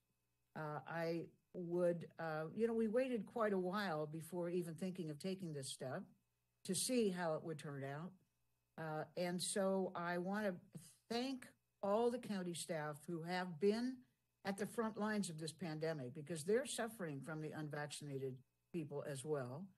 People who risk their lives every day before there was a vaccine county employees who have chosen to get vaccinated so they can continue to safely interact with coworkers and everybody coming to us for help. They are real heroes. I also want to say that um, the sheriff has sort of taken to a kind of an interesting public, um, what shall I say, campaign uh, to put out a lot of what I think he considers information um, about all the various ways that the County Board of Supervisors are not serving him well. And I think uh, you may have seen in many of the answers that much of what the sheriff has said, I, I can see why he wears a big hat because he pulls a lot of numbers right out of it, uh, most of which can't be substantiated. Um, you know, we've increased the people who work for him, we've increased the budget. And in that case, in this case, uh, we have an absolute right to say these are our employees, not yours. These are county employees. And we need to protect them and their families and all the people that they stop and say, you know, roll down your window. Um, and or people on a bicycle, as we saw a couple months ago. Uh, it's important. And I think that um, it's unfortunate to have to take this step in a way but a necessary one, and frankly, I think a very good one, one that will be more um, evenly um, spread over all the departments so that we look at them all the same. So I uh, thank you very much for allowing me to present this and uh, ask for your aye vote. And um, I, my board uh, chair, who is my co-author, I, I know might want to say something as well. Uh, Supervisor Kuehl, you wrapped it all up very clearly and succinctly. Um, I appreciate you. I know that we have available um, our Director of Personnel, as well as Mr. Robles from the Chief Executive Offices, are available for questions. Do any board members have questions? Supervisor Barger, followed by Supervisor Hahn. I, and. Supervisor Solis will follow. I see you. I hear you loud and clear, um, Supervisor Kuehl, and, and we do have the authority, but having the authority doesn't necessarily make the action right. And I believe that this action is in response to an individual. And I would like to know from um, Lisa Garrett, who has been working with human resources in the sheriff's department, if in fact they're complying or they're being cooperative. Because to change now over one individual or one manager, I, I don't feel is is appropriate. And I just want to understand um, from Lisa Garrett where she is working with that department because I went out and talked to um, sheriff's deputies who, in fact, have been vaccinated but don't want to upload on our platform because of misinformation from this sheriff as relates to the platform that we're using, which is a whole nother debate have um, and totally inappropriate on his part. But it's a disservice to those employees if we don't work with the department. So I'd like to hear from Lisa. Good afternoon, supervisors. Uh, Lisa Garrett, Director of Personnel.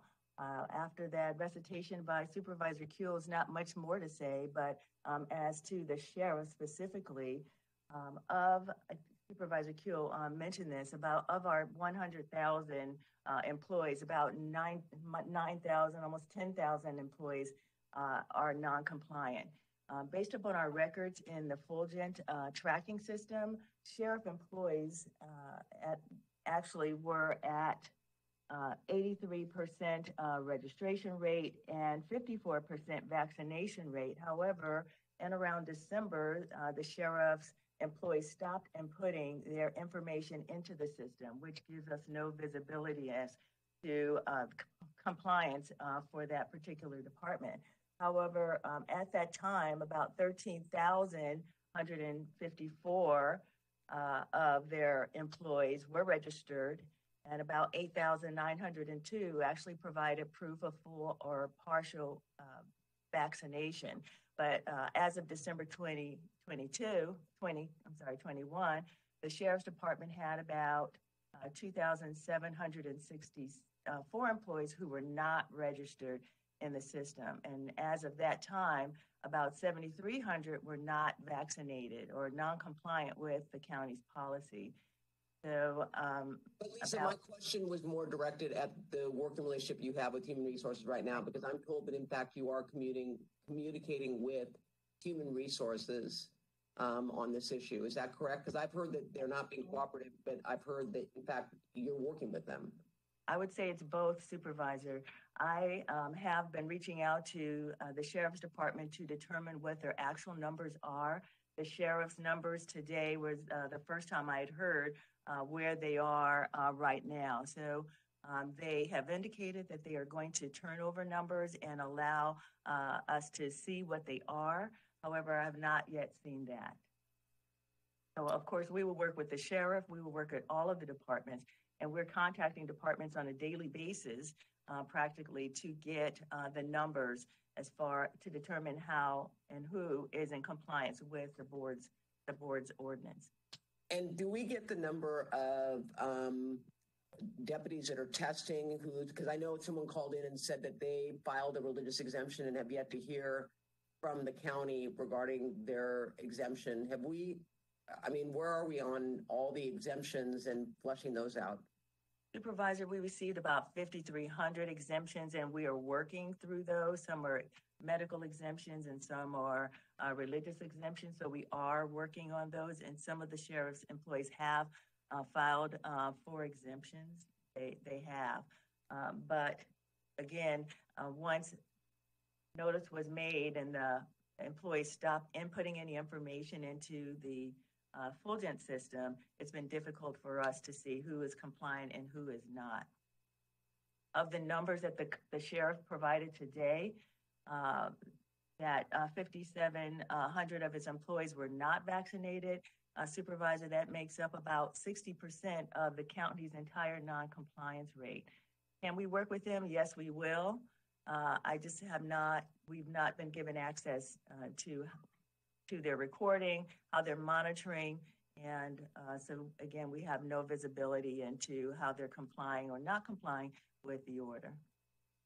And um, and I don't know if this is for um, Fesia, um, but are you working with the labor partners? Work, I mean, I, I think of workarounds, and I think a workaround, and I've talked to ALADS and to uh, 1014, and they very much want to work with the county to work with their members that are either resi- resistant to um, downloading the platform that we use and or even addressing the issue of vaccination. So, uh, Fesia, have you been communicating with them? Thank you, Supervisor.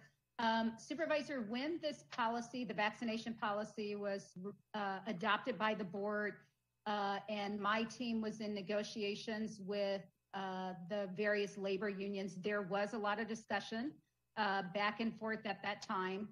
And then I believe uh, after the announcement was made um, that folks didn't need to register in Fulgent, those conversations have sort of died down. But I do believe that uh, some of the labor organizations are aware uh, of this motion because I've received requests to meet uh, at the same time that actually the teams will be negotiating over the impacts of this motion if passed.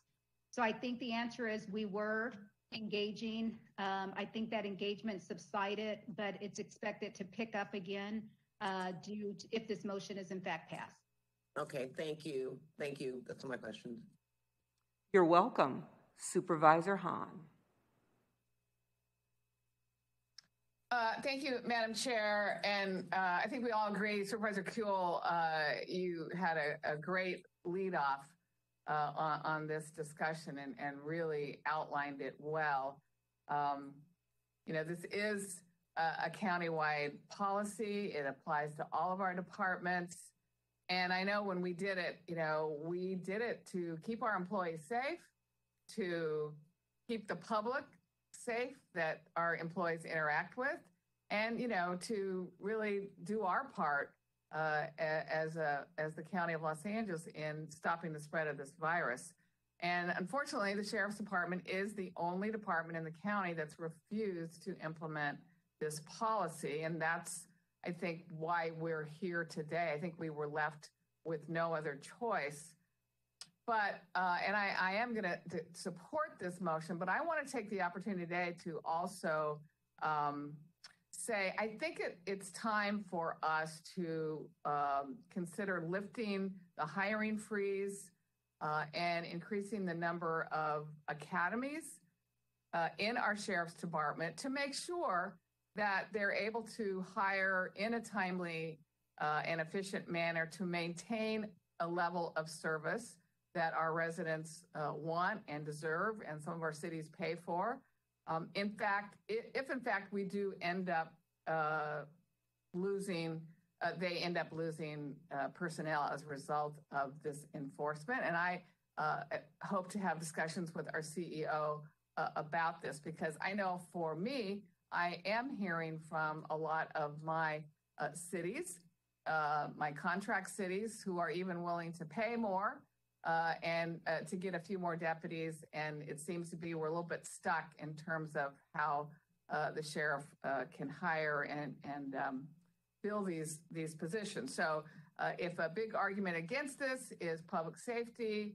Uh, and will be decreasing the level of service. And I think we should at least, on the other hand, be prepared as a county to look at ways to make sure that we do maintain the level of service if, in fact, uh, some of these personnel is lost. I'm hopeful that um, our sheriff's personnel will react like the other um, employees reacted, which is once they get the letter, once they see it's serious, once they understand uh, what uh, sort of the end game is, uh, they will take the opportunity to to get uh, vaccinated. And as Supervisor Kuehl said, we give them about five chances to get vaccinated. So I'm hopeful that that will be of the direction many of the, the, the very fine men and women who work in this department choose to uh, take. So again, I, I'm going to support this. I think it's fair to the rest of our departments uh, who have complied uh, with the vaccine policy and who actually are even um, looking to let go uh, some of their employees who have not uh, complied with this. Um, and I just don't think we can make an exception. It would really be unfair and insulting, I think, to the other um, uh, county departments and all the employees in our in our county that have have uh, complied with this. And again, I Supervisor Kuehl said it, but I just wanted to remind everybody that the the number one cause of death in law enforcement uh, has been COVID, and and we know that vaccinations save lives. Uh, they protect our employees and our county residents. I just got notific- notified, many of you probably already did too, just a few hours ago, uh, that the sheriff's department lost another uh, employee this morning to COVID. So it is real, and um, I'm going to support it, but I do think we might look at the opportunity to find ways to make sure that the staffing levels in the sheriff's department do meet uh, the demands of, of our residents. Thank you, Madam Chair.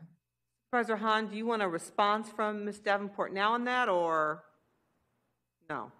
What, what's your desire? No, I, I think Okay. that it's going to be, I, I think it, it'll be a matter of discussions that, that we all have with her going forward. Perfect. Thank you. Thank you. Supervisor Solis. Yes, thank you, Madam Chair, and, and a big thank you to Supervisor Kuehl and to you for bringing the motion forward. As you recall, last summer, when I was chair of the board, I issued the executive order to put this vaccination policy in place. Uh, I did so not only to protect the workforce, but more importantly, all the vulnerable residents that we all serve. And we heard much debate about that today during the presentation earlier uh, that Dr. Ferrer gave in terms of the impacted communities that continue to uh, be impacted by COVID and the loss of life in and of itself.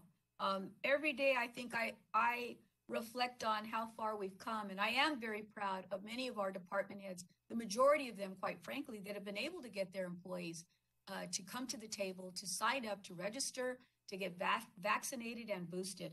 I mean, it's no small task to say that 89% of our county employees are either fully vaccinated or semi vaccinated, and with the exception of the sheriff's department.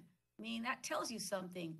Um, I think that we owe it to the rest of our employees that we represent that we provide fairness. And I think that this motion will help us address that today so that we treat everyone fairly. This was a very time consuming, laborious process that the board went through before we even implemented the policy. And we made definitely sure that our CEO and our labor management group met with our unions. And there was a lot of buy in, I have to say, from the leadership. And they said that they knew that this would be a tough row, but they were on with us. And I congratulate them for that. So here, we're not trying to punish anyone necessarily. I don't think it's that. They're still going to have a way to have their Skelly hearing. They're still going to have a due process hearing. In fact, they're given 45 days until we really start to talk to them. So, I mean, some people may take that seriously, some may not. But in my opinion, we we have people that are counting on services, and when they need to call 911 or they need to uh, find out that they need a, a public safety officer on hand because there's a, a dispute going on in their neighborhood, we certainly want our, our staff, our employees to show up and be there. And part of the question for me is if they're not getting vaccinated and they're home sick, well, we told you so. So work with us. We're not going to penalize you. It's not about that. It's about just trying to provide a standard of, of evaluation and support for all of our employees. So I, I think this is a, a reasonable request and I support it. So thank you very much, uh, Supervisor Kuehl and Chairwoman uh, Mitchell for bringing it forward. Thank you. Thank you very much, Supervisor Solis. I think I would just add a, a few things. Um, as has been stated, county workers are um, frontline essential workers, and I think this board has stepped up from the very beginning, before I joined you all, to provide resources and support to them um, because the county continued to provide services. We had some callers in public comment asking us to come back in person. Well, you know, the reality is this board continued to meet during the peak of the pandemic. Unlike many other elected bodies that went on recess, I think this board missed two, maybe three meetings, immediately went to electronic. So this notion that, you know, the county isn't working is, is false. The board is working and county departments and services are now back being provided to a county comprised of residents who, who need that support the most. You know, this board um, supported COVID appreciation bonus and COVID Heroes Pay to DHS employees as a sign of our commitment and an acknowledgement to the risk they're taking. So these actions that the board has already taken um, through the executive order initiated by then Chair Solis and today's action is an extension of our effort to continue to provide the safest work environment possible. It's also really important that every department um, comprised of county employees receives the same fair treatment and, and, and as a result should be expected and held to the same high standard of accountability. You know, as we talk about attrition, I think it's important to know, quite frankly, that the Sheriff's Department, if you look at our employee count report, colleagues, um, in the Sheriff's Department, they've had an average um, attrition rate of 3%. And that decrease, decrease was primarily due to attrition. And so it's not completely out of whack compared to other county departments. I think it's important that we continue to have the conversation raised by um, Supervisor Hahn, but we should really look at that department in, in the full context of all county departments. With that, seeing no other hands raised, and hearing no other comments, item 18 is before us. It is moved by Supervisor Kuehl, seconded by Supervisor Mitchell to approve the item. Executive Officer, please call the roll. Item 18 is before you. Supervisor Solis. Aye. Supervisor Solis, aye. Supervisor Kuehl. Aye. Supervisor Kuehl, aye. Supervisor Hahn. Aye. Supervisor Hahn, aye. Supervisor Barger. I'm going to abstain. Supervisor Barger abstains. Supervisor Mitchell. Aye. Supervisor Mitchell, aye. Motion carries four to zero with one abstention. Thank you. Item 58, report on the expansion of the first responder protocol and advocacy services for commercially sexually exploited children, which was held by Supervisor Kuehl. Supervisor?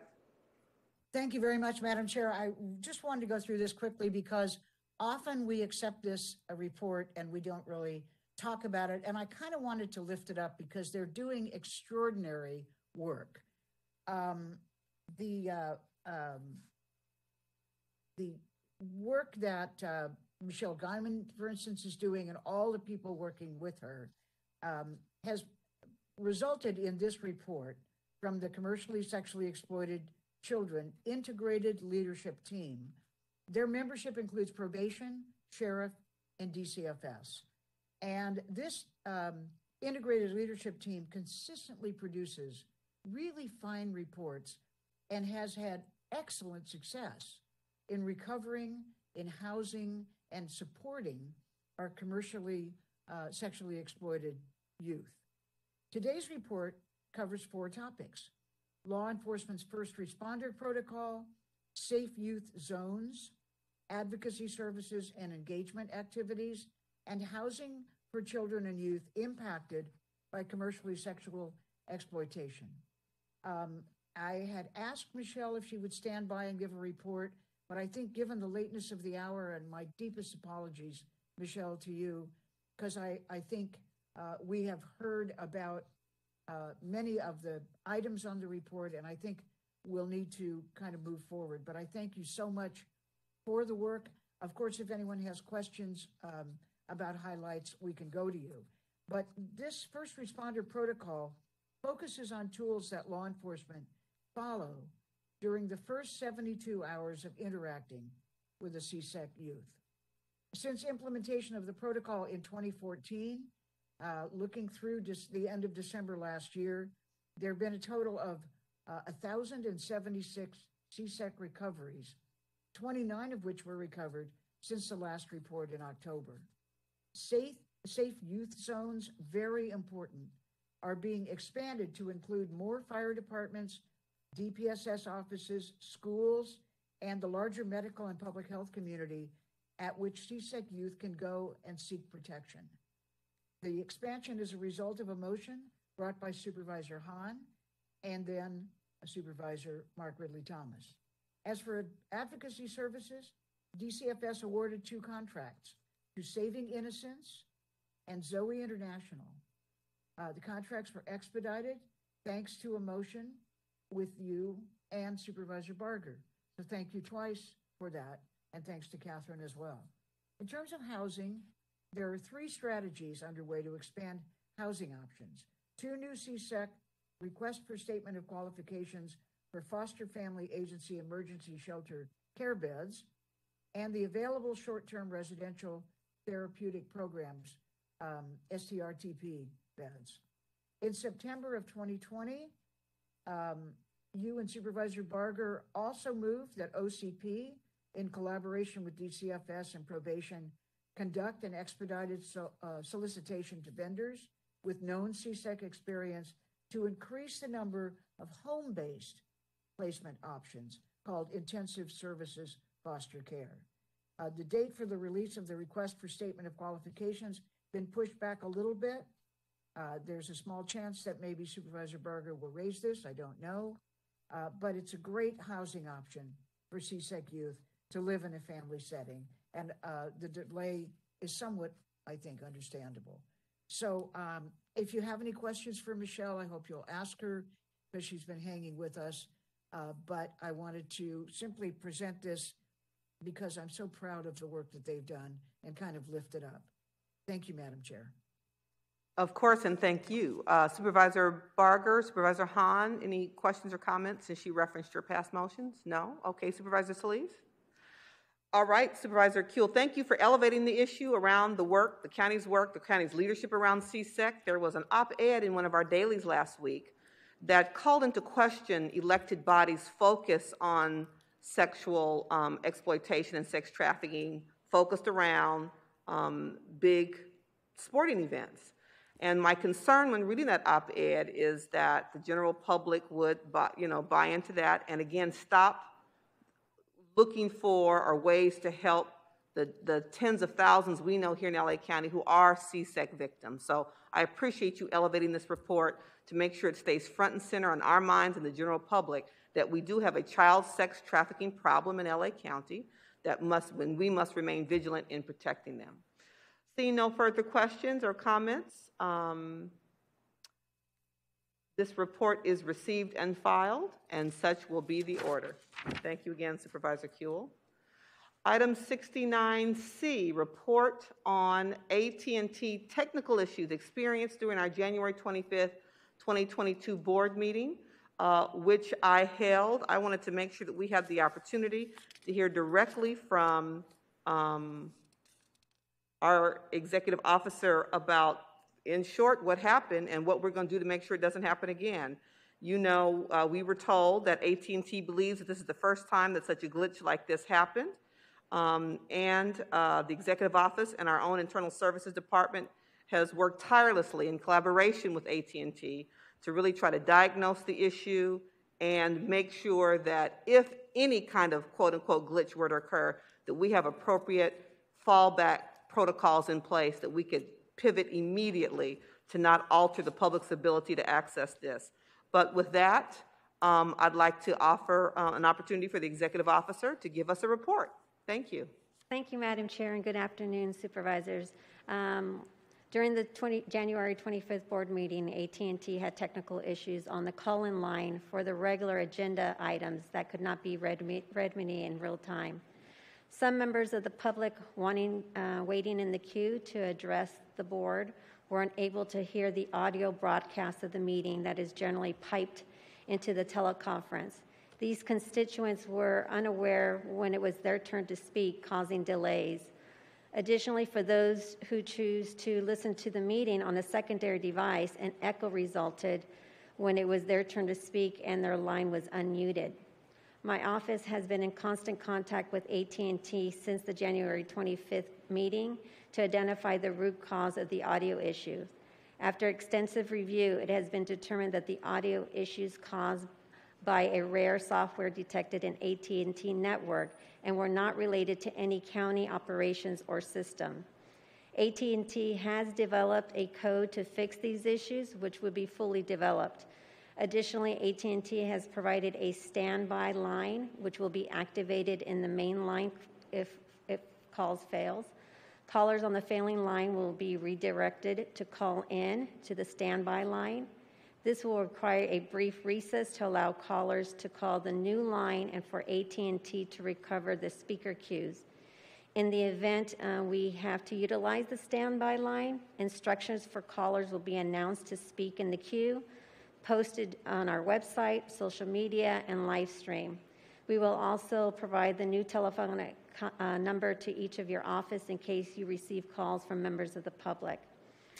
Um, your board has also requested that my office provides measures to clearly distinguish public hearing items and regular agenda items to alleviate the confusion expressed by the members of the public wishing to address these items.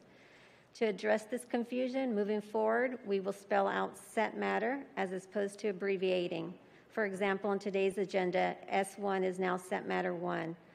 Also, we will number items after the uh, set matter sequentially. For example, following the set matter one and set matter two, the next item or public hearing item will be listed as agenda item number three, as seen in today's agenda.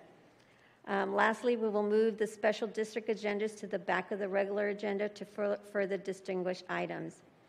For additional clarification, we will have two distinct call-in numbers, one for the regular agenda items and one for the public hearing items with two separate access code. This will be published in the agenda and posted online. Phone lines will be open 15 minutes earlier and callers will be able to speak in the uh, speaker queue immediately beginning at 9 a.m. Further, AT&T will announce instructions to the speaker queue more frequently. We hope by putting these above measures in place, we will help enhance our constituent engagement with the board meetings. My office will continue to review and enhance our board meeting process to ensure a, a more seamless process so the members of the public are able to fully participate in the board meetings. Thank you. I want to thank the executive officer and uh, your team in the Internal Services Department for doing that work. Any questions of board meeting members? Okay, seeing none, again, this report is received and filed, and such will be the Chair, order. I, I didn't raise my hand soon enough. I just want to say thank you for this. And I was just thinking, sitting here, you know, we've been doing this now for a while. And overall, you know, I, I think we've mostly done a good job accommodating um, our, our uh, public. And it was unfortunate that this happened.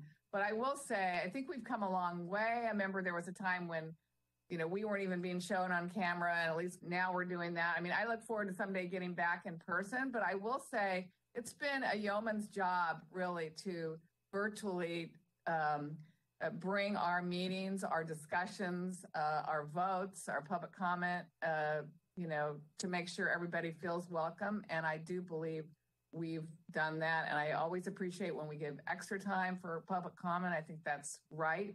And I, I just wanted to say this is like the first time I remember something like going badly. And I appreciate all the work that has gone into uh, bringing our meetings uh, virtually to, to our public. So Thank you, Supervisor Hahn. I couldn't agree with you more. Absolutely. Thank you so much. Seeing no other hands, I don't know why my boxes of you all got so tiny. Let me make it bigger. Okay, great. We'll now move uh, into specials, um, and I'd like to read in two motions, colleagues. First is a report back on conditions at juvenile hall. The Probation Oversight Commission's recent facility inspections report sheds light on the poor conditions at the county's juvenile halls. Given the county's obligation to ensure safe and healthy living conditions for the youth in our care, the board really should hear an update on the probation department's efforts to address these issues. With that, I'd like to read in the motion that places a briefing on the board's February 15th meeting agenda. I therefore move that the Board of Supervisors instruct the Chief Probation Officer or his designee and the Executive Director of the Probation Oversight Commission to come before the Board of Supervisors at our next meeting, February 15th, to provide an update on the conditions at LA County's juvenile halls.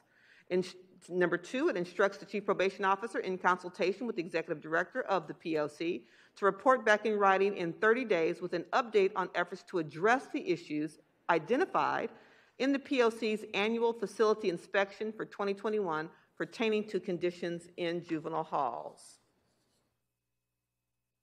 This item is before us.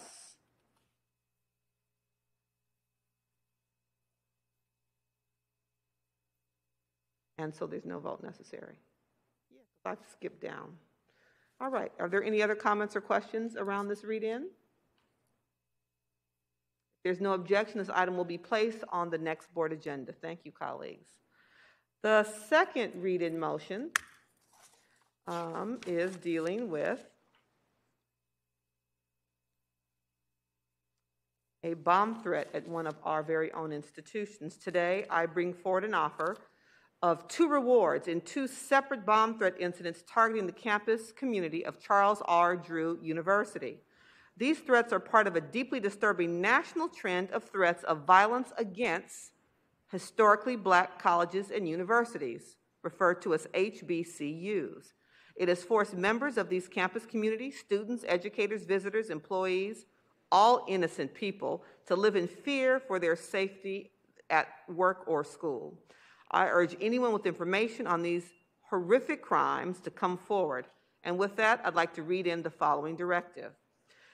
Therefore, move that the Board of Supervisors establish the offer of a reward in the amount of $20,000 in exchange for information leading to the apprehension and or conviction of the persons responsible for the heinous bomb threat directed toward Charles R. Drew University, located on East 120th Street in the unincorporated area of Willowbrook on January 11, 2022.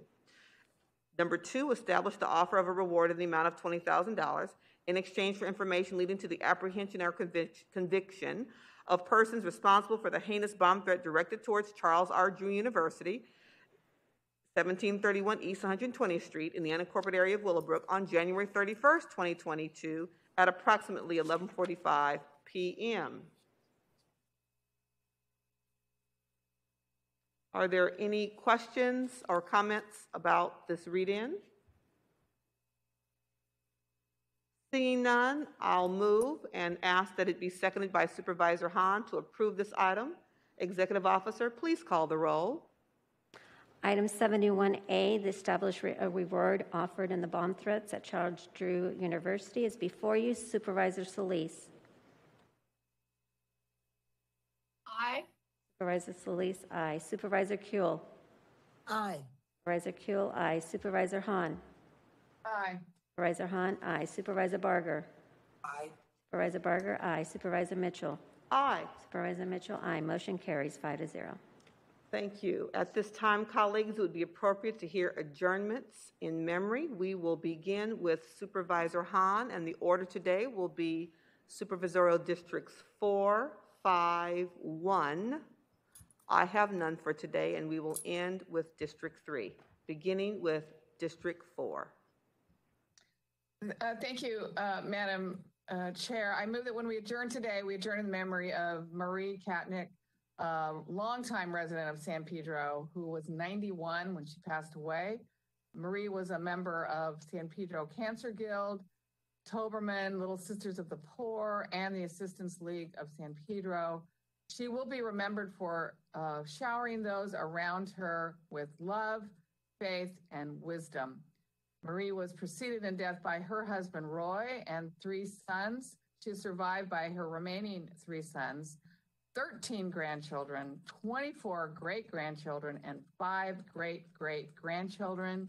Um, Marie was Terry Katnick's stepmother, uh, and we here in San Pedro uh, know and love Terry uh, very much, and we send uh, him our deepest condolences. Uh, also move that when we adjourn, adjourn today, we adjourn the memory of Michael Wainwright, who was a longtime uh, resident of Watts. And I didn't know Supervisor Mitchell if you wanted to join me on this. Uh, I, I knew Michael for all my years uh, when I served, uh, when I represented Watts, both in the city council and in Congress. He was a longtime resident. He was 73 when he passed away. He served the Watts community for many years and was the founder of the Neighborhood Youth Achievers Jobs Program. He was truly dedicated to the youth and was a mentor, a friend. He was a confidant to many. He'll be remembered for his leadership and commitment to provide summer jobs for the youth in the community um, every single year. And for, you know, a lot of people, uh, we all grew up taking summer jobs as sort of a rite of passage. Like there was always summer jobs that were available. Well, they became scarce. Uh, you know, about 20 years ago. And uh, it became a big issue for uh, the city of Los Angeles, particularly, to try and get uh, money and different uh, corporations to agree to providing opportunities for summer jobs for many of our young people. Michael was relentless when it came to summer jobs. He you know, would follow me to my car after a meeting and just demand on where I was in the progress of getting more summer jobs for the young people in Watts. I worked with him when I was on the city council. uh, when I was in Congress, but particularly uh, as we served together with the Watts uh, Gang Task Force. Uh, he was such a he was one of the founding members. Uh, he was also the one that uh, walked up to me on a Saturday in Watts after we'd had seven um, seven murders uh, in Watts one Christmas, and uh, that was the Christmas that uh, the people would comment that many of the kids were not coming out of their house on Christmas Day to play with their new toys because the violence had been had increased so much. And Michael followed me out to my car again and said, "What was I doing about it?" And at that point, I didn't have a good answer. So I said, "Well, let's gather together the community. Let's gather together uh, the faith-based community, the school-based community, community members, uh, the our law enforcement partners, and let's pledge to meet once a week in my Watts uh, office and let's see what we can do. The Watts Gang Task Force was formed. Michael was one of the founding members um, and was diligent in making sure that even when things got tense or when things, when people were misunderstanding each other, uh, he insisted that we stay in the room together and, and solve the problems of, of that great community. So he will be missed. He won't be forgotten. He leaves behind many, many loved ones and friends, and I consider myself one of those. Thank you, Madam Chair. Thank you, Supervisor Hahn, for allowing me to, to join you in, in that. Thank you for that. Thank you. Um, I just have a couple others. Um, I move that when we adjourn today, we adjourn in the memory of Roger Class, who was 82 when he passed away. He was a resident of Rancho Palos Verdes. He was the owner of Class Termite and Pest Control. Class Termite proudly serviced the South Bay for over 45 years. Roger loved sports and was a coach for the Palos Verdes Peninsula Girls Softball League, Bogdanovich Recreation Center Basketball League, and the Palos Verdes Basketball Association. Roger also participated in the annual New Year's New Year's Day Cabrillo Beach Polar Bear Plunge, uh, which uh, I have been also uh, a tortured part of that event uh, for uh, again over 20 years, and um, it was something that he really was proud of and looked forward to. He's survived by his wife Luana, daughter Kelly, and his brother Ken. I also uh, move that when we adjourn, we adjourn in the memory of Terry Rogers, who was um, who passed away uh, this past Monday.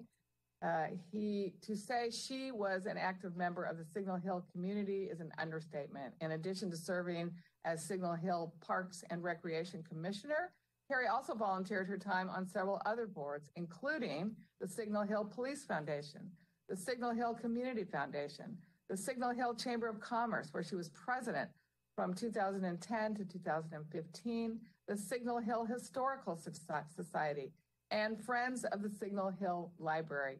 Her community service also extended to the Signal Hill Rotary, the Salvation Army, and Rock for Vets Music is the Remedy. City of Signal Hill released a statement on Terry's passing and called her a longtime champion of the city who gave so much of her time to the community. She will be dearly missed. Candlelight Vigil will be held for Terry on Wednesday, February 23rd at the Signal Hill Amphitheater. She will be missed and made such a difference with the life that she lived. I also move that when we adjourn, we adjourn today in the memory of Tom Reese Sr., who was 83 when he passed away. Tom joined the Air Force right out of high school, and after completing his military service, he worked as an aeronautical engineer for Northrop Grumman. He was a man of deep faith who volunteered his time helping serve those in need through the Christian Service Program at St. Margaret Mary Catholic Church in Lomita. He's survived by his sons Thomas, Michael, Paul, and Dominic, his daughter, sister Bernadette, Mary, and seven grandchildren. And I also move when we adjourn, we adjourn the memory of Antonio Ringor. Tony was a longtime resident of San Pedro. He was 89 when he passed away. Another beloved, beloved community leader. He served the harbor area communities for decades, volunteering his time to organizations such as the San Pedro Community Garden, the LA Maritime Institute, Friends of Banning's Landing, and the Wilmington Neighborhood Council. He was a lifetime member of the Filipino community of the Los Angeles Harbor area and was a member of the San Pedro and Peninsula Chambers of Commerce and the Association of Filipino American Arts and Culture. I worked closely with Tony uh, from, again, from my days on the city council uh, uh, and his wife, Angelita, um, for, for so, so many years. He will be greatly missed by our community. He also, uh, in my opinion, was one of my dear friends and uh, lived such an incredible life. He's survived by his wife, Angelita, and his son, Tony Jr. Thank you, Madam Chair. Those are my adjournments. Thank you very much, Supervisor Hahn. Our esteemed chair uh, had to leave, and so I'm taking over uh, just for these last few minutes. It's nice that we can always say Madam Chair, no matter which one of us takes over. I know it's always Madam Chair. So, Madam Supervisor Barger, you're next. Thank you.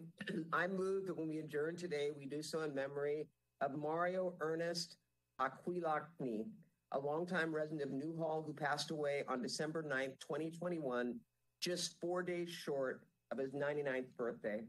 He was born in Abruzzi, Italy in 1922. He immigrated with his family as a toddler to Philadelphia, Pennsylvania, where he grew up. He enlisted in the United States Army Air Corps at the age of 17 and at the start of World War II. He served as an air operations specialist. He received an honorable discharge in November of 1945. He returned to Philadelphia to earn his high school diploma and work on, in his parents' deli grocery store. He moved to Northridge, California, and worked in the meat department in a local supermarket.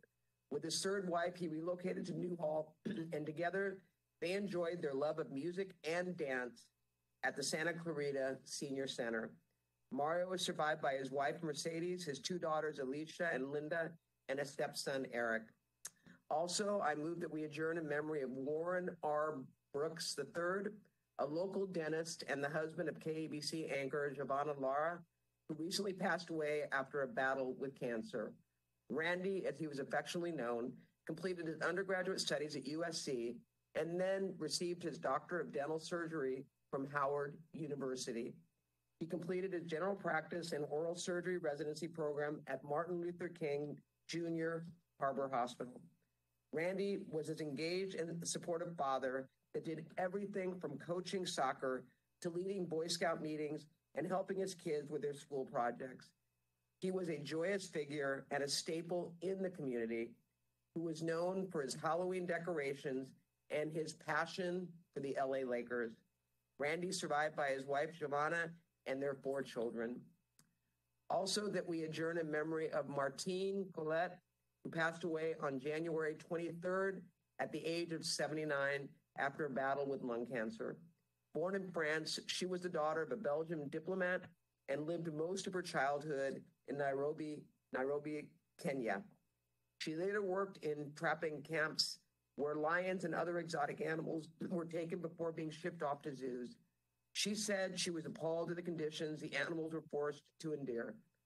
She moved to Los Angeles to pursue a career as a Hollywood costume designer, but her personal interest in animals followed her to Los Angeles. Martine first rescued a mountain lion confined to a small cage at an animal show at the old Pan Pacific Auditorium in Los Angeles. Soon she had a yard full of animals, spurring her to move to Little Tujunga Canyon Road, where she opened the Wildlife Waystation in 1976. Her first residents were a young chimpanzee whose parents had been confined to a research lab. A lion born at the way station after the rescue of 27 lions and tigers from a compound in Idaho where the animals lived in misery and a baby chimp who roamed freely in her house. Under her vision, the 160 acre sanctuary stood as a model for rescuing exotic animals abandoned by impetuous owners, traveling roadside attractions, and research labs. While she was its one woman tour de force, and we all know that, and I know, Sheila, you're going to say something, leading rescue missions and charming Hollywood celebrities into supporting her cause. She became a commanding voice for more robust legislation to regulate exotic animal ownership, particularly those inclined to bring in animals from the wild for their personal collections. The sanctuary has been credited with saving more than 70,000 animals. Martine was named a designated animal expert for the city of Los Angeles, as was and was honored by the California Department of Fish and Wild Game and the California State Assembly for her years of service. When her facility closed in 2019, the California Department of Fish and Wildlife stepped in to oversee the care and relocation of more than 470 animals, including lions, tigers, wolves, owls, alligators, and the chimps. Now, only two hybrid wolf dogs and 16 chimps are waiting for new homes at the sanctuary with the support of California Fish and Game. She remembered as an enthusiastic evangelist for wild animals who was strong willed and sometimes a bit stubborn. She said her lone interest was improving the lives of animals. She passed away surrounded by friends, and one of her final remarks was, Soon I will be walking with the tigers. Supervisor Kuehl, you wanted to say something? Uh, thank you very much. I think we uh, had a tussle over now that we've got slightly different districts, whose district she lived in. So, and it's worth fighting over because what an extraordinary woman. Um, you really nailed it, um, Kathryn, because she was uh, one of a kind. And there are very few people, you know, it's kind of easy to say, I'm, you know, I'm taking care of stray cats and I'm taking care of stray dogs. And there's a lot of great work being done. But a lot of people didn't really understand how it was that she was so devoted to these animals. And yet, when she would explain how they would be mistreated, you know, treated as though they were some kind of uh, a fancy circus show or whatever, um, it was very compelling. She really, really did um, such amazing work with them, and and um, it's going to be very hard to fill all the all the jobs really that she undertook. So bless her heart and bless her memory. Thank you. Yeah, thank you. Well said. And last but not least, I move that when we adjourn today, we do so in memory of Dorothy Marie Hall, who passed away on January 27th at the age of 96. Dorothy was a longtime resident of Monrovia and the mother of Monrovia Arcadia Duarte Town Council President David Hall. She was born on February 19, 1925, in Hinds County, Mississippi. She was the second oldest of five children. She was an excellent student who progressed through school quickly. By the age of 16, she was attending Jackson State University.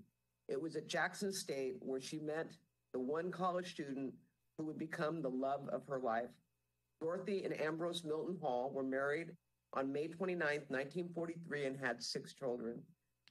In June of 1949, the family moved to Monrovia. Over the next three decades, Dorothy and Reverend Hall would immerse themselves in the fight for civil rights, voters' rights, and the end of racial inequities that plagued their community. She worked side by side with her husband as he took on the role of president of the Monrovia Duarte chapter of the NAACP. Dorothy embraced and spearheaded many roles within the community and even organized voting booth locations at her own home and within the homes of other community leaders during the 60s to make sure that every resident had voting access. Because of her activism, she didn't think twice before accepting employment within the Monrovia Unified School District as a Title IV program liaison in the 1970 the Title IV program in the 1970s. The Title IV program was developed as a conduit to help mend racial issues within the city and the surrounding communities. It wasn't until Reverend, the Reverend's death in January of 1986 that Dorothy decided to retire from the community activism. But it wasn't unusual for her to find a front seat at a school board meeting or other community action event where she would voice her thoughts and her opinions well into her 90s. She enjoyed spending time with her family. She especially loved visits from her grandchildren, and whenever possible, she would be right in the mix of any graduation ceremony, birthday celebration, wedding, or other milestone being celebrated by her loved ones. Dorothy found great joy in participating in the church until her death, or sorry, until her health prevented her from attending in person. She spent her last years worshiping at the All Saints Seventh day Adventist Church in Monrovia. Dorothy survived by her children, David Hall, Linda Smith, Adrienne Marie Hall, sister Pearl White, 18 grandchildren, 38 great grandchildren, 15 great great grandchildren, and a host of beloved nieces, nephews, cousins, and friends. She will be dearly missed. Thank you, Madam Chair. Thank you. Uh, next is Supervisor Solis. Yes, thank you, uh, Madam Chair. I move that when we adjourn today, we adjourn in memory of Congressman Esteban E. Torres. He was born in Miami, Arizona, and eventually moved with his family to East Los Angeles, where he attended local schools, proudly graduating from Garfield High School in 1949. Following high school, he enlisted in the U.S. Army during the Korean War and was honorably discharged with the rank of Sergeant First Class. In the late 1950s, he began working as an assembly line worker at the Chrysler plant in Maywood, California, and became an active member of the United Auto Workers UAW Union. And in 1958, he was elected as chief steward of UAW Local 230. He then rose through the ranks of UAW, serving as an organizer for the Western region of the United States, then as UAW International Representative in Washington, D.C. And from 1964 to 1968, he was UAW's Inter American Bureau for Caribbean and Latin American Affairs. And then in 1977, President Jimmy Carter appointed Torres as the U.S. ambassador to the United Nations Educational, Scientific, and Cultural Organization known as UNESCO in Paris. And from 1979 until 1981, Torres served as White House Special Assistant for Hispanic Affairs under President Carter. And at the same time that I was interning with him in his office, I served as editor in chief of the White House Office for Hispanic Affairs and later as a full time staff assistant. He has endorsed and supported me in every single race for public office dating back to 1984. From my first campaign at Rio Hondo College Board of Trustees to the State Assembly to the State Senate and Congress. And I know he was very proud when I was appointed by President Barack Obama as the labor secretary, something that he often sought of for himself. I, of course, would have the honor of representing many of the same communities that he represented. He was known as a fierce advocate for working class families and veterans. Amongst his proudest accomplishments was being one of the founders of La Plaza de Cultura y Artes, a world renowned museum honoring the past, inspiring the future, and recognizing the cultural influence of Mexicans, Mexican Americans, and all Latinos in greater Los Angeles County. He also was an accomplished artist. His art was featured in the Washingtonian magazine at numerous galleries throughout Los Angeles and admired by his colleagues in Congress, friends, and family. He's survived by his lovely wife, Arcy, and their five children, 12 grandchildren, and seven great grandchildren. May he rest in peace. Um, Supervisor Solis, I would like to join you on that one for Esteban. Me too. I think um, he had a just very distinguished career. Uh, Supervisor Barger, do you think would it be all right if it was all of us? The four of us? Okay. Thank yes, you. please. Thank you. Yes, thank you. And lastly, Madam Chair, I move that when we adjourn today, we adjourn in memory of Consuelo Hermosillo. She was one of the original plaintiffs in the Madrigal versus Quilligan lawsuit, which attempted to garner justice for the women who were coerced and forced into sterilization at the LAC USC Medical Center between 1968 and 1974.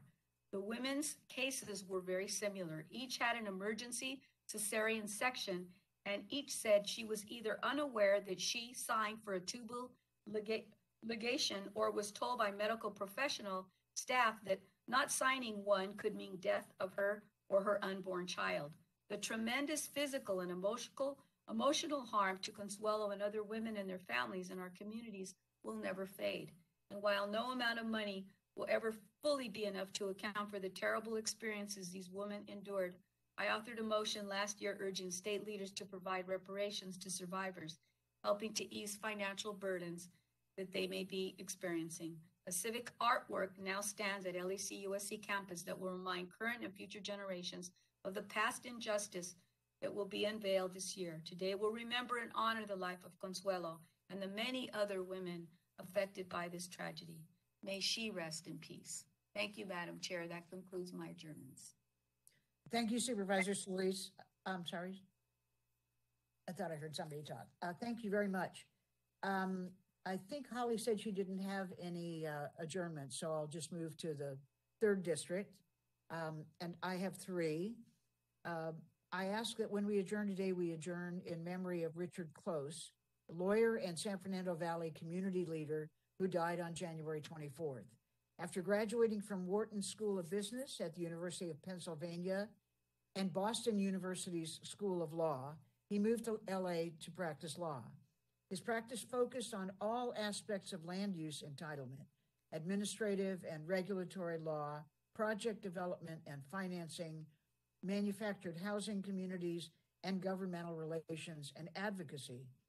He was a leader in the legal, political, and business communities, recognized in each of those areas for creating opportunities and uh, exercising astute judgment, as well as his shrewd negotiating skills.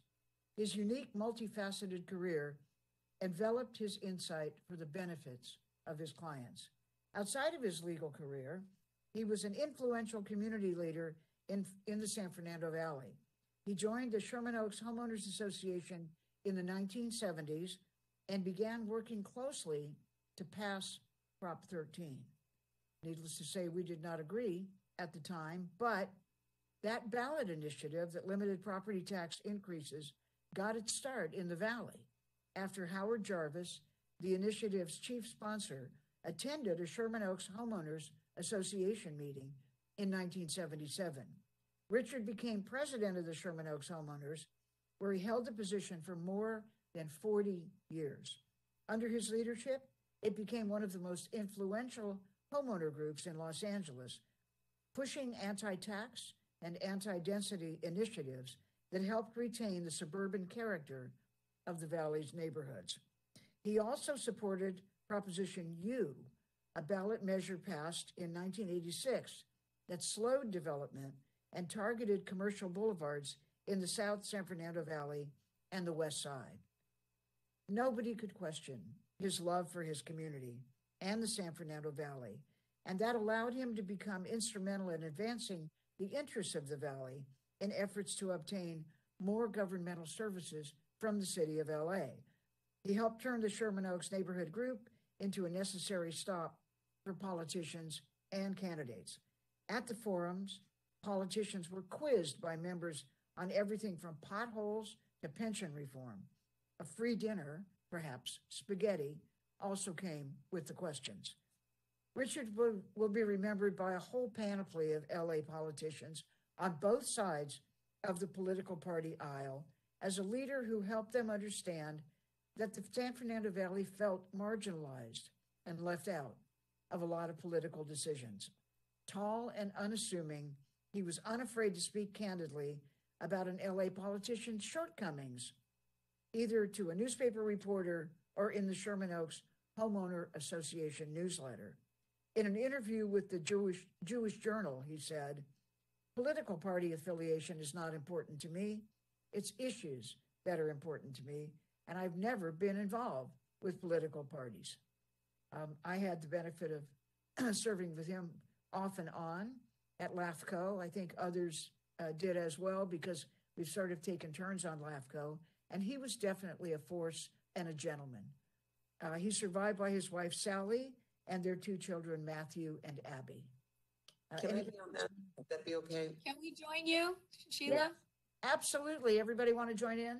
Yes, I served with them on LAFCO. We were on different sides on the secession issue, but uh, I did serve with him for several years on LAFCO. So absolutely, I'd like to join you. All right, Nice let's, let's make it all four of us. Hilda. were you Yeah, good. No, no, I just, I just thought he was a gentleman and uh, always very kind uh, to everyone and respectful, and that's something that stands out these days. So yes, thank you. Yeah, it was a fine man, really. All right, then all of us will join in adjourning for Richard Close.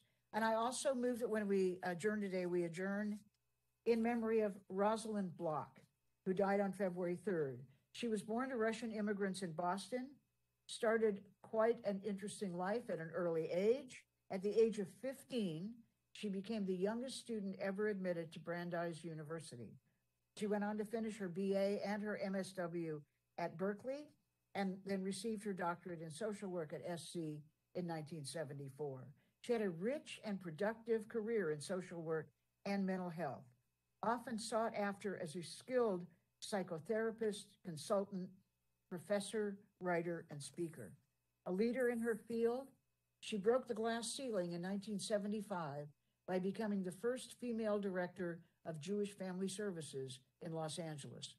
She taught at the UCLA School of Social Welfare, the USC School of Social Work, Hebrew Union College, the Wright Institute, the LA Institute, and Society for Psychoanalytic Studies, and the California Graduate Institute, where she was voted Teacher of the Year in 1995. She was a pioneering teacher and researcher on the impact of climate change on a person's and a society's mental health. And she presented her work in this area at national and international conferences. As a highly regarded psychotherapist, she continued to practice and help families and couples and individual patients all the way through to last year. She published many papers in professional journals and edited volumes of scholarly work.